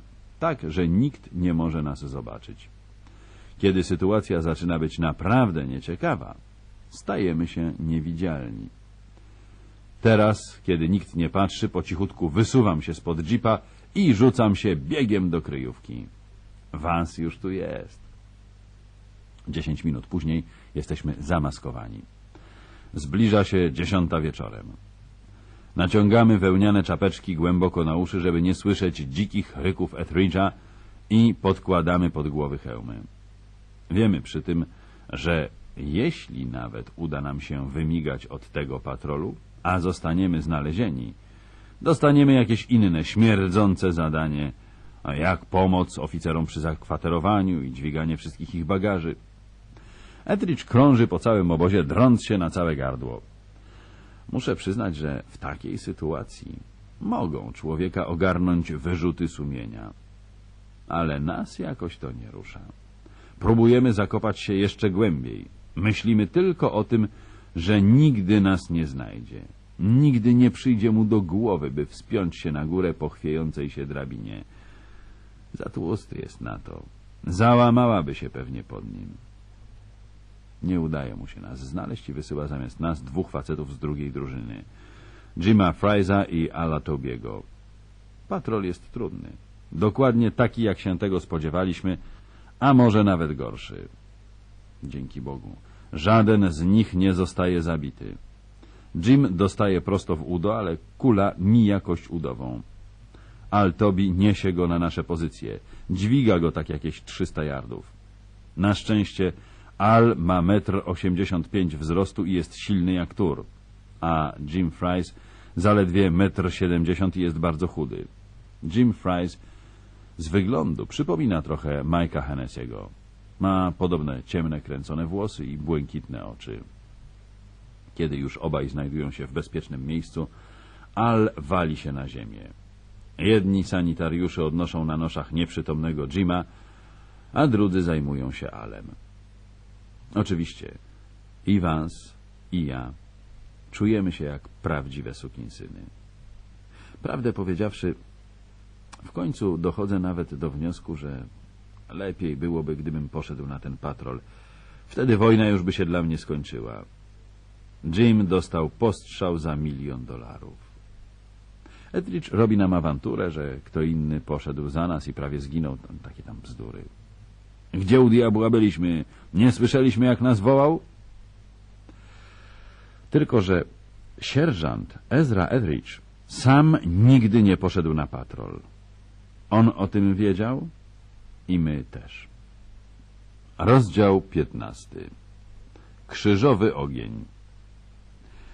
Pomimo wszystkich tych idiotycznych patroli i dlatego, że trzech naszych podoficerów zginęło od pocisków dział kaliber 88 mm, zostaję dowódcą pierwszej drużyny plutonu zwiadowczo-rozpoznawczego.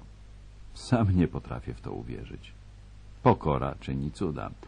Dochodzi do tego na krótko przed wydarzeniami, które opisałem w książce w księżycową jasną noc. Życie toczy się jednak dalej. Wydaje się, że wojna już nigdy się nie skończy. Wkraczamy coraz dalej w głąb Niemiec. Przez kilka dni posuwamy się naprzód, nie napotykając właściwie żadnego oporu. Bez walki, kiedy zatrzymuje nas artyleria. Niestety okazuje się, że musimy przełamać linię Zygfryda, główną linię niemieckiej obrony. Odpowiednik francuskiej linii Maginota, z tą jednak różnicą, że o wiele bardziej inteligentnie zaprojektowaną. Niemcy ustawili swoje bunkry w trójkąty, tak że każdy ochrania dwa pozostałe. Metodą prób i błędów, a raczej rannych i zabitych, udaje nam się opracować na nie sposób. Nie atakujemy żadnego z przednich bunkrów, ale ten ustawiony z tyłu. Kiedy odetnie się ten trzeci bunkier, system wzajemnej obrony zostaje złamany i można zaatakować od tyłu dwa pozostałe. Wtedy, jeśli Niemcy się nie poddają, wrzucamy granaty przez otwory strzelnicze. Czasami potrzeba aż 20 granatów, żeby zdobyć taki bunkier. W końcu jednak szkopy wystawiają białą flagę i poddają się.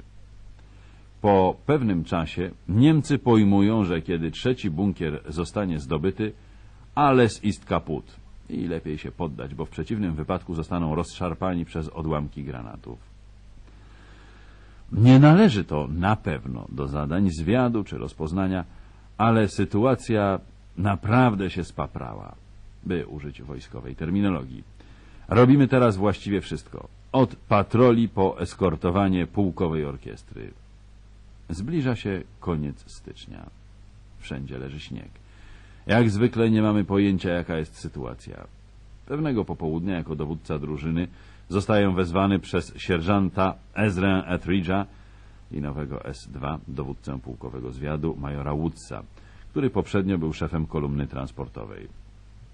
Krążą plotki, że Love, poprzedni S2, oszalał z przemęczenia. Potrafię to zrozumieć. Jak się okazuje, czeka na mnie jeszcze porucznik Anderson, dowódca naszego plutonu, który nigdy nie chodzi na patrole i nie ma zielonego pojęcia o prawdziwej walce. Major Woods, którego doświadczenie bojowe ogranicza się do utrzymywania ciężarówek i jeepów na chodzie, pilnowania, by były nasmarowane, poziom wody i oleju w normie, opony zmieniane itd., wymyślił naprawdę idiotyczny patrol. Nie ma pojęcia o zwiadzie i rozpoznaniu, a to, co wymyślił, jest wyjątkowo kretyńskie. Równie dobrze ja mógłbym spróbować przebudować silnik jednego z jego jeepów. Obozujemy w ruinach miasteczka Olsheim. Wokół tylko puste pola pokryte grubą warstwą śniegu. Z rzadka jedynie widać drzewo czy krzak. Major rozkłada na chybotliwym stoliku jakieś stare zdjęcia lotnicze, które wskazują, że mamy przed sobą nasyp kolejowy albo bunkier, ale wszystko ukryte pod śniegiem. Patrzę na zdjęcia i nie potrafię utrzymać języka za zębami. Powinienem był się wtedy opanować. To mi wygląda na spore kłopoty, panie majorze. Robota dla prawdziwego patrolu, a nie zwiadu i rozpoznania. Anderson zgadza się ze mną. On również uważa, że nie jest to zadanie dla zwiadu. Powinniśmy wysłać duży patrol, 20 do 30 żołnierzy jednostki liniowej ze wsparciem artyleryjskim. Nie może pan wysyłać patrolu zwiadowczego z podobną misją, panie majorze, mówię. To samobójstwo. Zadaniem rozpoznania jest jedynie przekonanie się, jak wygląda sytuacja i powrót. Jeśli ktokolwiek zbliży się do tego miejsca dostatecznie, by zobaczyć, co się tam dzieje, na pewno już nie wróci. Jestem najmniej ważną osobą na tej odprawie. Nikt nie zwraca uwagi na to, co mówię. Ostatecznie po mojej krótkiej przemowie, w której usiłowałem wyjaśnić, że zadanie jest niewykonalne, porucznik Anderson ustępuje.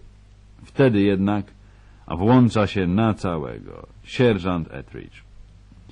To właśnie jest zadanie dla plutonu zwiadowczo-rozpoznawczego. Nie możecie siedzieć tutaj w nieskończoność na tłustych zatkach i udawać, jacy to jesteście inteligentni. Czytać książki, grać w brydża, szachy czy warcaby. Masz załatwić ten patrol, Wharton, i weźmiesz ze sobą całą drugą drużynę. Ani słowa więcej. Macie iść na patrol i sprawdzić, co to jest. Takie macie zadanie. Szrapnel. Taśma czwarta. Koniec ścieżki pierwszej.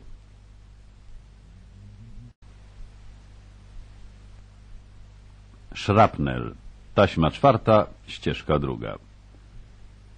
Major Woods, który zaczynał sam wycofywać się z pomysłu, zmienia raptownie zdanie i jest pełen bojowego entuzjazmu. Co mogę począć? Oczywiście wiem, co powinienem był zrobić. Powinienem był po prostu odmówić dowodzenia tym patrolem. Powinienem był po prostu powiedzieć, do diabła z tym nie mogę poprowadzić tego patrolu, ryzykowałbym niepotrzebnie życie moich żołnierzy. To kretyński, naprawdę idiotyczny pomysł i nikt nie będzie miał z niego pożytku. Nie zrobiłem tego jednak.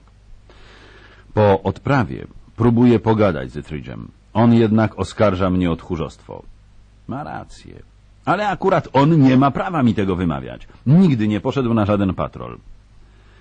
Wracam do moich chłopaków i mówię im, co się stało. To łebscy faceci. I od razu domyślają się, co jest grane.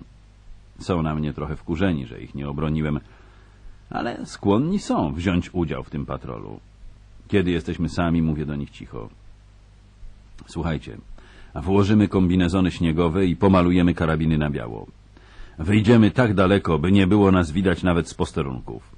Tam położymy się na śniegu. Zmarzniemy trochę, jeśli poleżymy tak koło godziny, ale pozostaniemy przy życiu.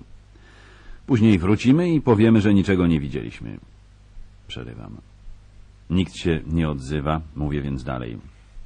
Jeśli jutro jakiś oddział będzie dostatecznie głupi, by się tam pakować i wlezie w kłopoty, będzie nam wszystkim przykro. Ale na pewno nie jest to robota dla zwiadu i rozpoznania. Decyzja zostaje podjęta, bez specjalnych dyskusji. Nikt nie jest zadowolony, ale wszyscy się zgadzają. Przygotowujemy się najlepiej jak możemy. Już sama konieczność wyjścia przed front budzi niepokój. Musimy odejść na sporą odległość, przez cały czas w odkrytym terenie, aż znajdziemy się poza zasięgiem wzroku wartowników i zwykłych żołnierzy. To jedyny sposób. Musimy jakoś stać się niewidzialni, ale mimo wszystko będziemy aż nazbyt widoczni. Księżyc nie jest wprawdzie w pełni, ale świeci dostatecznie mocno, by rzucać cień. Nawet pomalowani na biało będziemy rzucać czarne cienie, żebyśmy nawet nie wiem jak się starali. Może nam się wydawać, że jesteśmy niewidzialni. Tak jednak nie będzie. Wyruszamy więc około północy, zakładając, że żołnierze na niemieckich posterunkach będą wtedy najsłabiej uważać. Oczywiście, jeśli w ogóle ktoś tam jest i jeśli grożą nam jakieś kłopoty. Prawdziwy problem polega na tym, że nie mamy pojęcia, czego możemy się spodziewać. Idziemy kompletnie na ślepo. Dokładnie na linii horyzontu, ponad długą, wznoszącą się lekko śnieżną połacią, rośnie las sosnowy. Widok drzew budzi we mnie niepokój. Wszystko może się tam kryć. Nawet czołgi. Tuż przed linią drzew wznoszą się trzy zasypane śniegiem wzgórki. Nawet jeśli podejdziemy blisko, trudno będzie ustalić, co to właściwie jest. Tam wszystko może się wydarzyć. Idziemy w standardowej formacji patrolowej, w pięciometrowych odstępach z dwoma zwiadowcami na przedzie. Idę trzeci w szeregu, tuż za zwiadowcami. Pozostali idą za mną. Kolumnę zamyka zastępca dowódcy drużyny Rus. Przedzieramy się przez śnieg tak głęboki, że wsypuje się nam do butów. Co chwila odwracam się za siebie, próbuję oszacować odległość. Jak dobrze widać nas teraz z naszych pozycji? Śnieg skrzy się oślepiająco w blasku księżyca, choć tuż nad ziemią unosi się lekka mgiełka. Trudno ocenić, jak daleko zaszliśmy i kiedy przestaniemy być widoczni z posterunków. W tej chwili prawdziwy wróg, przynajmniej dla mnie, jest za naszymi plecami. Suniemy dalej, przez śnieg. W końcu wydaję rozkaz padnij. Obracam się na klęczkach. Mam ze sobą lornetkę, której nie powinienem mieć. Lornetki są wyłącznie dla oficerów. Zabrałem ją zabitemu niemieckiemu oficerowi. Oglądam się za siebie, widzę wyraźnie żołnierzy w okopach. Nie oddaliliśmy się jeszcze dostatecznie. Patrzę przed siebie, ale nic nie widzę. Wciąż nie potrafię ocenić, co kryje się pod tymi wzgórkami. Szepczę do moich kolegów. Myślę, że musimy przejść jeszcze ze sto yardów. Wtedy będziemy już wiedzieć na pewno, że nam się udało. Nawet za dnia nie zobaczą naszych śladów, kiedy wszyscy ruszą do ataku. Atak nastąpi o świcie, więc zadepczą nasze ślady i nikt ich nawet nie zauważy. Domyślam się, że istnieją poważne psychologiczne powody, dla których atak następuje właśnie o świcie. Mówi się, że w ten sposób teoretycznie zaskakuje się wroga w najmniej oczekiwanym momencie. Ale jednocześnie wysyła się swoich żołnierzy w najmniej dla nich sprzyjającej porze. Dlaczego ludzie, a zwłaszcza ludzie w wojsku, wybierają zawsze najgorsze wyjście z możliwych? Nie twierdzę, że wojna powinna być zabawą. Ale czy musi być taka trudna? Wstajemy więc znowu otrzepując się ze śniegu. Ruszamy naprzód, widzimy jeden z naszych wzgórków. Wznosi się teraz po naszej prawej. Nie zauważyliśmy go do tej pory. Wygląda trochę jak przejazd kolejowy, ale nigdzie nie widzę torów. Teraz nic już nie rozumiem. Padamy więc na ziemię i leżymy, ale nic się nie dzieje. Szepczę do jednego ze zwiadowców, Richardsa. Pójdę kawałek dalej, zobaczę co to jest. Podejrzewam, że nic szczególnego, ale lepiej będzie obejrzeć to coś z bliska. Będziemy mogli przynajmniej czymś podeprzeć naszą bajeczkę. Richards podnosi się ze mną. W porządku, pójdę z tobą i będę osłaniał. Kiedy podchodzimy bliżej pagórka, Richards mówi, że sam pójdzie go sprawdzić. Właśnie wtedy powinienem był skończyć całą sprawę. Nie musieliśmy wcale wiedzieć, co kryje się pod tym podejrzanym przejazdem. Nie zrobiłem tego jednak. Kładę się na śniegu, żeby osłaniać Richardsa. Ten rusza naprzód, obchodzi zasypany śniegiem kopczyk i znika w jakiejś dziurze. W tej samej chwili wypada stamtąd biegiem, pędzi, jakby go diabli gonili. Za jego plecami rozlegają się wystrzały karabinowe, pada więc na ziemię podnosząc karabin. Wygląda na to, że połowa niemieckiej armii rzuca się za nim w pościg. Zaczynam strzelać jak wariat. Od razu wystrzeliwuję 15 nabojów, potem próbuję zmienić magazynek. Trafiliśmy w sam środek prawdziwej wojny. Strzelamy do siebie jak kowboje i Indianie.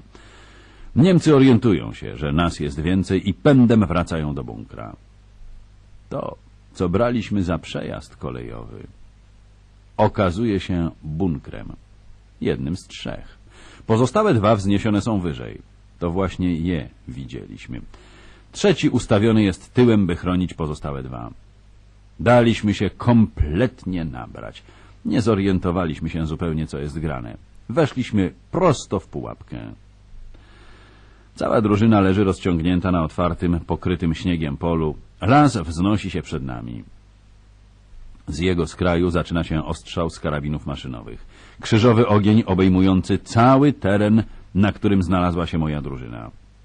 Żołnierze krzyczą, strzelają, wyją, klną, rzucają się, padają, próbują uciec, ale i tak wszyscy zostają pochwyceni w śmiercionośny ogień. Nic mi się jeszcze nie stało, ale obydwaj zwiadowcy już dostali. Rus, zastępca dowódcy drużyny, dostał od razu. Richards, który miał mnie osłaniać, też już oberwał. Widzę, że rzuca się na śniegu. Zamiast karabinu M1 miał karabin przerobiony na automatyczny przez spiłowanie zaczepu spustowego, tak jak mój. Miał zatem 15 naboi. Wydaje się, że to spora siła ognia. Powinna to być znakomita broń do walki na krótki dystans, ale okazała się nie dość dobra. Rozglądam się i widzę, że większa część drużyny została już skoszona. Niektórzy starają się uciekać, inni próbują się ostrzeliwać, ale to bez sensu. Dochodzę do wniosku, że nie mogę tutaj zostać. Nie mogę też się poddać.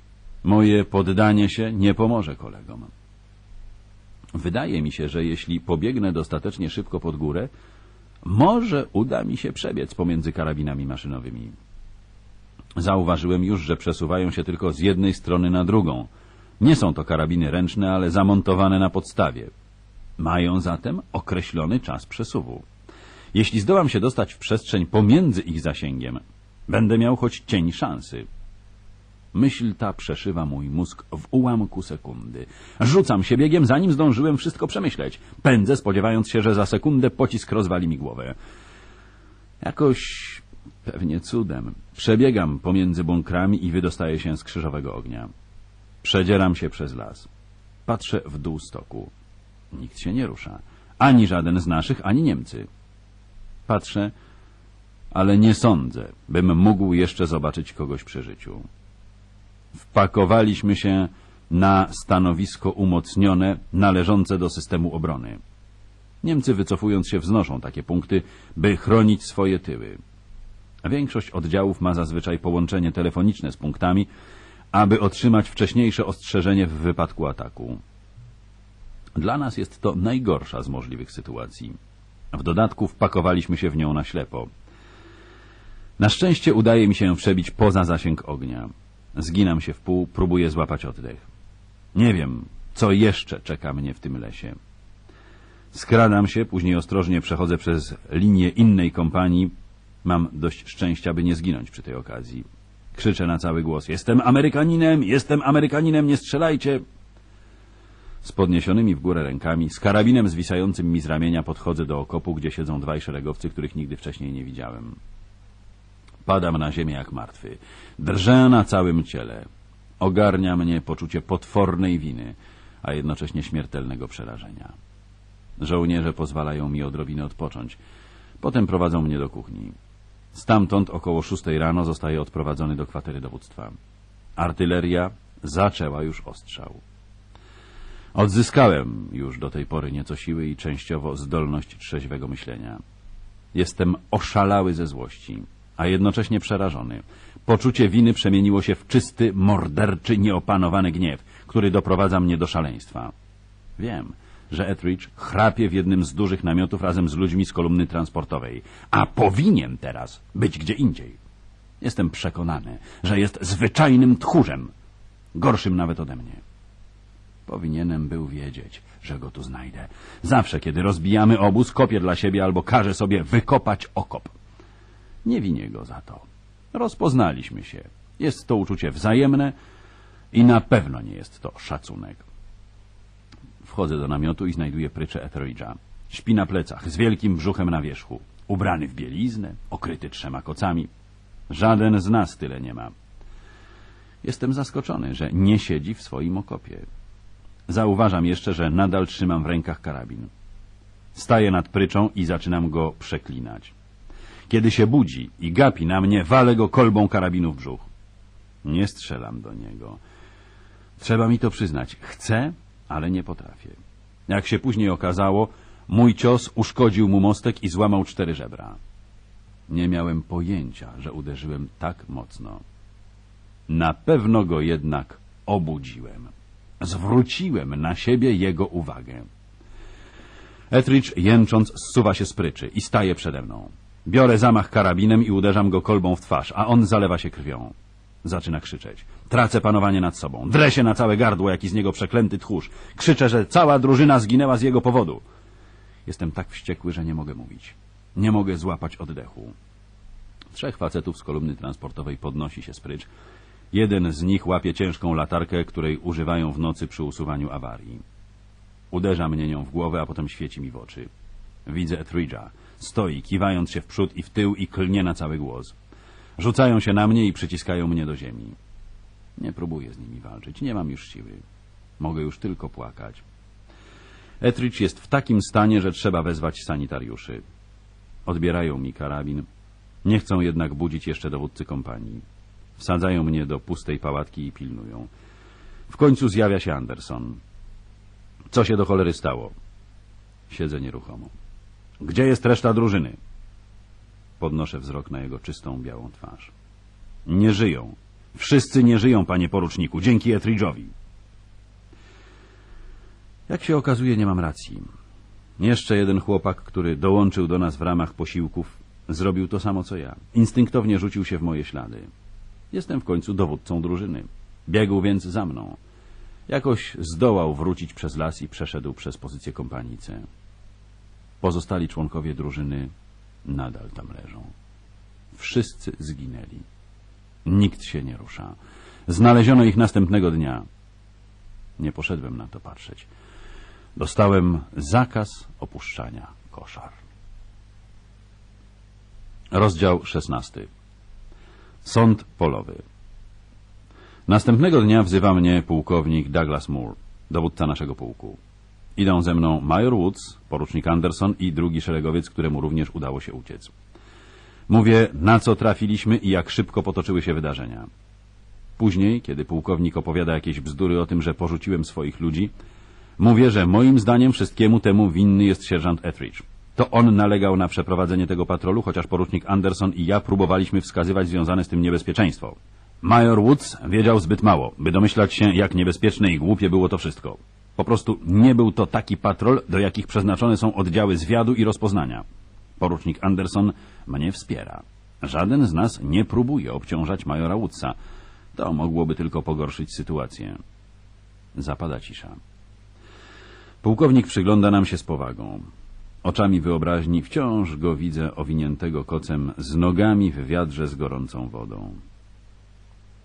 Wiecie wszyscy, że powinienem zwołać specjalny albo ogólny sąd polowy. Sierżant Etheridge nie będzie już mógł służyć w wojsku. Brakuje mu zbyt wielu zębów. Zostanie zwolniony z armii. Dostanie purpurowe serce i brązową gwiazdę. Będzie otrzymywał pełną rentę jako inwalida wojenny. Przerywa. A wy, Wharton, ze względu na okoliczności łagodzące, staniecie jedynie przed doraźnym sądem polowym. Nie znajdzie się to w waszych papierach. Zostajecie jednak zdegradowani do stopnia szeregowca i przeniesieni z kompanii dowodzenia do kompanii K trzeciego batalionu. Nie chcę więcej słyszeć o tym żałosnym wypadku. Milknie, chcąc się upewnić, czy wszystko zrozumieliśmy. Spocznij. A tak prywatnie, czy zdajecie sobie sprawę z tego, co zrobiliście Wharton atakując starszego stopniem podoficera? Omal go nie zabiliście. Dostałem właśnie raport ze szpitala polowego. Jego kariera wojskowa jest definitywnie skończona. A możliwe, że wyświadczyliście mu przysługę.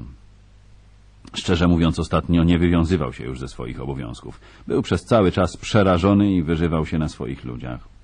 I tak musiałbym go kimś zastąpić. Co się tyczy was, Wharton, zamierzam załatwić sprawę doraźnie. Zobaczymy, czy to wystarczy. Nie sądzę, by major Woods spróbował rozdmuchiwać sprawę, ponieważ nie będzie chciał ujawniać, że wysłał żołnierzy na patrol w takich okolicznościach. Pułkownik Mur, zawodowy oficer, kontroluje nie tylko zwiat i rozpoznanie, ale całą kompanię dowodzenia. To naprawdę spora gromada ludzi. Kucharze, pralnia, kolumna transportowa. Ludzie, którzy tak naprawdę niewiele mają do czynienia z wojną. Po prostu utrzymują w ruchu całą maszynerię. To personel dowództwa. Zwiat i rozpoznanie stanowi jedyną część kompanii dowodzenia, która bierze udział w prawdziwej walce. Nawet nam zdarza się to bardzo rzadko. W porównaniu z oddziałami liniowymi mamy wspaniałe życie, z wyjątkiem zwariowanych patroli. Nie jestem więc za bardzo zadowolony z przeniesienia do kompanii liniowej. Tego dnia zostaję zdegradowany do szeregowca. Zabieram swoje rzeczy i wynoszę się z plutonu zwiadu i rozpoznania do mojej starej kompanii K. W ostatnim czasie poniosła ona spore straty. Zostaję więc uznany za nowego. A to niebezpieczna sytuacja, ponieważ ktoś taki dostaje zawsze najgorszą robotę do wykonania. Jestem zadowolony, że przynajmniej na razie udało mi się uratować skórę. Szczerze mówiąc, miałem już nadzieję, że pójdą na całego, wyślą mnie z powrotem i wsadzą do więzienia. Wszystko byle tylko wydostać się z frontu. Etrich miał cholerne szczęście. Jednocześnie obawiam się, że mogą mnie wyrzucić karnie. A w wojsku nauczono mnie, że powinienem się tego bać. Wiem wprawdzie, że wojna to okropnie głupia rzecz, ale nie chcę nosić stygmatu karnie usuniętego z armii. Teraz rozumiem, że prawdziwymi bohaterami są ludzie uchylający się od służby wojskowej. Jednak cały ten śmietnik, który wpompowano mi do osiemnastoletniej głowy, nie pozwalał mi tego zrozumieć. Wiedziałem za mało. A poza tym brakowało mi chyba odwagi. Jeden z szeregowych pomaga mi w przenosinach do kompanika. Zabieram ze sobą płócienny worek i karabin. Błotnistymi drogami wiezie mnie kucharz z kompanii dowodzenia.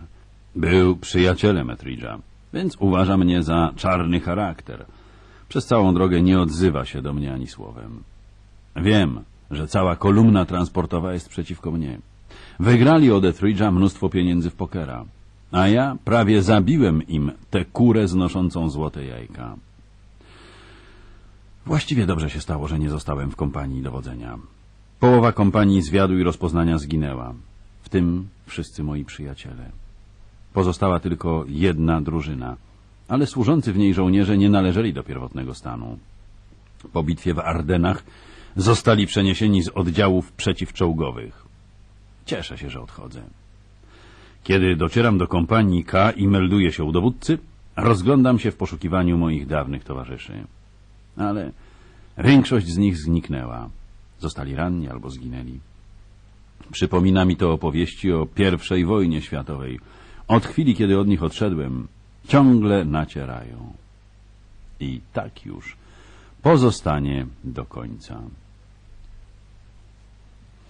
Rozdział 17. Szampańskie przyjęcie.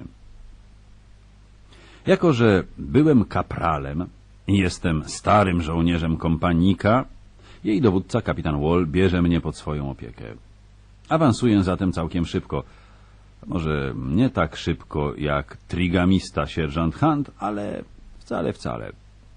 Dowiaduję się, że kapitan Wall jest piątym z kolei dowódcą kompanii. Poprzedni czterej zginęli.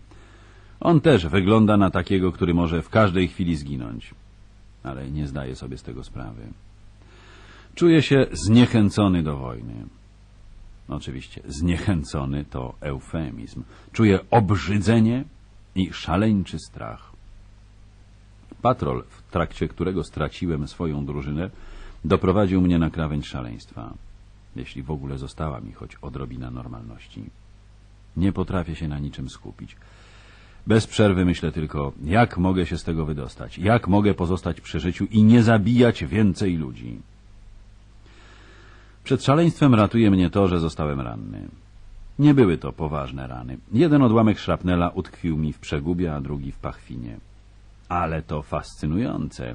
Kiedy rany od szrapnela już się goją, a włóczę się po szpitalu, z trudnością utrzymując się na nogach.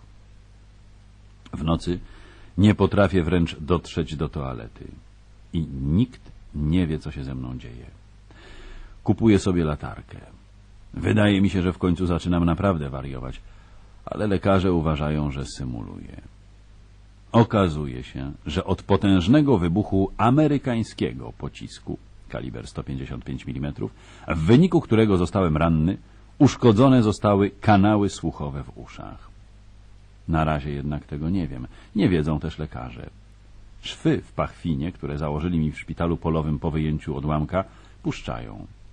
I konieczna jest powtórna operacja. Powoli zbliża się koniec wojny. Z przyczyn, których do dziś dnia nie potrafię zrozumieć, kiedy forsujemy Ren, wszyscy chorzy, którzy mogą chodzić, w tym i ja, choć chodzę bardzo niepewnie, wracają do swoich oddziałów. Uszkodzenie kanałów słuchowych sprawia, że traci się poczucie równowagi. Chodzę jak pijany marynarz i przez cały czas skarżę się na nudności. Nie wiem, co się ze mną dzieje.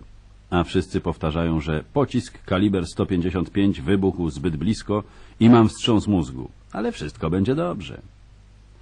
Lekarze podejrzewają wszystkich, że próbują uniknąć walki, symulując chorobę. To prawda. Ale ze mną jest naprawdę niedobrze. A oni nie chcą mnie słuchać. Kiedy dzieje się naprawdę źle, zostaję odesłany do mojej kompanii. Forsujemy Ren na niewielkich łodziach z pomocą amerykańskiej marynarki wojennej. Armia przeszła już Ren, na północ od nas, po moście, w Remangen, który ktoś zapomniał wysadzić w powietrze. Nasze forsowanie jest więc całkowicie niepotrzebne. Doszło do niego prawdopodobnie dlatego, że zgromadzono wszelki potrzebny sprzęt. A może miały to już być ćwiczenia przed następną wojną? Kto wie? W każdym razie forsujemy rzekę, a ja czuję się okropnie. Nie mogę utrzymać karabinu. Jedno ramię mam w bandażach i na temblaku. Nie muszę ciągle go trzymać w tej pozycji, więc temblak zwisa mi na ogół z szyi jak jakieś oznaczenie. A może chcę w ten sposób obudzić litość? Wyglądam trochę jak jedna z postaci na obrazie Wolność wiodąca lud na barykady Delacroix. Przedostajemy się na drugi brzeg i rozpoczynamy atak po śliskiej skarpie nad Renem. Samo forsowanie przebiega bez specjalnych kłopotów. Zaledwie pod rzadkim ostrzałem małokalibrowym. Prawdopodobnie strzelają cywile, którzy próbują bronić swoich domów przed amerykańskimi maruderami. Niemcy wiedzą, że przekroczyliśmy Ren w Remagen, więc w większości zdążyli się już wycofać. Są odrobinę inteligentniejsi od naszych dowódców. Samo wspinanie się po stromym stoku porośniętym winnicami jest już nie lada wyzwaniem. W końcu jednak docieramy do Koblencji. W mieście pozostało jeszcze wielu niemieckich żołnierzy. To jedyne walki uliczne, w jakich brałem udział w czasie całej wojny. Zdobywamy dom za domem, próbując opanować ważne punkty miasta i wypłoszyć snajperów. Kiedy już się wydaje, że wyłapaliśmy wszystkich, jakiś następny fanatyk zaczyna do nas strzelać. Zazwyczaj trzech czy czterech szeregowców obrywa, zanim udaje nam się ustalić, gdzie jest snajper, a wtedy rzucamy granat albo walimy kilka razy z moździerza, w zależności od potrzeb. Uznaję, że pora już wycofać się z tej wojny. Wszystko to za bardzo przypomina sceny z jakiegoś marnego filmu. Już nie chcę mieć z tym nic wspólnego. Chowam się w jakiejś piwnicy i siedzę w niej, dopóki nie ucichną wystrzały karabinowe, wybuchy granatów i huk moździerzy. Nie wydaje mi się, by wzięto wielu jeńców, ale niewiele mnie to obchodzi. Jak się okazało, skryłem się w piwniczce na wino. Odkrywam w niej stojaki pełne butelek szampana. Nadrenia nie jest krainą szampana. Niemcy musieli zatem skonfiskować go we Francji. Siedzę tak i nie mam pojęcia, jak otworzyć butelkę szampana, a zwłaszcza z jedną ręką zabandażowaną. Trudno jest jedynie usunąć druty przytrzymujące korek. Bo później nie można już powstrzymać musującego wina od wystrzelenia z butelki. Walczę zatem z drutem, potem następuje wystrzał, ponieważ szampan nie jest odpowiednio schłodzony. Walki w Koblencji trwają już trzeci dzień, a wodociągi zostały już na początku walk zamknięte albo wysadzone w powietrze. Umieramy więc wszyscy z pragnienia. Sytuacja przypomina tę pod mecem, tylko że tym razem kolej na nas. Może właśnie na to przygotowywano nas podczas wodnych marszów. Nigdy nie byłem pijakiem. Teraz jednak gotów jestem pić cokolwiek. Piję więc szampana. Kiedy sytuacja na zewnątrz w końcu się uspokaja, znajduję kolegów i mówię im o moim odkryciu. Powinienem był się choć chwilę zastanowić.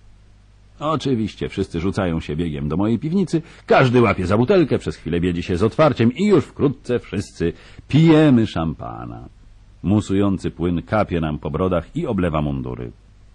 Nagle ktoś wpada na pomysł, że moglibyśmy wykąpać się nago w szampanie, jak robią to wielkie gwiazdy w filmach. I tak wszyscy jesteśmy brudni i spoceni. Jeśli można jakoś wytłumaczyć ten rabunek i marnotrawstwo, to tylko tym, że ktoś na tyłach zapomniał dostarczyć wodę, a z kurków nie płynie ani kropelka. Musimy jakoś sobie poradzić, a picie szampana wydaje się wcale niezłym pomysłem. Z początku wszyscy jesteśmy bardzo pijani, ale im więcej szampana w siebie wlewamy, tym silniejsze staje się pragnienie. Ustawiamy się w długi szereg jak strażacy i podajemy sobie butelki na pierwsze piętro, gdzie jest wanna, którą napełniamy musującym winem. Niestety, faceci, którzy stoją przy wannie, nie mają zielonego pojęcia, jak otwierać butelki.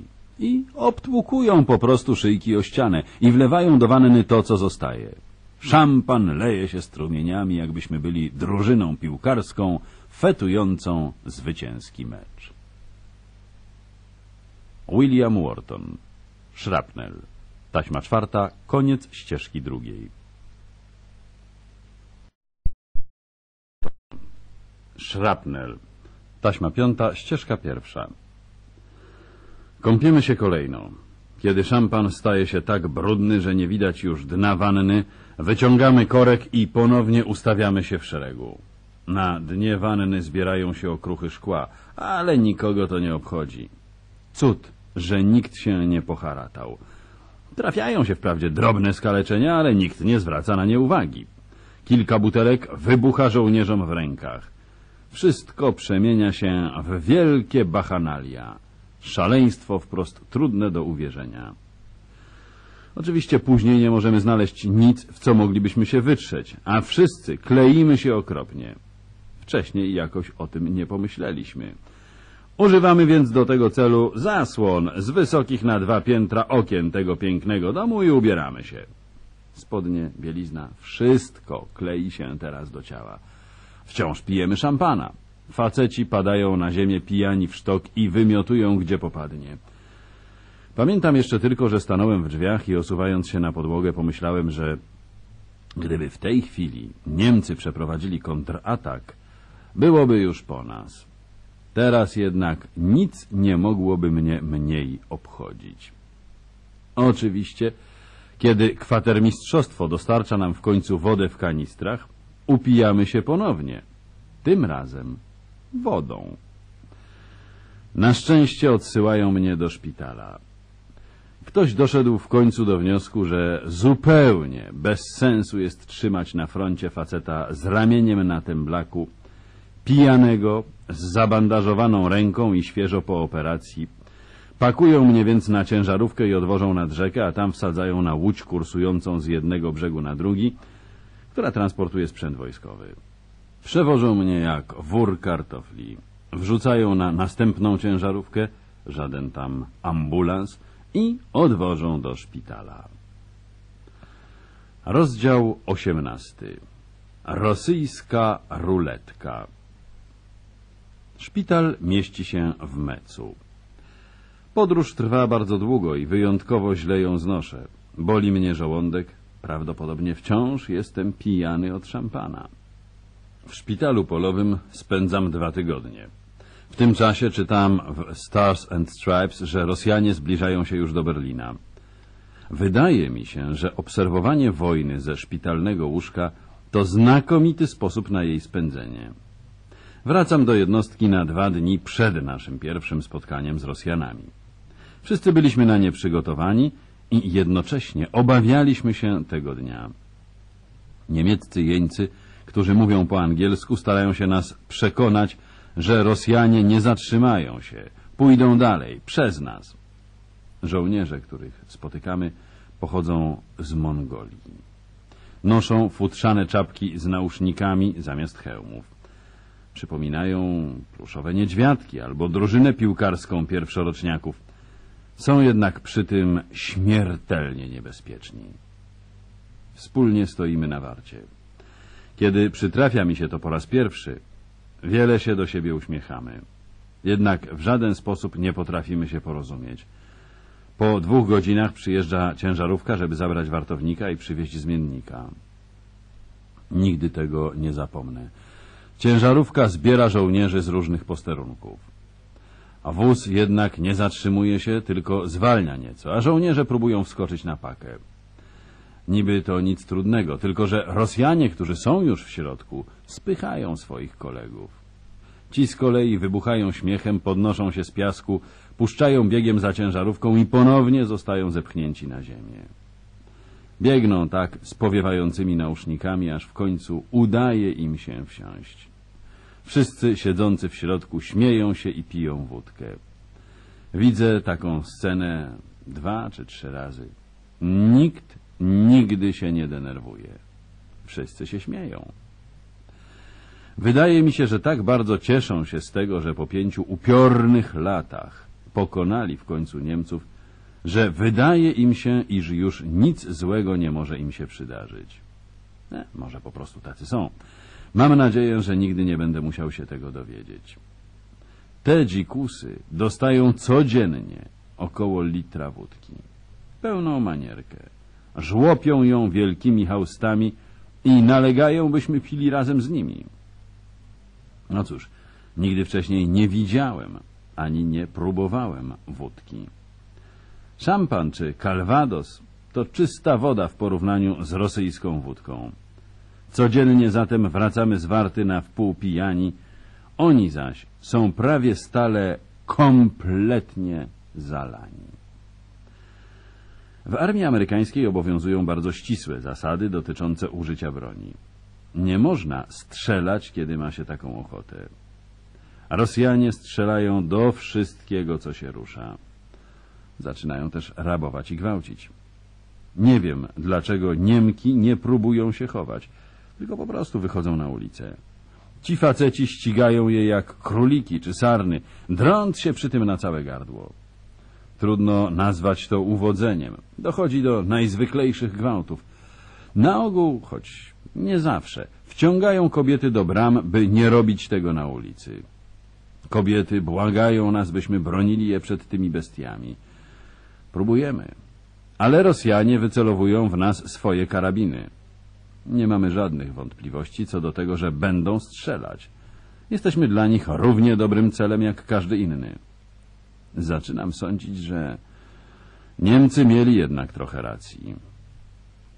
Oczywiście te same kobiety przyjmują papierosy i czekoladę od amerykańskich żołnierzy, którzy zabierają się do rzeczy w trochę może subtelniejszy sposób. Nadal przypomina to gwałt, ale nie ma mowy o otwartej przemocy. Większość kobiet od dawna była pozbawiona towarzystwa mężczyzn. Jest to jedyny powód, jaki przychodzi mi do głowy. Wkrótce przekonuję się, że krzyki, które słyszę, nie są na ogół wołaniem o pomoc. Często dochodzą nas śmiechy i wymieszane okrzyki po mongolsku, angielsku i szwabsku. A kobiety nadal wychodzą na ulicę. Ja jednak mam 19 lat i powoli tracę wiarę w ludzi. Moje morale już od dawna nie miało się najlepiej, teraz jednak obserwuję, co się wokół mnie dzieje, rzeczy, o których nigdy nie słyszałem, nie myślałem, nie śniłem w najgorszych snach. Tym facetom, zarówno Rosjanom, jak i Amerykanom, nie chodzi tylko o seks.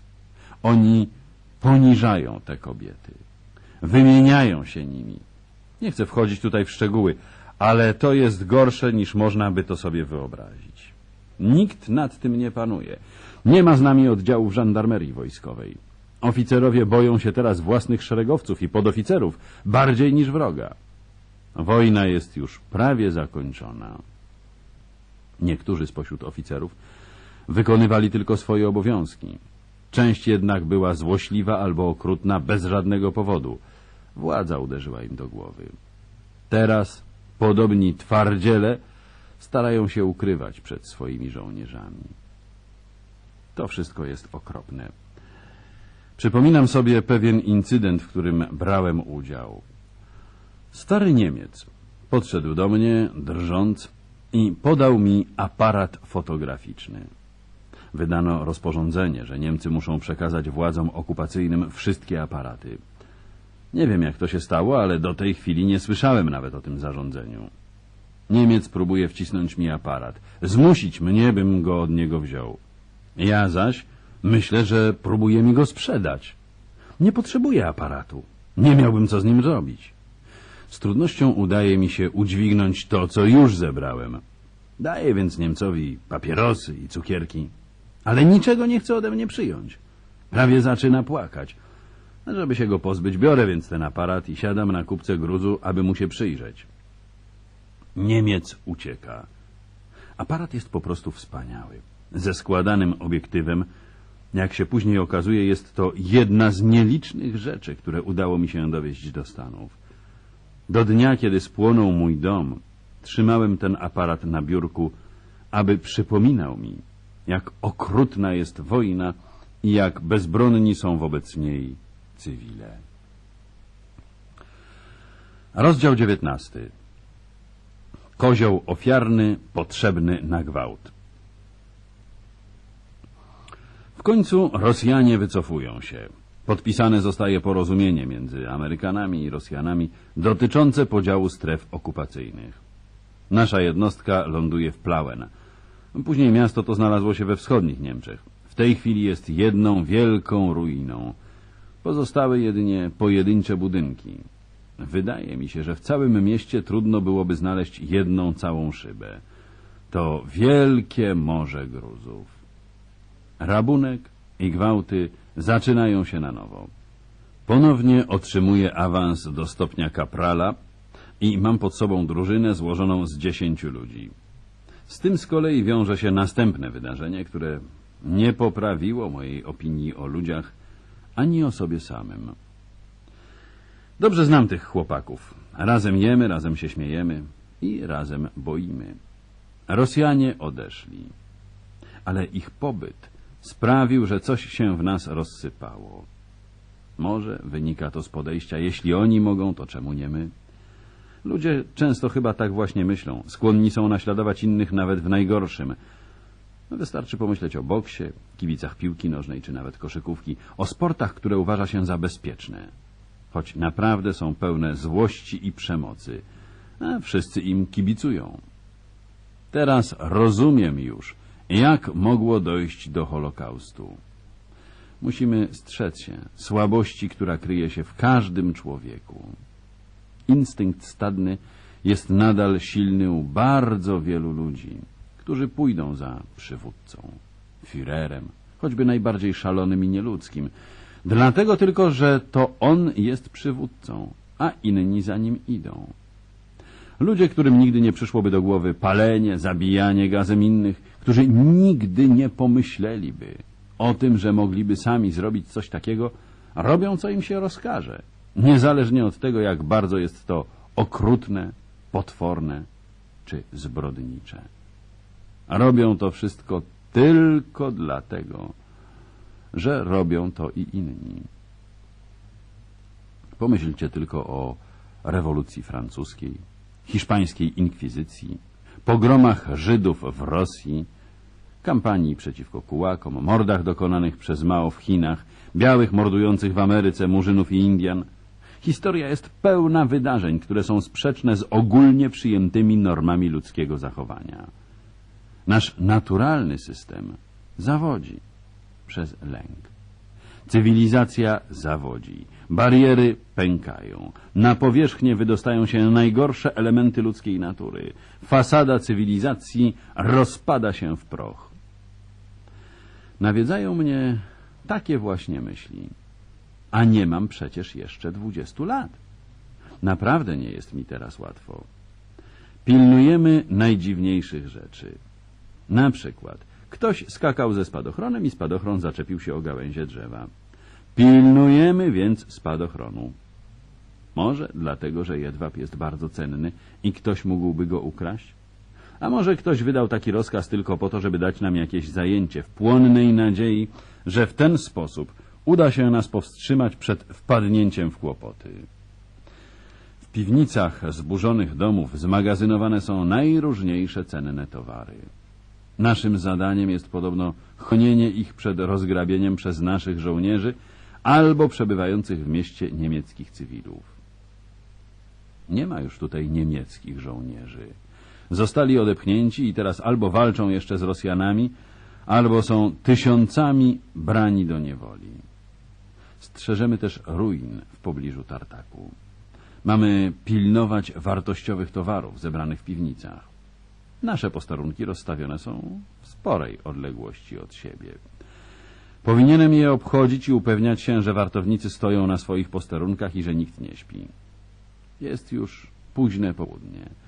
Warty trwają po cztery godziny, z dwugodzinnymi przerwami. Robię zatem obchód. Podchodzę do żołnierzy strzegących piwnicy pełnej eleganckich ciuchów. Między innymi pełno tu pięknych jedwabnych chustek. Wydaje mi się, że nie wyprodukowano ich w Niemczech. Ale nie jestem pewien, bo nie mają żadnych metek. Wylewam wodę z wyzwolonej niemieckiej manierki i po prostu zaczynam wkładać do środka chustki, wiążąc je razem za rogi jak słonie na paradzie w cyrku.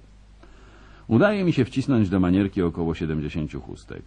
Potem zakręcam ją i wrzucam do płóciennego worka. Udało mi się je dowieść do domu i rozdać mojej mamie, siostrze, dziewczynie. Przez wiele lat miały prześliczne i jedwabne chustki. Mogę się usprawiedliwić tylko w taki sposób, że ukradłem to, co ukradli Niemcy. Łatwo jest stracić szacunek dla samego siebie, ale taka jest wojna. I może właśnie taka ma być? Wolno nam zabierać wyposażenie wojskowe, na przykład manierki, jako pamiątki wojenne i wysyłać do domu. Ja sam wysłałem jeszcze niemiecką panterkę i ozdobny sztylet, który odebrałem niemieckiemu oficerowi. Ale chustki zapakowane do manierki były moją najbardziej udaną grabieżą. W tej chwili nie ma to jednak żadnego znaczenia. Podchodzę do posterunku, na którym dwóch szeregowców powinno pilnować piwnicy. W gruzach mają dwie kobiety i z nieukrywaną radością zajmują się oczywistą w tej sytuacji rozrywką. Jestem wkurzony. Wy dwaj, wyrzućcie stąd natychmiast te kobiety. Idę na obchód. Kiedy wrócę, ma ich już tu nie być. Odgrywam ważnego kaprala. Ale w końcu ktoś musi to robić. Wracam do szeregowców, którzy pilnują spadochronu. To najwygodniejszy z posterunków. Po jednym z budynków pozostał kawałek daszku, pod którym można się skryć, gdy pada deszcz. Spotykam tutaj kaprala Hastingsa. Słuchaj, Pete, mówię. Pójdę sprawdzić, czy chłopaki naprawdę pozbyli się tych niemek, o których ci mówiłem. Wracam zatem i widzę, że wykonują moje polecenie, choć przychodzi im to bardzo, bardzo wolno. Obie kobiety są już ubrane i właśnie wychodzą z piwnicy. Muszą jeszcze tylko podnieść ciężką klapę. Nie jest ona zrobiona z drewna, a ze stali. Wydaje mi się więc, że ta piwnica służyła pewnie jako schron przeciwlotniczy. Kobiety wychodzą przez bramę na ulicę, wyraźnie przerażone moim widokiem i rzucają się biegiem do ucieczki. I któż to właśnie w tym momencie nadjeżdża ulicą? Kto by w to uwierzył? Sam dowódca całej naszej dywizji, generał Collier. Wraz z nim jedynie jego syn w stopniu majora, jego adiutant. Klasyczny przykład wojskowego nepotyzmu. Nawet na chwilę nie oddala się od tatusia. Oficerom naszej dywizji ten układ bardzo się nie podoba. Generał Collier jest już starym człowiekiem. Może tak naprawdę nie był jeszcze stary, może po prostu wtedy taki mi się wydawał. Jednak nawet jak na dowódcę dywizji jest już leciwy. Zatrzymuję jeepa i generał wysyła syna, by ten dowiedział się, co się dzieje, dlaczego te kobiety uciekają z posterunku. W tej chwili obaj szeregowcy, którzy powinni stać na warcie, wyskakują z piwnicy. Są wprawdzie ubrani, ale nie mają na głowach hełmów ani karabinów w rękach. Innymi słowy, według wojskowych standardów, są ubrani jedynie do połowy. Nie są może nadzy, ale na pewno nie wyglądają tak, jak powinni wyglądać żołnierze. Kurczę. Cóż za okazja na sąd polowy. Tu konieczna będzie mała dygresja. A właśnie wtedy pojawiły się ostrzeżenia przed fraternizacją. A wówczas to słowo rozumiano jako bliskie kontakty z Niemkami. Jeszcze w Anglii puszczano nam filmy, na których niemieckie Fräulein tańczyły w rytm akordeonowej muzyki w długich spódnicach i obcisłych bluzeczkach podkreślających obfite biusty. Później te same dziewczyny wbijały żołnierzom noże w plecy albo przekazywały wykradzione informacje, czy wsypywały naszym chłopcom truciznę do kawy czy piwa. Było to okropne. Prawie tak beznadziejne jak filmy o chorobach wenerycznych, które puszczano nam w czasie szkolenia w Ameryce.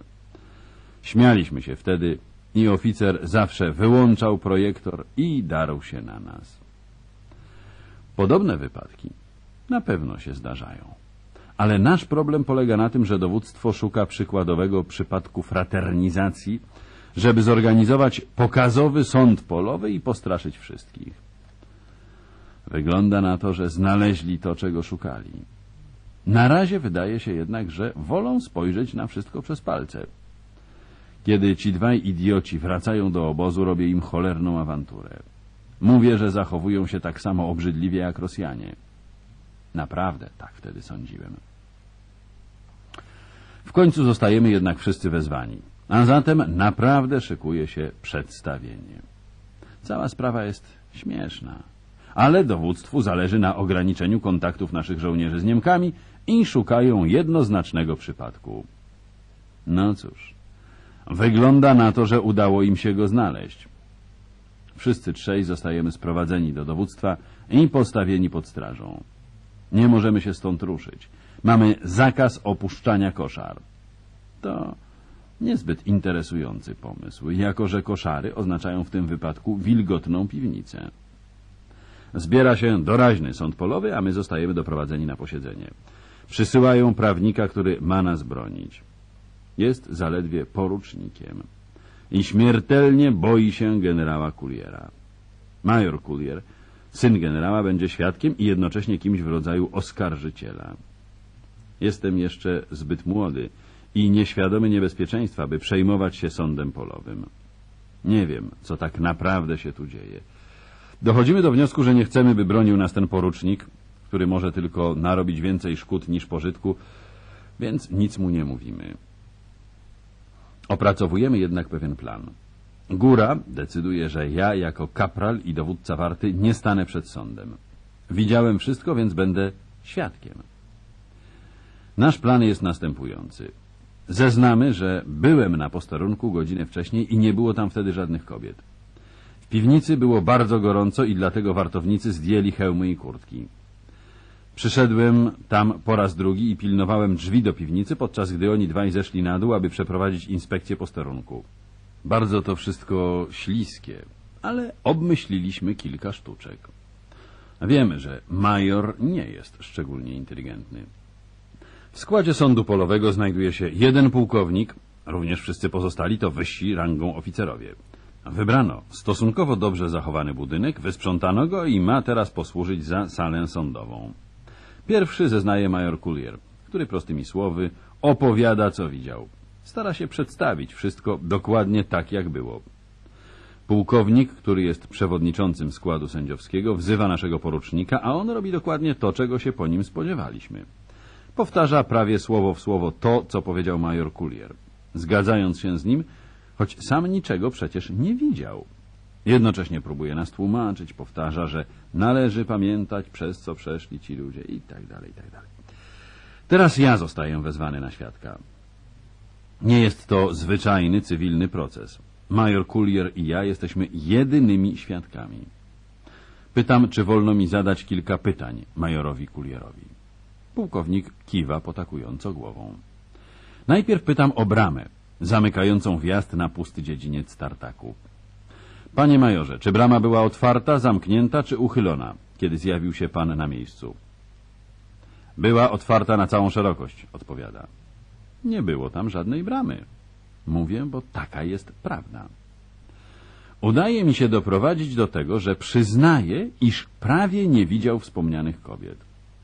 Opowiadam więc, że była to matka z małą córeczką, które szukały drewna na opał, a wartownicy przegonili je właśnie kiedy nadjechał generał. Cały skład sędziowski jest przeciwko majorowi Kulierowi z powodu jego ojca. Po kilku podobnych pytaniach staje się oczywiste, że Kulier tak naprawdę nie widział nic. I major jest teraz zupełnie ogłupiały. Pułkownik stojący na czele składu sędziowskiego podniósł się ze skrzypnięciem odsuwając krzesło. Wydaje mi się, panowie sędziowie, że materiał dowodowy przedłożony temu sądowi polowemu jest niedostateczny i nie został zebrany w należyty sposób. Spogląda na wszystkich oficerów, którzy kiwają głowami. A następnie wszyscy zostajemy zwolnieni. Ot tak, po prostu. Biedny major, który już miał nadzieję, że dochrapie się stopnia pułkownika, przeliczył się wyraźnie, a nasi chłopcy zostali uniewinnieni. Wychodzimy z sądu i urządzamy sobie wielkie przyjęcie składające się z racji żywnościowych. Ale nieszczęście było już bardzo blisko. Rozdział dwudziesty. Rolin Clermont. Kiedy wróciłem do kompanii K, zostałem przydzielony jako zwiadowca do drugiego plutonu. Prawdopodobnie dlatego, że poprzednio służyłem w zwiadzie i rozpoznaniu. Dzielę ten przydział z drugim, nowym żołnierzem, Rolinem Clermontem. Ponieważ obydwa jesteśmy nowi, dzielimy też namiot. Oczywiście, jeśli kiedykolwiek uda nam się spać w namiocie, a nie w wilgotnym okopie. Zaprzyjaźniliśmy się z sobą. Rolin jest wysoki, ma co najmniej 1,90 m, pochodzi z Bordertown w stanie Nowy Jork. Razem z ojcem był przewodnikiem myśliwych, którzy przyjeżdżali na polowania do północnej części Stanów Nowy Jork i Maine. Najczęściej na miejsce polowania docierali samolotem. Rolin mieszka wraz z ojcem w domu nad jeziorem. Mają hydroplan z pontonami. Nigdy nie usłyszałem choćby słowa o jego matce. Rolin już jako 13-14-latek pilotował nielegalnie samolot. Wie też bardzo dużo o strzelaniu i polowaniu. Dobrze się z nim mieszka w namiocie, to jest w okopie. Pochodzi wprawdzie ze stanu Nowy Jork, ale jak się okazuje, jest bardziej południowcem niż większość żołnierzy pochodzących z południa. Ma doświadczenie w obchodzeniu się z bronią, polował na najróżniejszą zwierzynę, od jeleni i niedźwiedzi do wiewiórek i zajęcy. Potrafi też wybudować szałas. Co ciekawe, potrafi też mówić po francusku. Jak sam twierdzi, jest to kanadyjska odmiana francuskiego.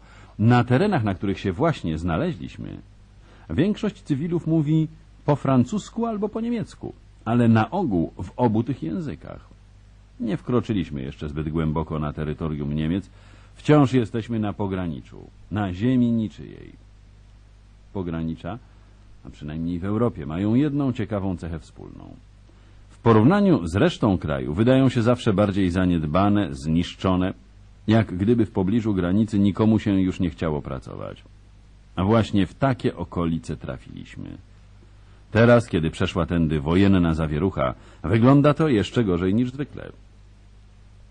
Kiedy zostajemy przeniesieni do kompanii K, jest ona kompanią rezerwową, ale już po dwóch dniach przerzucają nas do Neuendorf, gdzie mamy zastąpić kompanię L. Zgodnie z tym, co mówią żołnierze, walki były średnio ciężkie. Wracają już jednak na tyły i oczywiście wyolbrzymiają wszystko. Mówią nam, będziecie żałować. Pożegnajcie się już lepiej ze światem. I podobne w takich sytuacjach gadki. Docieramy na miejsce po północy. Potykamy się więc i ślizgamy. Wpadamy do wykopanych już pełnych błota okopów. Mamy po dwie godziny warty i cztery godziny odpoczynku, ale trudno o prawdziwy odpoczynek, kiedy siedzi się w dziurze wykopanej pod ścianą. Trzeba jednak przyznać, że w porównaniu z okopem, w którym stoimy na warcie razem z Rolinem, dziura pod ścianą wydaje się prawdziwym luksusem. Nasz posterunek wysunięty jest najdalej. To jest najbliżej Niemców. Od dziury pod ścianą dzieli go około stu yardów. Wymieniamy się trzy, może cztery razy i nic się nie dzieje. Nigdy nie potrafię stwierdzić, na jakiej podstawie wojsko podejmuje decyzję o rozpoczęciu ataku. Na nasze szczęście, w tej części świata, w której się znaleźliśmy, ani nie atakujemy, ani się nie wycofujemy. Myślę, że albo czekamy na posiłki, albo na to, aż ktoś w końcu podejmie decyzję. Nagle ruszamy do ataku, a chwilę później zatrzymujemy się i znowu czekamy. Dziwne. Później wszystko się zmieni, ale na razie dzieje się to właśnie w ten sposób. Zajmujemy kawałek terytorium, umacniamy się, zajmujemy następny kawałek i znowu się na nim umacniamy. Tkwimy razem z Rolinem w okopie. Posterunek położony jest w bardzo ładnym miejscu. Na skraju lasu, z widokiem na stok wzgórza schodzącego ku długiej dolince, przez którą płynie strumień. Po jego drugiej stronie wznosi się wzgórze, również porośnięte lasem. Dzieli nas od niego około 400-500 yardów. Wiemy, że w tym lesie siedzą Niemcy. Nie wiemy jednak, gdzie dokładnie. Staramy się nie spuszczać lasu z oka, ale szkopy nie zamierzają zdradzać swoich pozycji. My zresztą też nie mamy takiego zamiaru. Zakładamy po prostu, że Niemcy wiedzą, gdzie jesteśmy i robią to samo, co my. Zawsze jednak zachowujemy ostrożność, nie wychylamy głów z okopu i staramy się czynić jak najmniej hałasu. Szrapnel. Taśma piąta, koniec ścieżki pierwszej. Szrapnel. Taśma piąta, ścieżka druga. Posterunek jest tak położony, że można bezpiecznie przeprowadzić zmianę warty. Przez całą drogę osłania nas las, a później pozostaje już tylko kawałek drogi w dół. Prawdopodobnie właśnie dlatego tutaj go umieszczono. Prawie zawsze zmiana wart przeprowadzana jest w milczeniu. Chyba, że wydarzyło się coś naprawdę bardzo ważnego. Później siedzimy przez chwilę nieruchomo, aby się przekonać, czy Niemcy zauważyli zmianę. Przypomina to trochę zabawę wchowanego. Rolin i ja siedzimy na warcie. Jest dzień, więc warta trwa cztery godziny. Warty nocne skrócono do dwóch godzin. Ku naszemu ogromnemu zaskoczeniu, tuż przed naszym stanowiskiem przechodzi dwóch niemieckich żołnierzy. Zgubili się albo zwariowali. Wychodzą z lasu po drugiej stronie doliny i schodzą w dół. Idą spacerkiem wzdłuż strumienia, z karabinami zarzuconymi na ramię, jak gdyby wokół nie toczyła się żadna wojna. Obydwaj natychmiast się podrywamy i odbezpieczamy karabiny. Teraz będę mógł zobaczyć, jak łowieckie talenty Rolina sprawdzą się w prawdziwej walce. Może to zabrzmi strasznie, ale na wojnie nikt nie chce podejmować niepotrzebnego ryzyka. Właściwe w stanie wojny zachowanie wymaga, byśmy zastrzelili tych dwóch facetów i schowali się, mając nadzieję, że nikt nas nie zauważył. Jest to okropne. Ale nic na to nie możemy poradzić. Żaden z nas nie ma zamiaru wstać i krzyknąć poddajcie się, mamy was na muszce, czy coś podobnego. Nie zamierzamy też zbiec po stoku i rzucić się za nimi w pościg. Zamierzamy strzelić do nich i schować się tak szybko, jak tylko się da. Nie możemy też tak po prostu pozwolić im odejść. W końcu to nasi wrogowie. Wojna jest bardzo dziwna. Przecież zachowalibyśmy się zupełnie normalnie, gdybyśmy pozwolili im odejść. Zostawili ich w spokoju. Nie robią nikomu krzywdy. Popełnili po prostu błąd, jaki ja sam mógłbym z łatwością popełnić, aż nazbyt łatwo zdarza mi się zgubić drogę. Nagle zauważam, że Niemcy powoli się do nas zbliżają. Schodzą do strumienia i po kamieniach przechodzą na drugą stronę. Naprawdę musieli się zgubić. Idą wolnym krokiem. Karabiny trzymają na ramionach. Są coraz bliżej nas.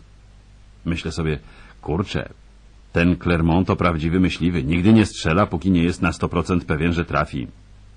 A Rolin patrzy na mnie, ja na niego. Widzę, że jest coraz bardziej zdenerwowany. Ja zresztą też. Przysiągłbym, że Niemcy są w tej chwili 50 yardów od nas. Dobiegają nas już ich słowa. A Rolin odwraca się do mnie. Czy mógłbyś wydać rozkaz, żebym strzelał? Pyta szeptem. Zachowuje się tak, jak gdyby był na strzelnicy. Wtedy strzelał po raz ostatni, a na strzelnicy nie wolno strzelać bez rozkazu. Na miłość boską, strzelaj, Rolin! Mierzy do idącego z przodu. Ja do drugiego. Stanowią taki łatwy cel, że niepotrzebnie oddajemy po dwa strzały. Jedna kula by wystarczyła. Obydwaj padają i nieruchomieją. Chowamy się w okopie i czekamy, co się teraz stanie. Podejrzewam, że na drugim stoku nikogo nie ma. Gdyby ktoś tam był, krzyknąłby przecież przynajmniej do tych dwóch Wynoście się stamtąd, palanty! No cóż, do dzisiaj nie wiem, dlaczego stało się to, co się stało. Pamiętam tylko opanowanie Clermonta, który czekał na rozkaz strzelania. Była to zapowiedź tego, co miało dopiero nadejść. Rozdział 21. Fantastyczny lot. Rolin i ja zostajemy dobrymi przyjaciółmi. On ma świra na punkcie szachów i nosi ze sobą małą składaną szachownicę. Dogadujemy się znakomicie i wyjąwszy śmierdzące nogi i wzrost Rolina, nie mógłbym marzyć o lepszym sąsiedzie. W ciągu kilku dni, kiedy pozostajemy w rezerwie, udaje mi się oberwać jeszcze raz odłamkiem szrapnela w ramię. Rana jest dostatecznie poważna, bym musiał trafić do szpitala polowego, gdzie lekarze usuwają odłamek i zakładają kilka szwów. W tamtych dniach szrapnele latały jak osy latem. Hołubię moją ranę tak długo, jak tylko mogę, żeby nie wracać na front. Dostaję drugie purpurowe serce. Pojawiają się pierwsze plotki o punktowym systemie zwolnień, który ma wejść w życie po wojnie. Moje purpurowe serce jest warte pięć punktów. Wracam do oddziału. Okazuje się, że znowu brali udział w bardzo ciężkich walkach. Szczególnie ciężko było w miejscu, które nazywają skrzyżowaniem. Czuję się tak, jak gdyby wszyscy wokół mnie mówili o jakimś filmie, którego nie widziałem. Żołnierze często nadają bitwom i miejscom, gdzie się odbyły, własne nazwy. Pewien jestem, że w wojskowych archiwach każda taka bitwa ma zupełnie inną nazwę. Dla nas jednak stanowi jakby prywatną własność. Kiedy ktoś oberwie albo zginie, mówimy później, że dostał na skrzyżowaniu, czy jakkolwiek nazywalibyśmy akurat to miejsce. Lądując w szpitalu przegapiłem bitwę o skrzyżowanie. Ponieśliśmy w niej bardzo duże straty, a Rolin jest urodzonym przywódcą, więc kiedy wracam, on jest już dowódcą drużyny. Został awansowany do stopnia plutonowego. Chcę, bym został jego zastępcą i udaje mu się to załatwić. Powinno to dać niejakie pojęcie o tym, jak szybko można awansować, kiedy toczą się naprawdę ciężkie walki. Dowódca drużyny i jego zastępca nie powinni w zasadzie spać w tym samym namiocie czy okopie, ale nic nas to nie obchodzi. Dla Rolina wojna jest swego rodzaju grą, połączeniem szachów i rosyjskiej ruletki. Podoba mu się. Ja oczywiście ciągle jestem śmiertelnie przerażony. Łączy nas swego rodzaju symbioza. On gra bohatera wojennego, a ja jestem jego wierną widownią. Zaczynamy wspólnie chodzić na patrole. Tylko my dwaj. Tego również nie powinniśmy robić. Rolin zgłasza nas jednak na ochotnika do wszystkich najbardziej niebezpiecznych zadań, a ja ulegam jego sile perswazji. Właśnie w ten sposób wpakowałem się w drugą co do śmieszności wojenną przygodę. I ponownie pewną rolę odegrał w niej mały samolot. Historia mojego życia składa się z samych powtórek. Idziemy na patrol. Naszym zadaniem jest odnalezienie samolotu rozpoznawczego typu L-4. Takiego samego typu jak ten, z którego zostałem wyrzucony na początku mojej wojny, strąconego na naszym terenie. Rolin jest teraz wywiadowcą i jednocześnie dowódcą drużyny. Znajdujemy się na terenie, na który spadło wiele ton pocisków artyleryjskich nakierowanych przez małe Pipery, zwane samolotami rozpoznania artyleryjskiego L-4. Niemcy wciąż usiłują je strącać, ale jest to zadanie o wiele trudniejsze niż mogłoby się to wydawać i udaje im się to niezwykle rzadko. Tym razem jednak im się powiodło, a Rolin przysięga, że widział, gdzie spadł nasz samolocik.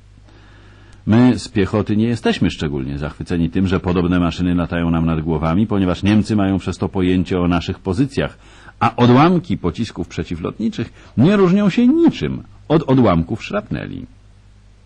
Nasz patrol, jak wymyślił Rolin, ma na celu zlokalizowanie wraku. Rolin jest przekonany, że samolot został zestrzelony nad swego rodzaju ziemią niczyją, pomiędzy zygzakowatymi liniami frontu. Wszystko jest takie płynne. Mamy początek wiosny. Rolin jest podekscytowany. Jak zwykle posuwamy się za kosami i jak zwykle jestem potwornie przerażony. Mniej więcej co 10 minut próbuję ustalić naszą pozycję za pomocą kompasu. Tak byśmy mogli wrócić. Nie musisz tego robić, Will. Wiem, jak wrócić. Nie zapominaj, że zabierałem myśliwych do prawdziwych lasów w Nowym Jorku i Maine. Ja po prostu wiem, gdzie jesteśmy. Zgoda. Tylko czy wiesz, dokąd idziemy? Przypomnij sobie tych dwóch szkopów, których zdmuchnęliśmy. Po prostu łazili sobie po okolicy. Nam też może przydarzyć się coś podobnego. Jakieś pięć minut później stajemy na skraju lasu i rzeczywiście widzimy poszukiwany L4. Siedzimy przez pół godziny, próbując ustalić, czy nikogo nie ma w pobliżu. Facetów z samolotu albo fryców, ale nikogo nie widzimy. Do diabła. Nudzi mnie to siedzenie. Osłaniaj mnie. I po tych słowach znika z karabinem w dłoni. Idzie w stronę samolotu. Mam zwyczajny M1. Mój stary karabin z odpiłowanym zaczepem spustowym straciłem w czasie podróży do szpitala. Rozglądam się wokoło z bronią gotową do strzału. Schodzi do samolotu, odwraca się i macha rękami, wzywając mnie do siebie. A ruszam ostrożnie w jego stronę, spodziewając się, że w każdej chwili ktoś może do mnie strzelić. Wielki Boże, dlaczego pakuje się w takie tarapaty? Rowlin jest bardzo podekscytowany. Kiedy docieram na miejsce, siedzi już za sterami. Chce, bym popchnął śmigło, żeby silnik zaskoczył. Nigdy tego nie robiłem. Rolin wyskakuje więc z samolotu i kilka razy pokazuje, jak należy to zrobić. Trzeba ciągnąć oburącz zgodnie z kierunkiem wskazówek zegara, a potem odskoczyć na bok. Robię, co mi kazał, ale nic się nie dzieje. Rolin uśmiecha się i ponownie wyskakuje z samolotu. Nie ma paliwa. Czy to możliwe, że ci idioci musieli lądować tylko dlatego, że zapomnieli zatankować do pełna? Zagląda do samolotu i znajduje w środku dwa szwabskie kanistry z wysokooktanową benzyną. Podaje mi je. Założę się, że jakiś fartowny szwab wpakował im kulę w zbiornik albo w tych chmurkach, które wypuszczają z działek przeciwlotniczych, naprawdę są jakieś pociski. Najprawdopodobniej w zbiorniku jest dziura, przez którą wyciekła benzyna. Kurczę, ci chłopcy musieli pewnie posrać się ze strachu. Nie widzę śladów krwi w kabinie pilota, więc albo udało im się jakoś wrócić, albo szwaby wzięły ich do niewoli. Mówi to wszystko uważnie oglądając spód samolotu. W końcu wsadza palec w dziurę w poszyciu. Proszę bardzo, mieli chłopcy szczęście, że benzyna się nie zapaliła i nie wybuchła pod nimi. Zmywajmy się stąd, Rolin. Niemcy mogli postawić kogoś do pilnowania tego samolotu. Musieli przecież zobaczyć, że się zbliżamy. Chcesz zostawić wrogowi zupełnie dobry samolot z powodu jakiejś śmiesznej dziurki? Zobaczymy. Może uda nam się poderwać tę dziecinę.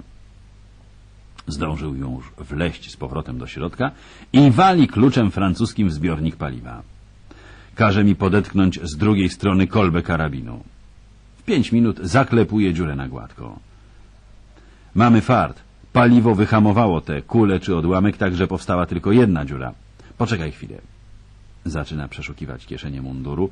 W jednej z nich znajduje dwa listki gumy do rzucia. Wsadza sobie jeden do ust, a drugi daje mnie. Przysłał mi to mój dziesięcioletni brat, mówi. Dobrze wie, że bardzo lubię rzuć gumę. Kurczę, na pewno spodobałoby mu się to, co zamierzam z nią zrobić.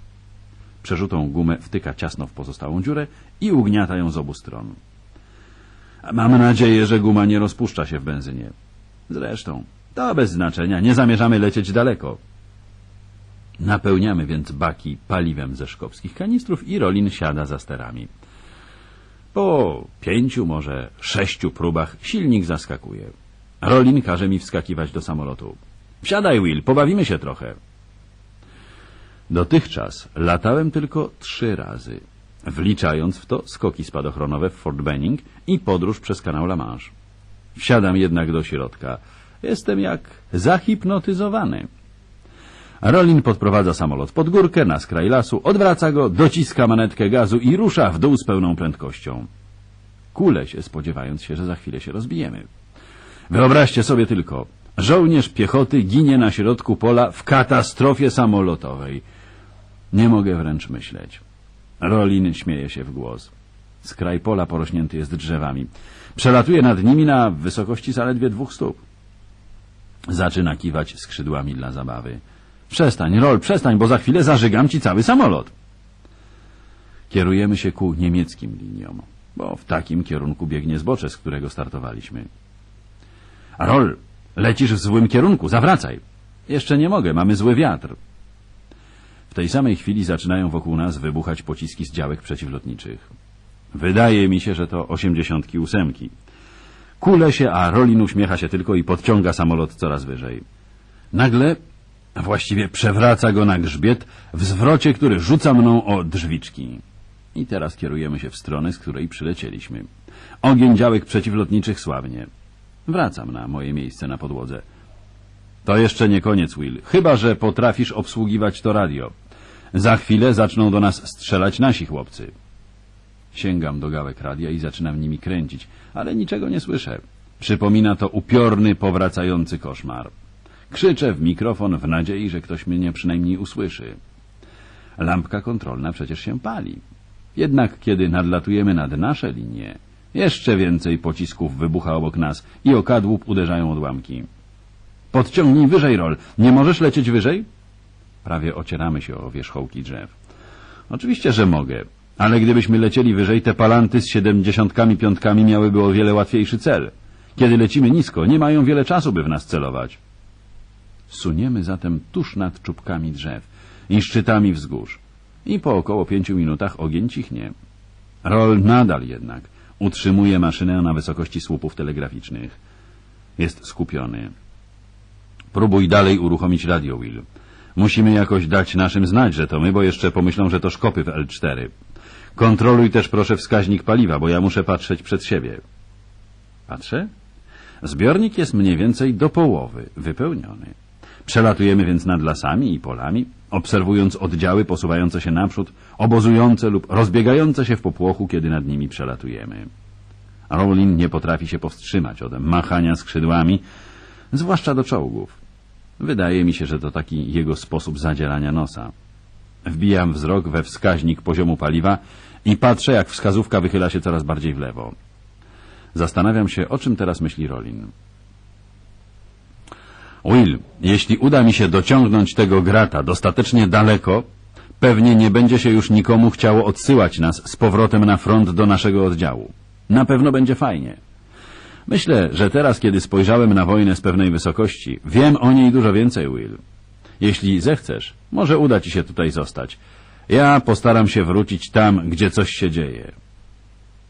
Od jego oświadczenia nie mija nawet pół godziny, kiedy silnik zaczyna się krztusić i samolot traci wysokość. Rozglądaj się za jakąś łąką, Will, a przynajmniej za oranym polem, gdzie moglibyśmy posadzić ten samolocik. Po drodze widziałem dwa małe lotniska, ale nie sądzę, by udało nam się tam wrócić. Silnik pokasuje coraz wyraźniej, gubi rytm, a samolot opada coraz niżej.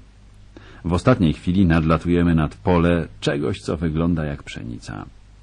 Jest płaskie i powinno być dostatecznie duże. Rolin ustawia samolot, a ja zaciskam ręce na tablicy rozdzielczej i wbijam stopy w podłogę. Tuż przed tym, zanim koła dotkną ziemi, Rolin podciąga nos samolotu do góry tak, że maszyna opada na ziemię z silnym wstrząsem. Jestem tak bardzo podniecony, że zaczynam bić brawo. Powinieneś zobaczyć, jak lądowałem na jeziorach niewiele większych od kałuży. Najtrudniejszy jest zawsze start. Wyłazimy z samolotu otoczeni przez dwudziestu facetów w cudzoziemskich mundurach z karabinami gotowymi do strzału. Przychodzi mi na myśl, że jednak polecieliśmy w niewłaściwym kierunku. Opieramy nasze karabiny o kadłub samolotu i podnosimy ręce do góry.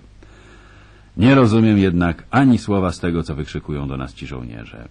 Rolin jednak zaczyna coś odkrzykiwać, a wtedy oni zbliżają się i przestają krzyczeć. Zaczynają gadać z Rolinem, który uśmiecha się radośnie. Okazuje się, że wylądowaliśmy w samym środku bazy zaopatrzenia oddziału Kanadyjczyków z Quebecu. Rolin wyjaśnia wszystko i żołnierze zaczynają mówić do mnie po angielsku, przeplatając go francuskim, ale jakoś rozumiem. Prowadzą nas do namiotu dowódcy. Nie potrafię rozpoznać dystynkcji, ale oceniam, że jest wyższym oficerem. Wszyscy zwracają się do Rolina. Nagle najważniejszy oficer mówi do mnie.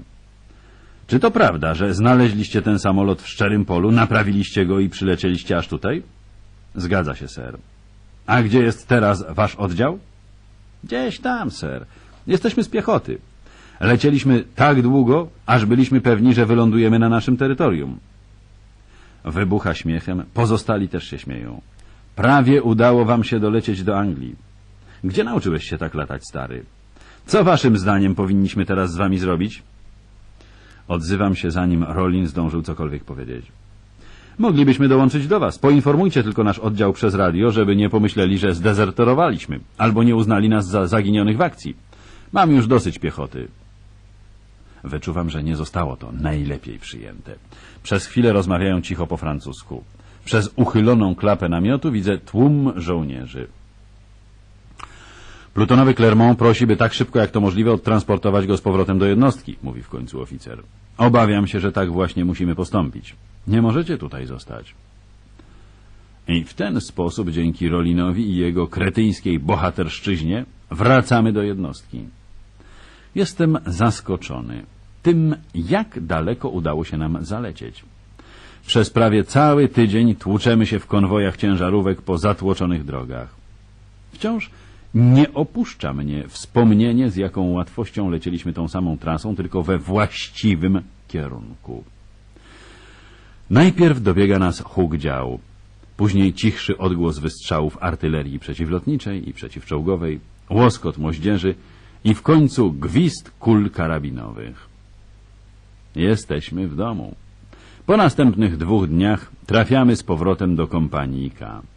Wszystko na nic. Kiedy wracamy, okazuje się, że do naszych rodzin wysłano telegramy informujące o zaginięciu podczas akcji. Tak szybko, jak tylko było to możliwe, wysłano następne, wyjaśniające całą sprawę. Ale jestem pewien, że nie dotarły one na miejsce dostatecznie szybko, by oszczędzić moim rodzicom zmartwienia. Później dowiedziałem się, że telegramy przyszły jeden po drugim w odstępie jednego dnia, przy czym wyjaśnienie przyszło pierwsze. Na pewno było to bardzo niepokojące i niezbyt przekonujące. A Rolin, żywo gestykulując, relacjonuje wszystkim naszą historię. W jego ustach brzmi to o wiele bardziej podniecająco niż było naprawdę. Ja tylko słucham. Najbardziej zaskakujące jest to, że Rolin zostaje wezwany do dowództwa dywizji, gdzie wręczają mu srebrną gwiazdę za uratowanie samolotu. Rozdział 22. Rolin Clermont po raz drugi. Pomimo wszystkich wysiłków po krótkim czasie znów zostaję dowódcą drużyny. Właśnie wtedy obrywam po raz kolejny. Niewielka rana tuż poniżej kolana. Jednak dostatecznie poważna, by ponownie trafić do szpitala polowego. W nodze utkwił mi mały odłamek szrapnela. Wyjmują go więc, zaszywają rany i zakładają opatrunek. Dostaje następne purpurowe serce. Czuję się trochę jak uczeń, który ciągle przewraca się na szkolnym placu zabaw i odsyłany jest do zakonnicy, która polewa skaleczenie merkurochromem i wysyła go z powrotem na plac zabaw. Ludzie w szpitalu zaczynają mnie poznawać.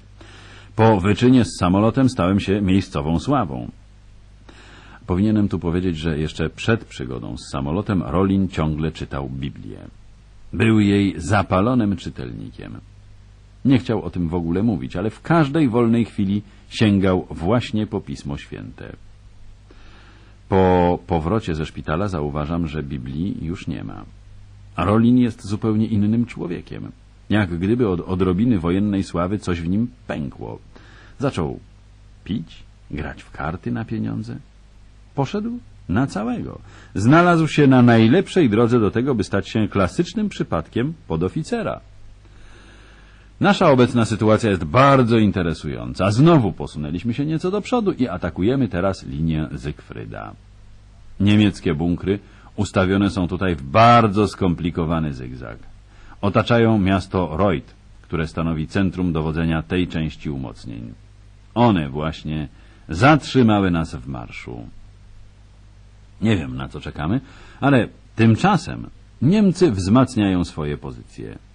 Ściągnęli nawet najnowocześniejsze tygrysy i przygotowują się do natarcia.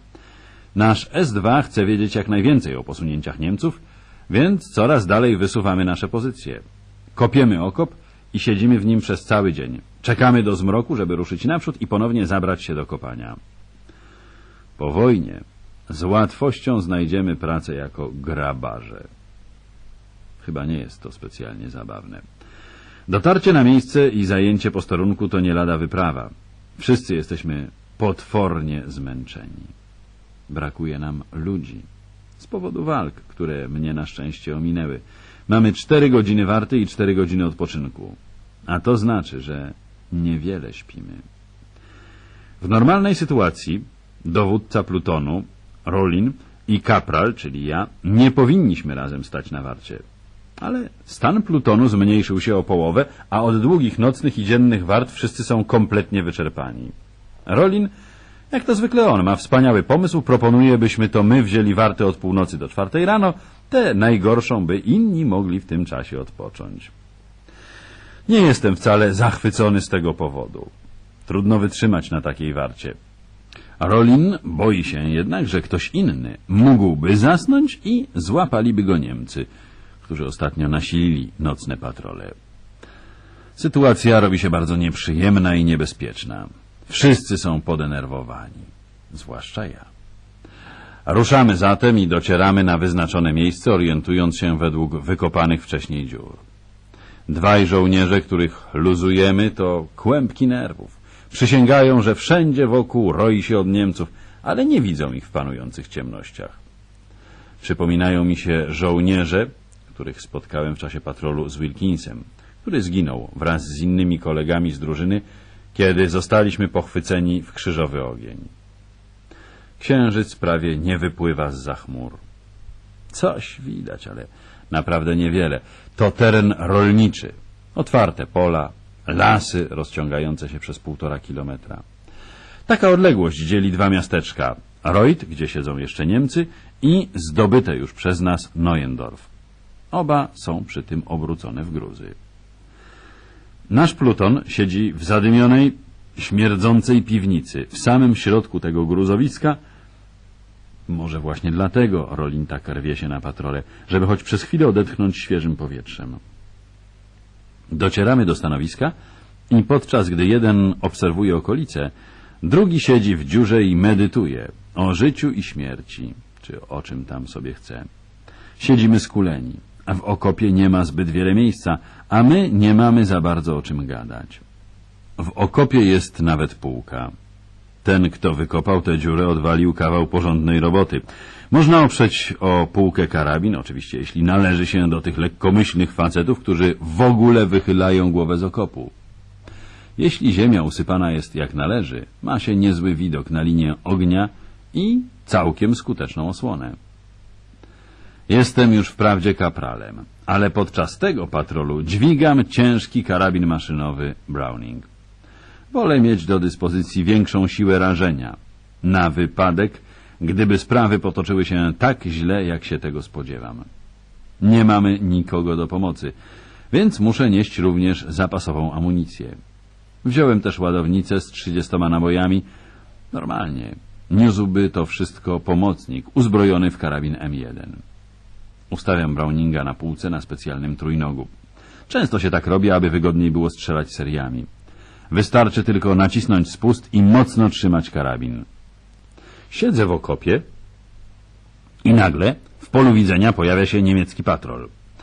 Widzę, jak posuwają się naprzód, osłaniając się nawzajem. Wyraźnie nie mają pojęcia, że tu jesteśmy. Szukają zaczepki albo chcą wziąć jeńca. Gdyby nie było Rolina, nic by mnie nie obchodzili. Niech sobie patrzą, jeśli chcą. Sam bym im się pokazał. Nie mam nic przeciwko pójściu do niewoli. Jestem już zmęczony wojną. Czuję, że kończy się mój fart. Problem polega na tym, że wcale nie tak łatwo poddać się do niewoli. Nigdy nie ma pewności, że po prostu mnie nie zastrzelą. Bez zadawania niepotrzebnych pytań. Trącam więc Rolina. Wyrywam go z drzemki. Niektórzy potrafią zasnąć wszędzie. Rolin należy do takich ludzi. Ja nie.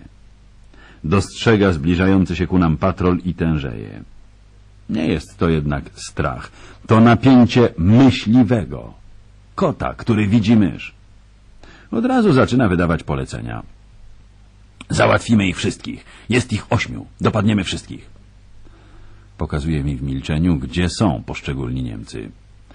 Postanawia, że najpierw załatwimy dwóch ostatnich. Będzie to oznaczać, że pozostali będą mieli dłuższą drogę do swoich pozycji, kiedy zorientują się, że tu jesteśmy i mamy karabin maszynowy. Rolin naprawdę zachowuje się tak, jak gdyby był na polowaniu. Staraj się oszczędzać naboje, Will, mówi. I strzelaj pojedynczo. Załatwimy tych dwóch z tyłu. Jeśli musisz, możesz przełączyć na ogień ciągły. Nie powinno zabraknąć amunicji, więc rób jak chcesz. Załatwię każdego, kto znajdzie się poza twoim zasięgiem. William Wharton Shrapnel Taśma piąta, koniec ścieżki drugiej. William Wharton Shrapnel Taśma szósta, ścieżka pierwsza. Więc tak wygląda plan. Rolin zorganizował polowanie. Opieram się o półkę, a on daje mi sygnał, bym zaczął strzelać. Kolana mi się trzęsą. Odległość wynosi około 200 yardów. Na tym dystansie Browning jest bardzo celny. Strzelam raz, trafiam i Niemiec pada. Obracam karabin, by strzelić do następnego, a broń nagle się zacina. Te karabiny są z tego znane. Wiem, że przed nami stoi siedmiu facetów, którzy dobrze wiedzą, gdzie jesteśmy. Próbuję więc odblokować broń. Pewnie biegną w naszym kierunku. A może uciekają, nie patrzę w ich stronę. Za bardzo jestem zajęty. Wciskam magazynek i blokuję go. Odciągam zamek, wykonuję po kolei wszystkie czynności, które należy wykonać w razie zablokowania karabinu. Próbuję pociągnąć za spust, ale nic się nie dzieje. Sięgam więc do pasa po następny magazynek. W tym samym czasie Rolin staje, opierając się nogami o ściany okopu i strzela. Bum! Pach! Bum! Bum! Ma w magazynku siedem pocisków. Strzela raz za razem, w regularnych odstępach, podczas gdy ja pocę się jak szaleniec nad tym cholernym Browningiem. W pewnej chwili kończy mu się amunicja. Wyciąga następny magazynek, ale robi to bardzo powoli, na luzie. Pospiesz się, Rolin! Uciekną albo nas tu dopadną. Biegną do nas czy uciekają? A Rolin uśmiecha się w ciemnościach. Zaczęli uciekać, więc celowałem w tych, którzy biegli na przedzie. Później zawrócili i próbowali nas zaatakować. Wtedy waliłem w tych, którzy byli najbliżej. Myślę, że dorwałem wszystkich. Wyglądam z okopu. Nie tracąc ani jednego naboju, położył ich wszystkich. Zimny dreszcz przelatuje mi po plecach. Po obu stronach naszego okopu ciągną się dwa podobne. Mamy telefon, ale możemy uzyskać połączenie tylko ze stanowiskiem dowodzenia. Z pozostałymi wartownikami nie mamy żadnego kontaktu. Faceci, którzy siedzą na warcie, nie krzyczą do nas, żeby nie zdradzać swoich pozycji. Na polecenie Rolina kręcę korbką telefonu i melduję, że mieliśmy patrol wroga. Zaraz przyjdziemy wam z pomocą. Do tego czasu postarajcie się ich powstrzymać. Nie, nie ma po co. Clermont załatwił już ich wszystkich. Przełączają mnie na kapitana Walla. Opowiadam więc i jemu, co się wydarzyło. Ilu Niemców było w tym patrolu? Ośmiu. Rolin rozwalił wszystkich z wyjątkiem jednego, którego zdążyłem trafić, zanim zaciął mi się karabin. Jasna cholera. Wyjdźcie i sprawdźcie, czy rzeczywiście wszyscy nie żyją. Weźcie jeńców, gdyby ktoś jeszcze żył. Dowództwo pułku chce wiedzieć, kto zajmuje pozycję naprzeciwko nas. Dowiedzcie się tego, jeśli zdołacie. Jeśli wszyscy zginęli, zabierzcie im insygnia. Będziemy przynajmniej wiedzieć, co to za jednostka. Rolin zdążył już wybiec z okopu. Bez żadnej osłony. Teraz już wiem, że zmienił się w prawdziwego najemnika. Wieszam słuchawkę i osłaniam go.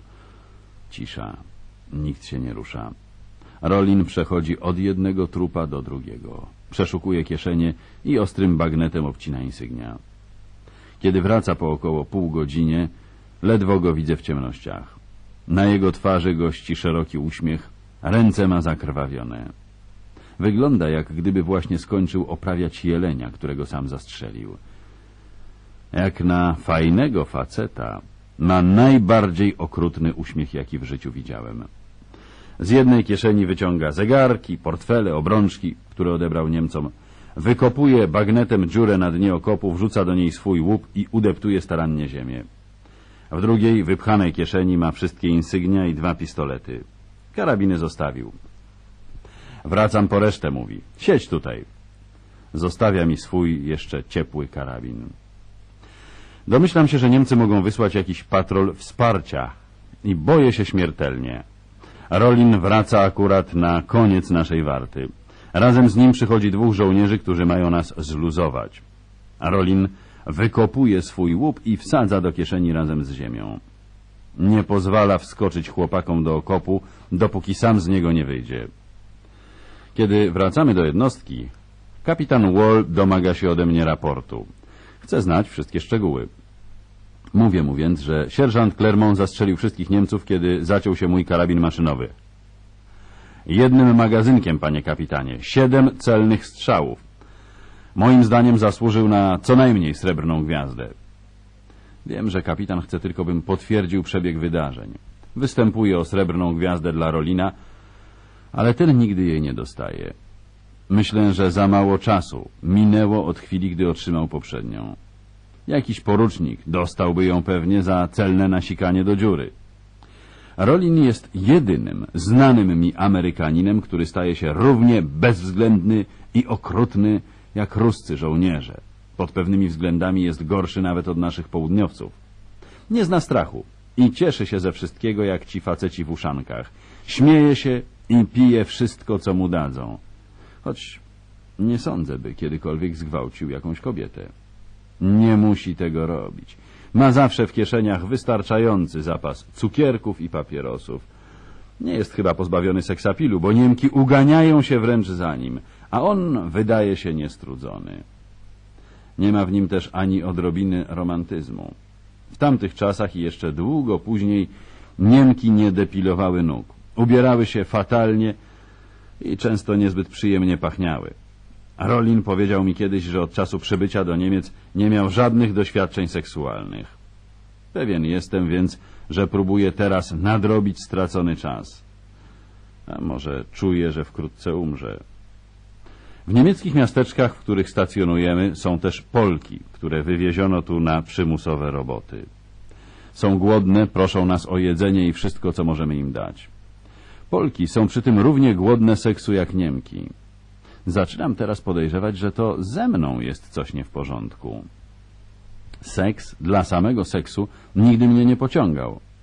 Nie możemy nawet porozmawiać z tymi kobietami. Znają wprawdzie odrobinę niemiecki, ale nie mówią ani słowa po angielsku. Dla prawie wszystkich z nas są to jednak jakby wakacje, zwłaszcza przez ten krótki okres, kiedy obsadzamy blokady na autostradach i niektórych mniej ważnych drogach. Daje to mnóstwo okazji do nawiązywania kontaktów. Od każdego, kto nas mija, na ogół pieszo, z bagażami, żądamy jakichś dokumentów. Jeśli ich nie mają, przekazujemy ich władzom wojskowym albo do ośrodka kontrwywiadu. Opowieść o Rolinie Clermoncie kończy się jednak następująco. Pojechał do domu na przepustkę podczas przerwy pomiędzy kampanią niemiecką i japońską, w czasie której zrzuciliśmy bombę atomową. Miał jednak prawdziwego pecha. Całą wojnę przetrwał bez jednego skaleczenia, mimo że podejmował wszelkiego rodzaju ryzyko. Po powrocie do domu wziął samolot ojca, przeleciał pod drutami telefonicznymi, rozbił się i wyszedł z katastrofy z dwudziestoma trzema szwami na głowie i wstrząśnieniem mózgu. No cóż, to już powinno wystarczyć. Jestem pewien, że dla jakiegoś psychiatry stanowiłoby to materiał wystarczający do napisania pracy naukowej, która wyjaśniałaby, co Rolin próbował sobie udowodnić, bawiąc się w wojnę. Może psychiatrzy stwierdziliby, że brakowało mu wiary w siebie, ale moim zdaniem dla Rolina wojna była świetną zabawą. Sądzę, że należał do tych nielicznych ludzi, którzy przeżyli wojnę i przez cały ten potworny czas naprawdę znakomicie się bawili. Myślę też, że był bardzo rozczarowany, kiedy dowiedział się, że zrzuciliśmy bombę atomową. Kiedy w Fort Benning opowiadano nam o plażach na południe od Tokio, na których mieliśmy lądować, widać było wyraźnie, że jest zawiedziony. Co cywilizowane społeczeństwo powinno robić z takimi ludźmi? Myślę, że należałoby zamykać ich w więzieniach albo w szpitalach psychiatrycznych. Rozdział 23.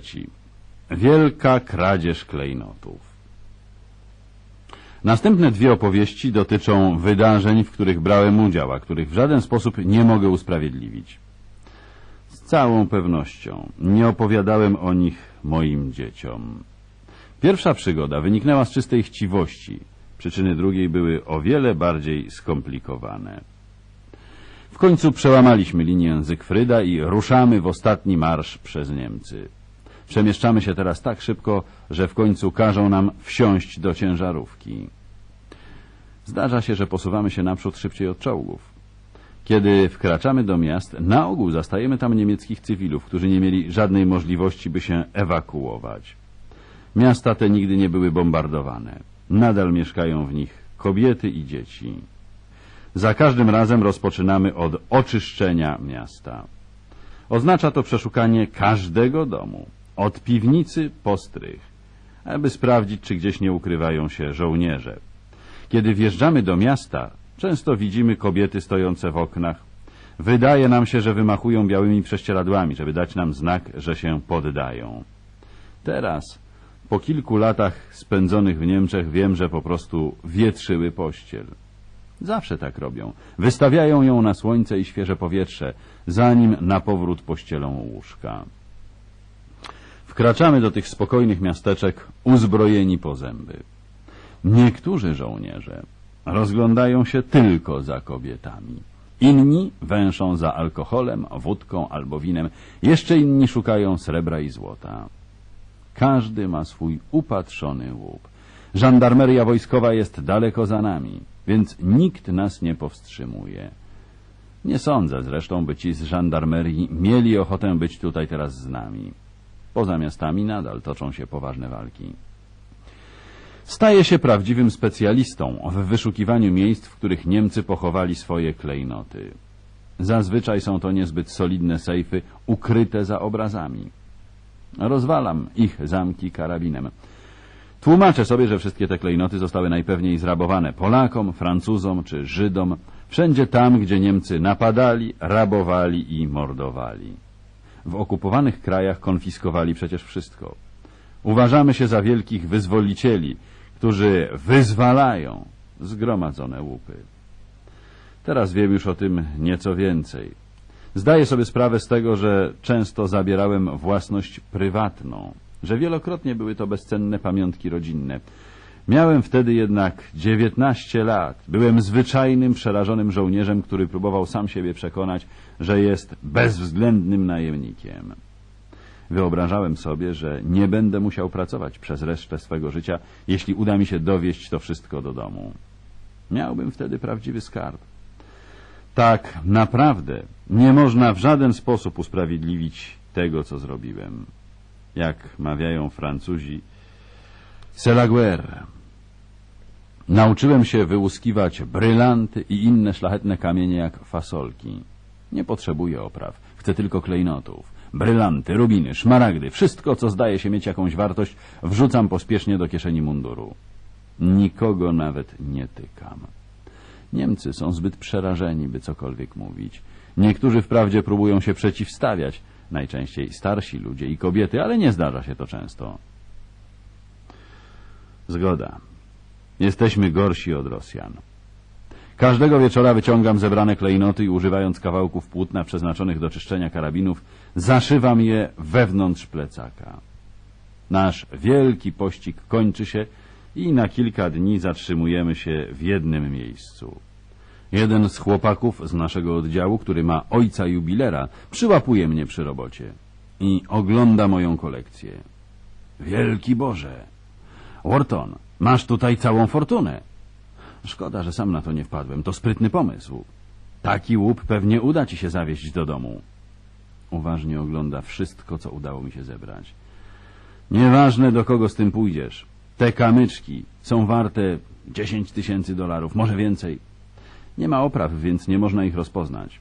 Uważaj tylko. Odczekaj trochę, zanim spróbujesz je sprzedawać.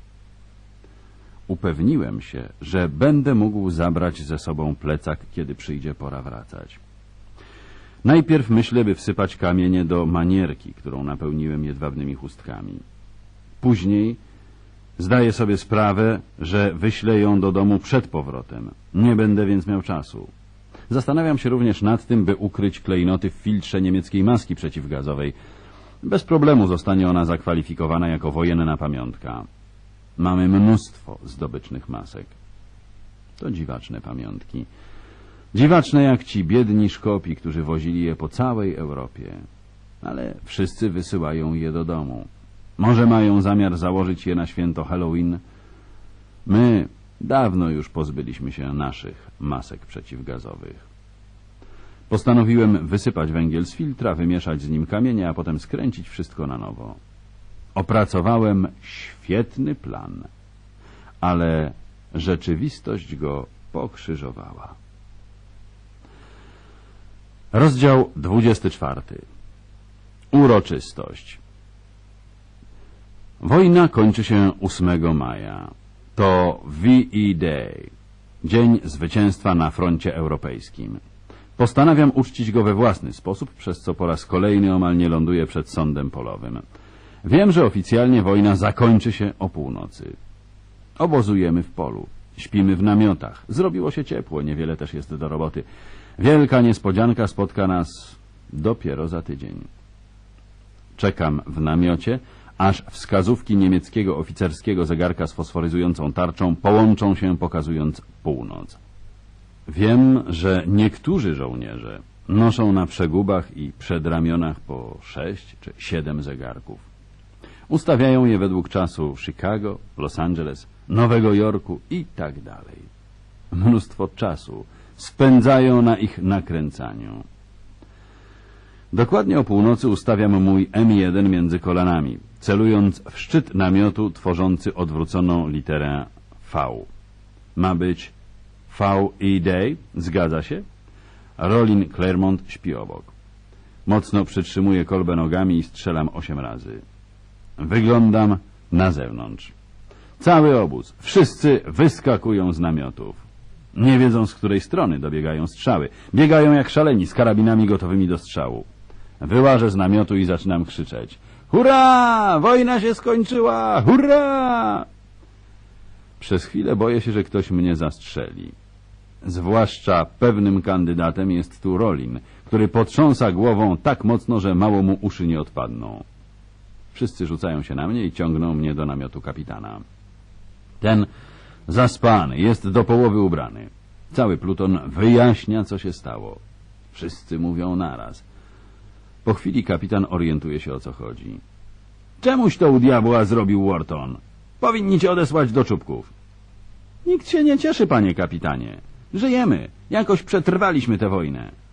W tej przynajmniej już nie zginiemy. Może w jakiejś następnej, gdzieś indziej. Kto może to wiedzieć? Ale i tak powinniśmy to uczcić, panie kapitanie. Kapitan wpatruje się we mnie i po chwili wybucha śmiechem. Wtóruje mu cała kompania. Kapitan Wall nie wyciąga żadnych konsekwencji. Każe mi tylko wziąć dodatkową wartę, żeby koledzy, których obudziłem, mogli się wyspać. W ten sposób uczciłem zakończenie wojny. Nie wiedziałem przecież, co jeszcze mnie czeka. Rozdział 25. Miotacze ognia. Mniej więcej tydzień później, po raz pierwszy w tym roku robi się naprawdę ciepło. Takiej właśnie pogody spodziewałem się, kiedy lądowaliśmy na francuskich plażach. Przez wiele miesięcy sypialiśmy w mundurach, zdejmując tylko buty i wtykając je do pierdzi worków, aby móc je włożyć w kilka sekund. Nadal trzymamy nocne warty. Od ponad tygodnia panuje spokój, rozbiliśmy się obozem w niewielkim lasku. Bardzo tu przyjemnie. Trochę jak na majówce. W końcu dogoniła nas kuchnia polowa. Nauczyłem się mówić Haben Sie Eier? Od dawna nie jedliśmy świeżych jajek. Nie jestem tak do końca pewien, gdzie jesteśmy. Pewnie gdzieś na terenie wschodnich Niemiec. Tej nocy śpię tylko w szortach i pod koszulku. Zdjąłem nawet skarpetki. Właściwie czuję się już jak cywil. Wszyscy śpimy w namiotach. Plecaczek z łupem trzymam tuż przy głowie, wciśnięty w kąt namiotu. Położyłem go tam dla bezpieczeństwa. Ani Rolin, ani ja nie przejmujemy się nim specjalnie. Postanowiłem zabrać trochę rzeczy do domu, między innymi szwabską maskę przeciwgazową. Dla mnie grabieże już się skończyły. Czuję... Trudno to wyjaśnić. Nie mam żadnego poczucia winy. Naprawdę. Sądzę, że wyzwoliłem te kamienie od wroga. Uważam Niemców za wrogów. Tak nas nauczono. Po tylu cierpieniach, których doświadczyliśmy, nie potrafimy już traktować ich jak istoty ludzkie. Do diabła. Kradzież biżuterii jest niczym w porównaniu z tym, co oni robili. W środku nocy budzą nas dobiegające ze wszystkich stron krzyki, wrzaski i strzały. Wybiegam z namiotu. W pierwszej chwili nie potrafię się zorientować, co się dzieje. Wygląda na to, że zaatakowało nas SS albo komandosi, ale okazuje się, że to grupa Hitlerjugend, na której czele stoi chłopak ubrany w mundur przypominający mundurek drużynowego skautów. To jeszcze dzieciaki. Mają po dwanaście, góra piętnaście lat. Uzbrojone w miotacze ognia ręcznej roboty, zrobione z ogrodowych węży. Aparaciki te okazują się zaskakująco skuteczne. Te małe diabełki pryskają benzyną we wszystkich kierunkach, oblewając wszystko wokół. Krzyczą przy tym przez cały czas. Niektórzy są również uzbrojeni w broń ręczną. Uciekam jak zając. Zabieram tylko karabin i biegnę boso z gołym tyłkiem po sosnowych igłach, byle tylko zmyć się stąd jak najszybciej. Docieramy do sąsiedniego lasku, a Niemcy nadal biegają, polewają wszystko benzyną i olejem napędowym i podpalają. Kiedy wreszcie wracamy z pogoni za tymi dzieciakami, prawie wszyscy mniej lub bardziej roznegliżowani, mamy mnóstwo roboty przy gaszeniu pożarów i ratowaniu sprzętu.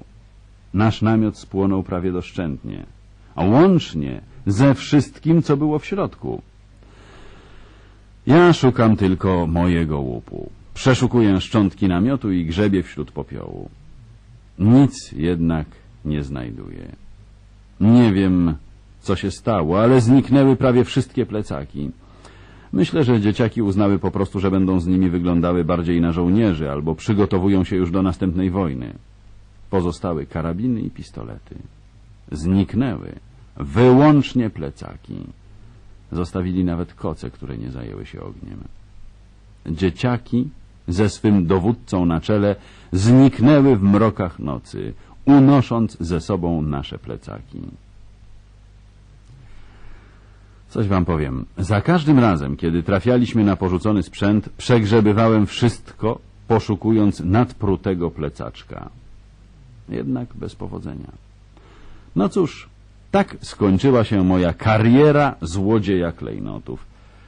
Jakiś dzieciak musiał przeżyć wspaniałą niespodziankę, jeśli odpruł kilka łatek w swoim plecaku. Rozdział 26. Masakra. Następna historia jest bardzo smutna i naprawdę sądzę, że miałem powody, by nigdy nie opowiadać jej moim dzieciom. Nawet mnie. Nadal trudno o niej myśleć. Niełatwo jest mi zebrać się, by o niej napisać. Właśnie dlatego zostawiłem ją na sam koniec. Chcę opowiedzieć ją tak szczerze, jak tylko to możliwe. Zbyt wiele w tych opowieściach bliskich spotkań z sądami polowymi, ale tak właśnie wygląda prawda. W pewnym sensie taka jest historia mojego życia. Po raz kolejny trafiam do szpitala polowego, ponieważ nadal mam mdłości. Przechodzę serię badań, ale zdaniem lekarzy wynika z nich, że nic mi nie jest. Teraz, 50 lat później, wiem dobrze, co mi było. Armia ma jednak do dyspozycji elektroencefalograf, który pokazuje, że z moim mózgiem jest wszystko w porządku. Dochodzą więc do wniosku, że symuluję i odsyłają mnie z powrotem do oddziału. Usiłuję teraz przypomnieć sobie dokładnie, kiedy to się stało. Minęło już tyle lat, że wszystkie te wydarzenia zlały się w mojej pamięci. Wiem, że doszło do tego jeszcze przed końcem wojny, ale już po klęsce armii niemieckiej, która nastąpiła po wielkiej ucieczce. Na pewno wydarzyło się to przed atakiem chłopców z Hitlerjugend. Wróciłem ze szpitala i ponownie mam dowodzić patrolami. Nie jest to jednak zwiat i rozpoznanie. Naszym zadaniem jest przeprowadzanie patroli zaczepnych. Oddział ten został sformowany właściwie niezależnie od kompanii, choć wciąż stanowi jej część. Jest nas ośmiu, a naszym zadaniem jest branie do niewoli jeńców. Niemcy chcą się poddawać, a my mamy dać im do tego okazję. Nie jest to jednak specjalnie zabawne. Zdarza się, że cały oddział chce się poddać, ale trafia się w nim jeden uparty, który nie ma na to ochoty i potrafi niespodziewanie otworzyć do nas ogień. Zbyt wielu chłopaków dotarło aż tutaj, by tak głupio skończyła się dla nich ta wojna. Ogólnie rzecz biorąc, rzeka niemieckich żołnierzy płynie na zachód, aby jak najszybciej się poddać. Wolą oddać się do amerykańskiej niewoli, bo na wschodzie czekają na nich Rosjanie. Jest to bardzo dziwny okres wojny. Ale nie trwa zbyt długo. Jesteśmy właśnie na takim patrolu, kiedy z lasu wychodzi mniej więcej dziesięcioosobowa grupa Niemców, którzy chcą się poddać. Wychodzą na polankę z białą flagą i rzucają broń na ziemię. Wyglądają na wychudzonych i obszarpanych. W tym okresie byłem bardzo zmęczony życiem, wojną, sobą, ludźmi. Kiedy w końcu uzgodniliśmy warunki poddania, zebraliśmy broń, a Niemcy stanęli z rękami nad głową, uznaję, że patrol jest już skończony. Przekazuję dowództwo facetowi, który dowodził tym oddziałem, kiedy byłem w szpitalu. Chcę wracać do obozu. Wracam, pakuję się do namiotu i kładę, nie meldując się nikomu. Chce mi się płakać. Czuję, że muszę iść do lekarza. Powiedzieć po prostu, że już nie mogę. Niech mnie leczą na przemęczenie bojowe. Jak już mówiłem, jest stosunkowo spokojnie. Siedzimy drugi dzień w tym samym miejscu, a to teraz naprawdę długo. Nie wiem, dlaczego znaleźliśmy się akurat tutaj, ani co się dzieje. Wyłączyłem się ze wszystkiego. Nie potrafię pojąć skomplikowanych mechanizmów wojny i tak naprawdę wcale mnie one nie obchodzą. Wiem, jak łatwo mógłbym zginąć, ale teraz nic już mnie nie obchodzi. Po jakimś czasie moi żołnierze wracają do obozu. Bez jeńców. Jestem wstrząśnięty. Zwracam się do tego, któremu powierzyłem dowództwo byłego artylerzysty. Gdzie są jeńcy? A, próbowali uciekać, więc musieliśmy ich zastrzelić. Nie wierzę mu. Wiem, że ci artylerzyści z oddziałów przeciwczołgowych to naprawdę dziwne towarzystwo. Przez całą wojnę służyli w batalionie przeciwczołgowym i nigdy nie musieli strzelać. Stare działka przeciwpancerne były do kitu, więc starali się po prostu przeczekać wojnę, umierając ze strachu. Mieli działa o kalibrze 75 mm, które holowali jeepami i strzelali z nich do czołgów. Działo o takim kalibrze nie ma właściwie żadnych szans na zniszczenie niemieckiego czołgu. Jeep zaś w żadnym wypadku nie wytrzyma trafienia z czołgowej 88. Po wprowadzeniu bazuki, czyli pancerzownicy, taktyka walki z czołgami zmieniła się całkowicie. Dawne bataliony przeciwpancerne straciły rację bytu. Nigdy tak naprawdę nie były wykorzystywane w walce. Teraz zaś rozformowano je, a żołnierzy przydzielono do różnych oddziałów. W ten właśnie sposób ci ludzie trafili do tego oddziału. Nikomu nie przyniosło to szczęścia. Zaczynam się domyślać, co się stało. Idę do kapitana Wola, mówię mu, że w czasie patrolu wziąłem do niewoli dziesięciu Niemców. Mówię, że sam wróciłem wcześniej do obozu, spodziewając się, że moi żołnierze sami ich doprowadzą. Okazało się jednak, że nie przyprowadzili jeńców i na dodatek twierdzą, że zastrzelili ich w czasie próby ucieczki. Mogłem trzymać język za zębami. Zwłaszcza dlatego, że nie odmeldowałem się po przybyciu do obozu. Jestem jednak przerażony, zły i nie panuję nad sobą. Kapitan Wall to uczciwy człowiek. Tak samo jak ja chce się dowiedzieć, co naprawdę zaszło. Jestem przekonany, że Niemcy zostali zamordowani. Wracam zatem na miejsce, aby to sprawdzić, a ze mną idzie kilku żołnierzy ze składu patrolu. Teraz zaczynają opowiadać o tym, co się wydarzyło naprawdę. Krzyczą coś o Malmeri i wszystkich potwornościach, których dopuścili się Niemcy, a które właśnie wychodzą na światło dzienne. Dopiero teraz zdaję sobie sprawę, że mam do czynienia ze zgrają okrutnych, wściekłych bestii. I popełniłem ogromny błąd, zostawiając ich samych. Później kilku z nich zeznawało przed sądem, że dowódca i jeden ze zwiadowców torturowali Niemców, strzelając im w nogi i w ręce, a potem ich dobijali. Opowiedzieli też o tym, że jeden z Niemców wyciągnął portfel ze zdjęciami żony i dzieci i płakał. Niektórzy czują się winni. Najgorsi jednak są dumni z tego, co zrobili i uważają się za mścicieli niewinnych ofiar. Szrapnel. Taśma szósta. Koniec ścieżki pierwszej.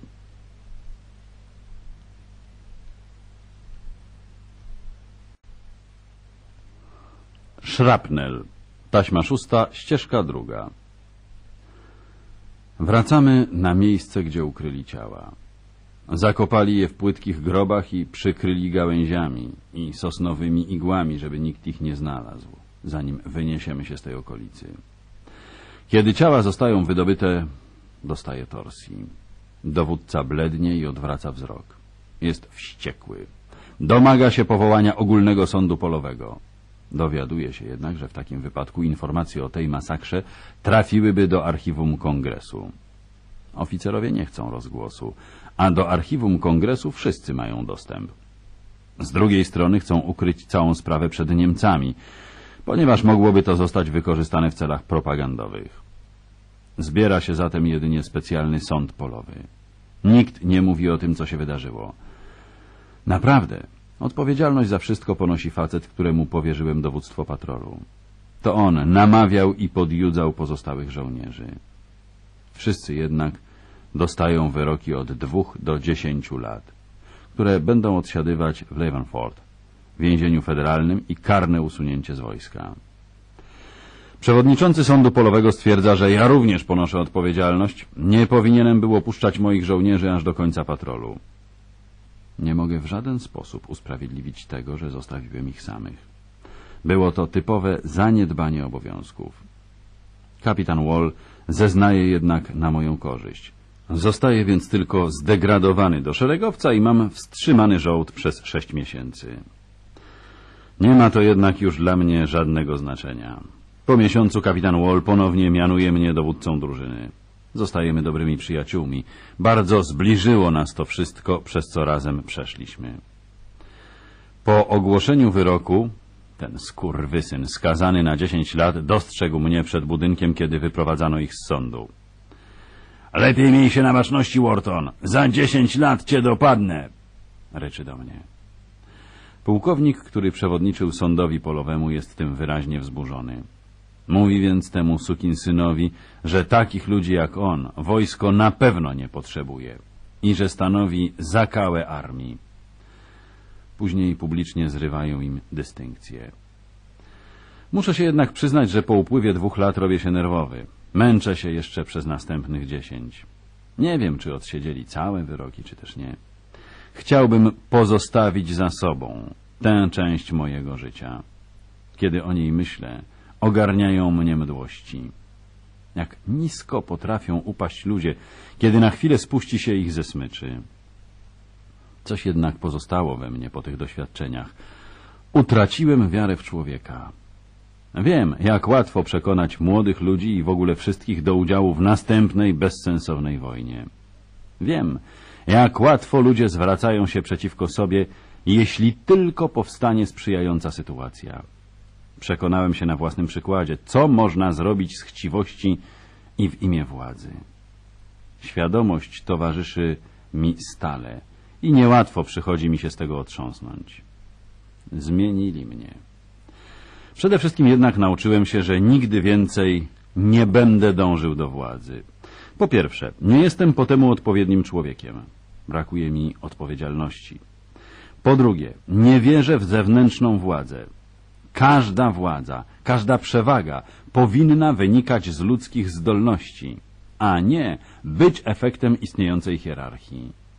Przeżyłem swoje życie, nie wspinając się po szczeblach hierarchii. Najbliżej struktury hierarchicznej znalazłem się jako nauczyciel. Byłem całkiem niezłym nauczycielem. Dzieci lubiły mnie i chyba wiele się ode mnie uczyły.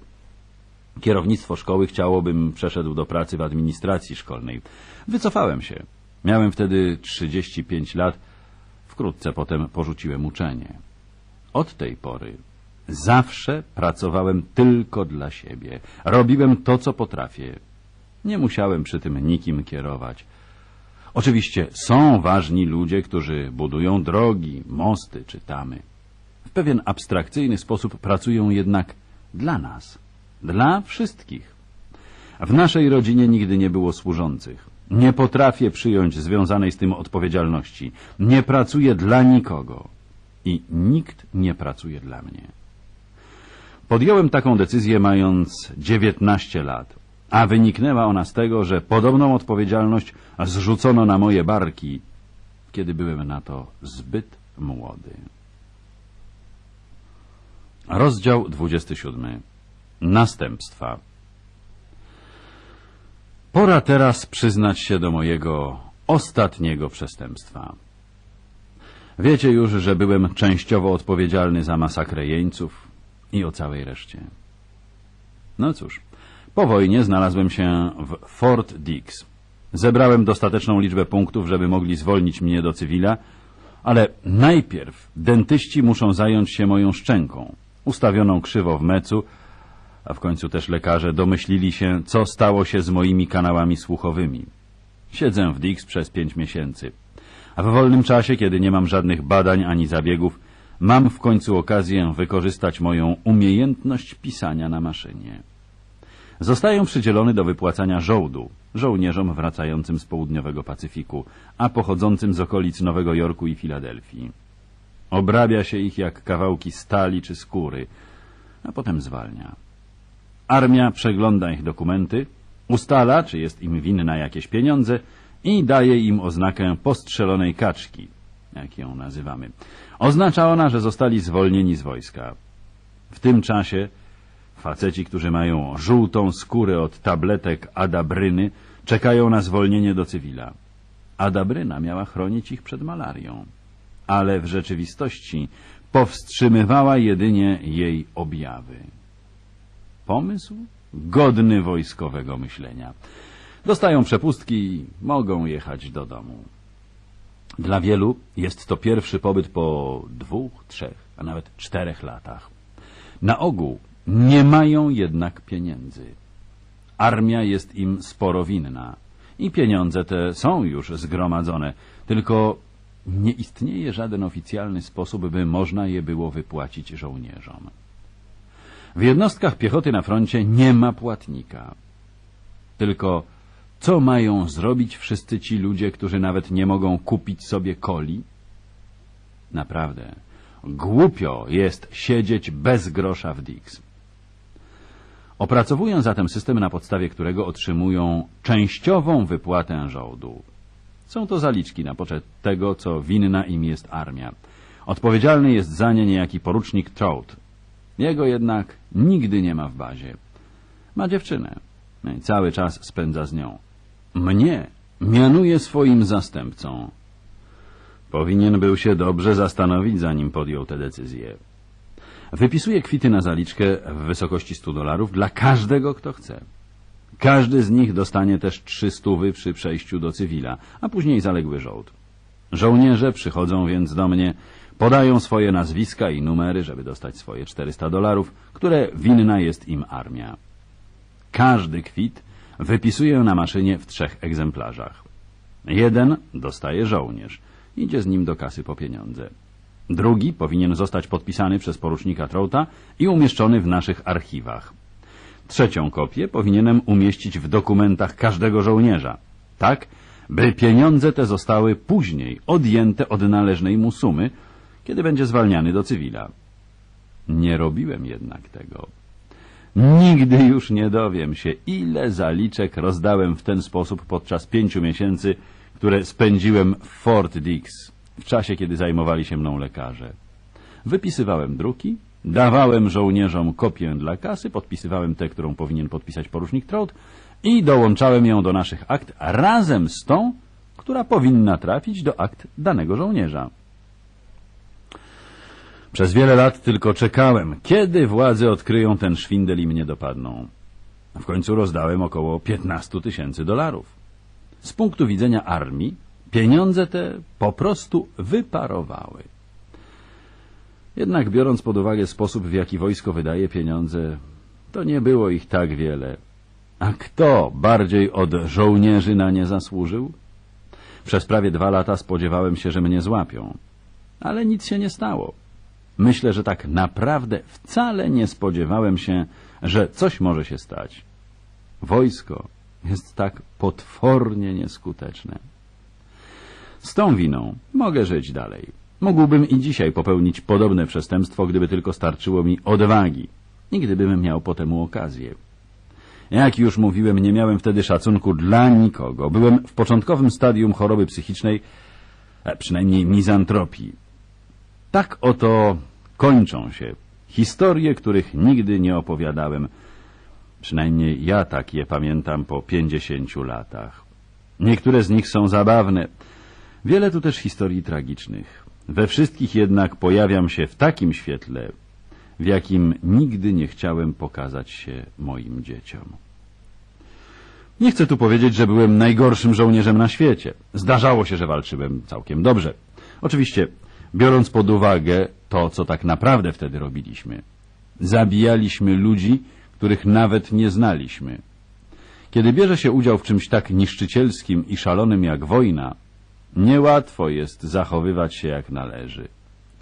Dopóki człowiek nie hańbi siebie i nie krzywdzi innych, można to mniej lub bardziej zaakceptować. Na wojnie jednak nie ma innego wyjścia.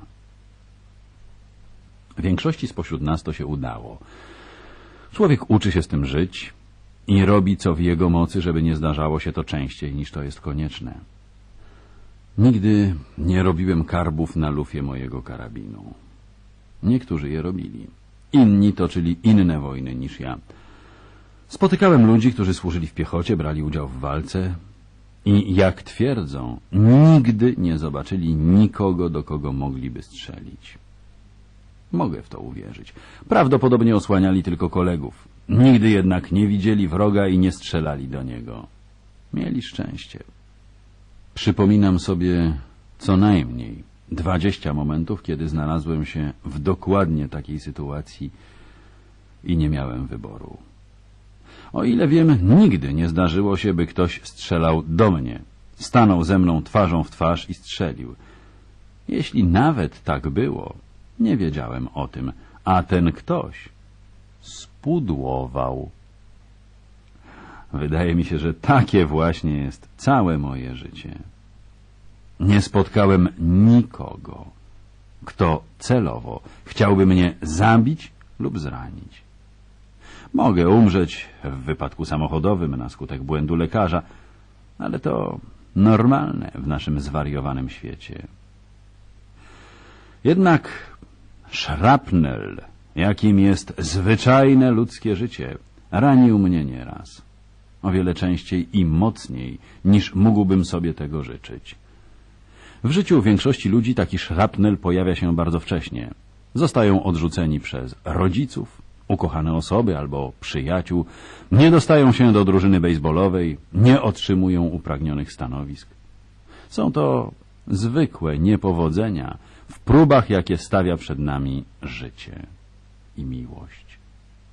Jeśli nie jesteśmy dostatecznie ostrożni, kończymy okaleczeni, nieszczęśliwi, załamani i pogrążeni w depresji wywołanej przez drobne rany, które ktoś nam zadał często nawet bez żadnych złych zamiarów. Myślę więc, że powinienem zatytułować tę książkę właśnie Szrapnel. Mam nadzieję, że te historie podobały się moim dzieciom i nie stracę przez nie ich szacunku. Oznaczałoby to, że opowieści te były jak tkwiąca w ziemi zapomniana mina. Koniec książki Williama Whartona Szrapnel. Czytał Roch Siemianowski. Nagrano w Zakładzie Nagrań i Wydawnictw Związku Niewidomych w Warszawie. Realizacja akustyczna Tomasz Grubiński. Uwaga! Prosimy o przewinięcie taśmy do końca ścieżki.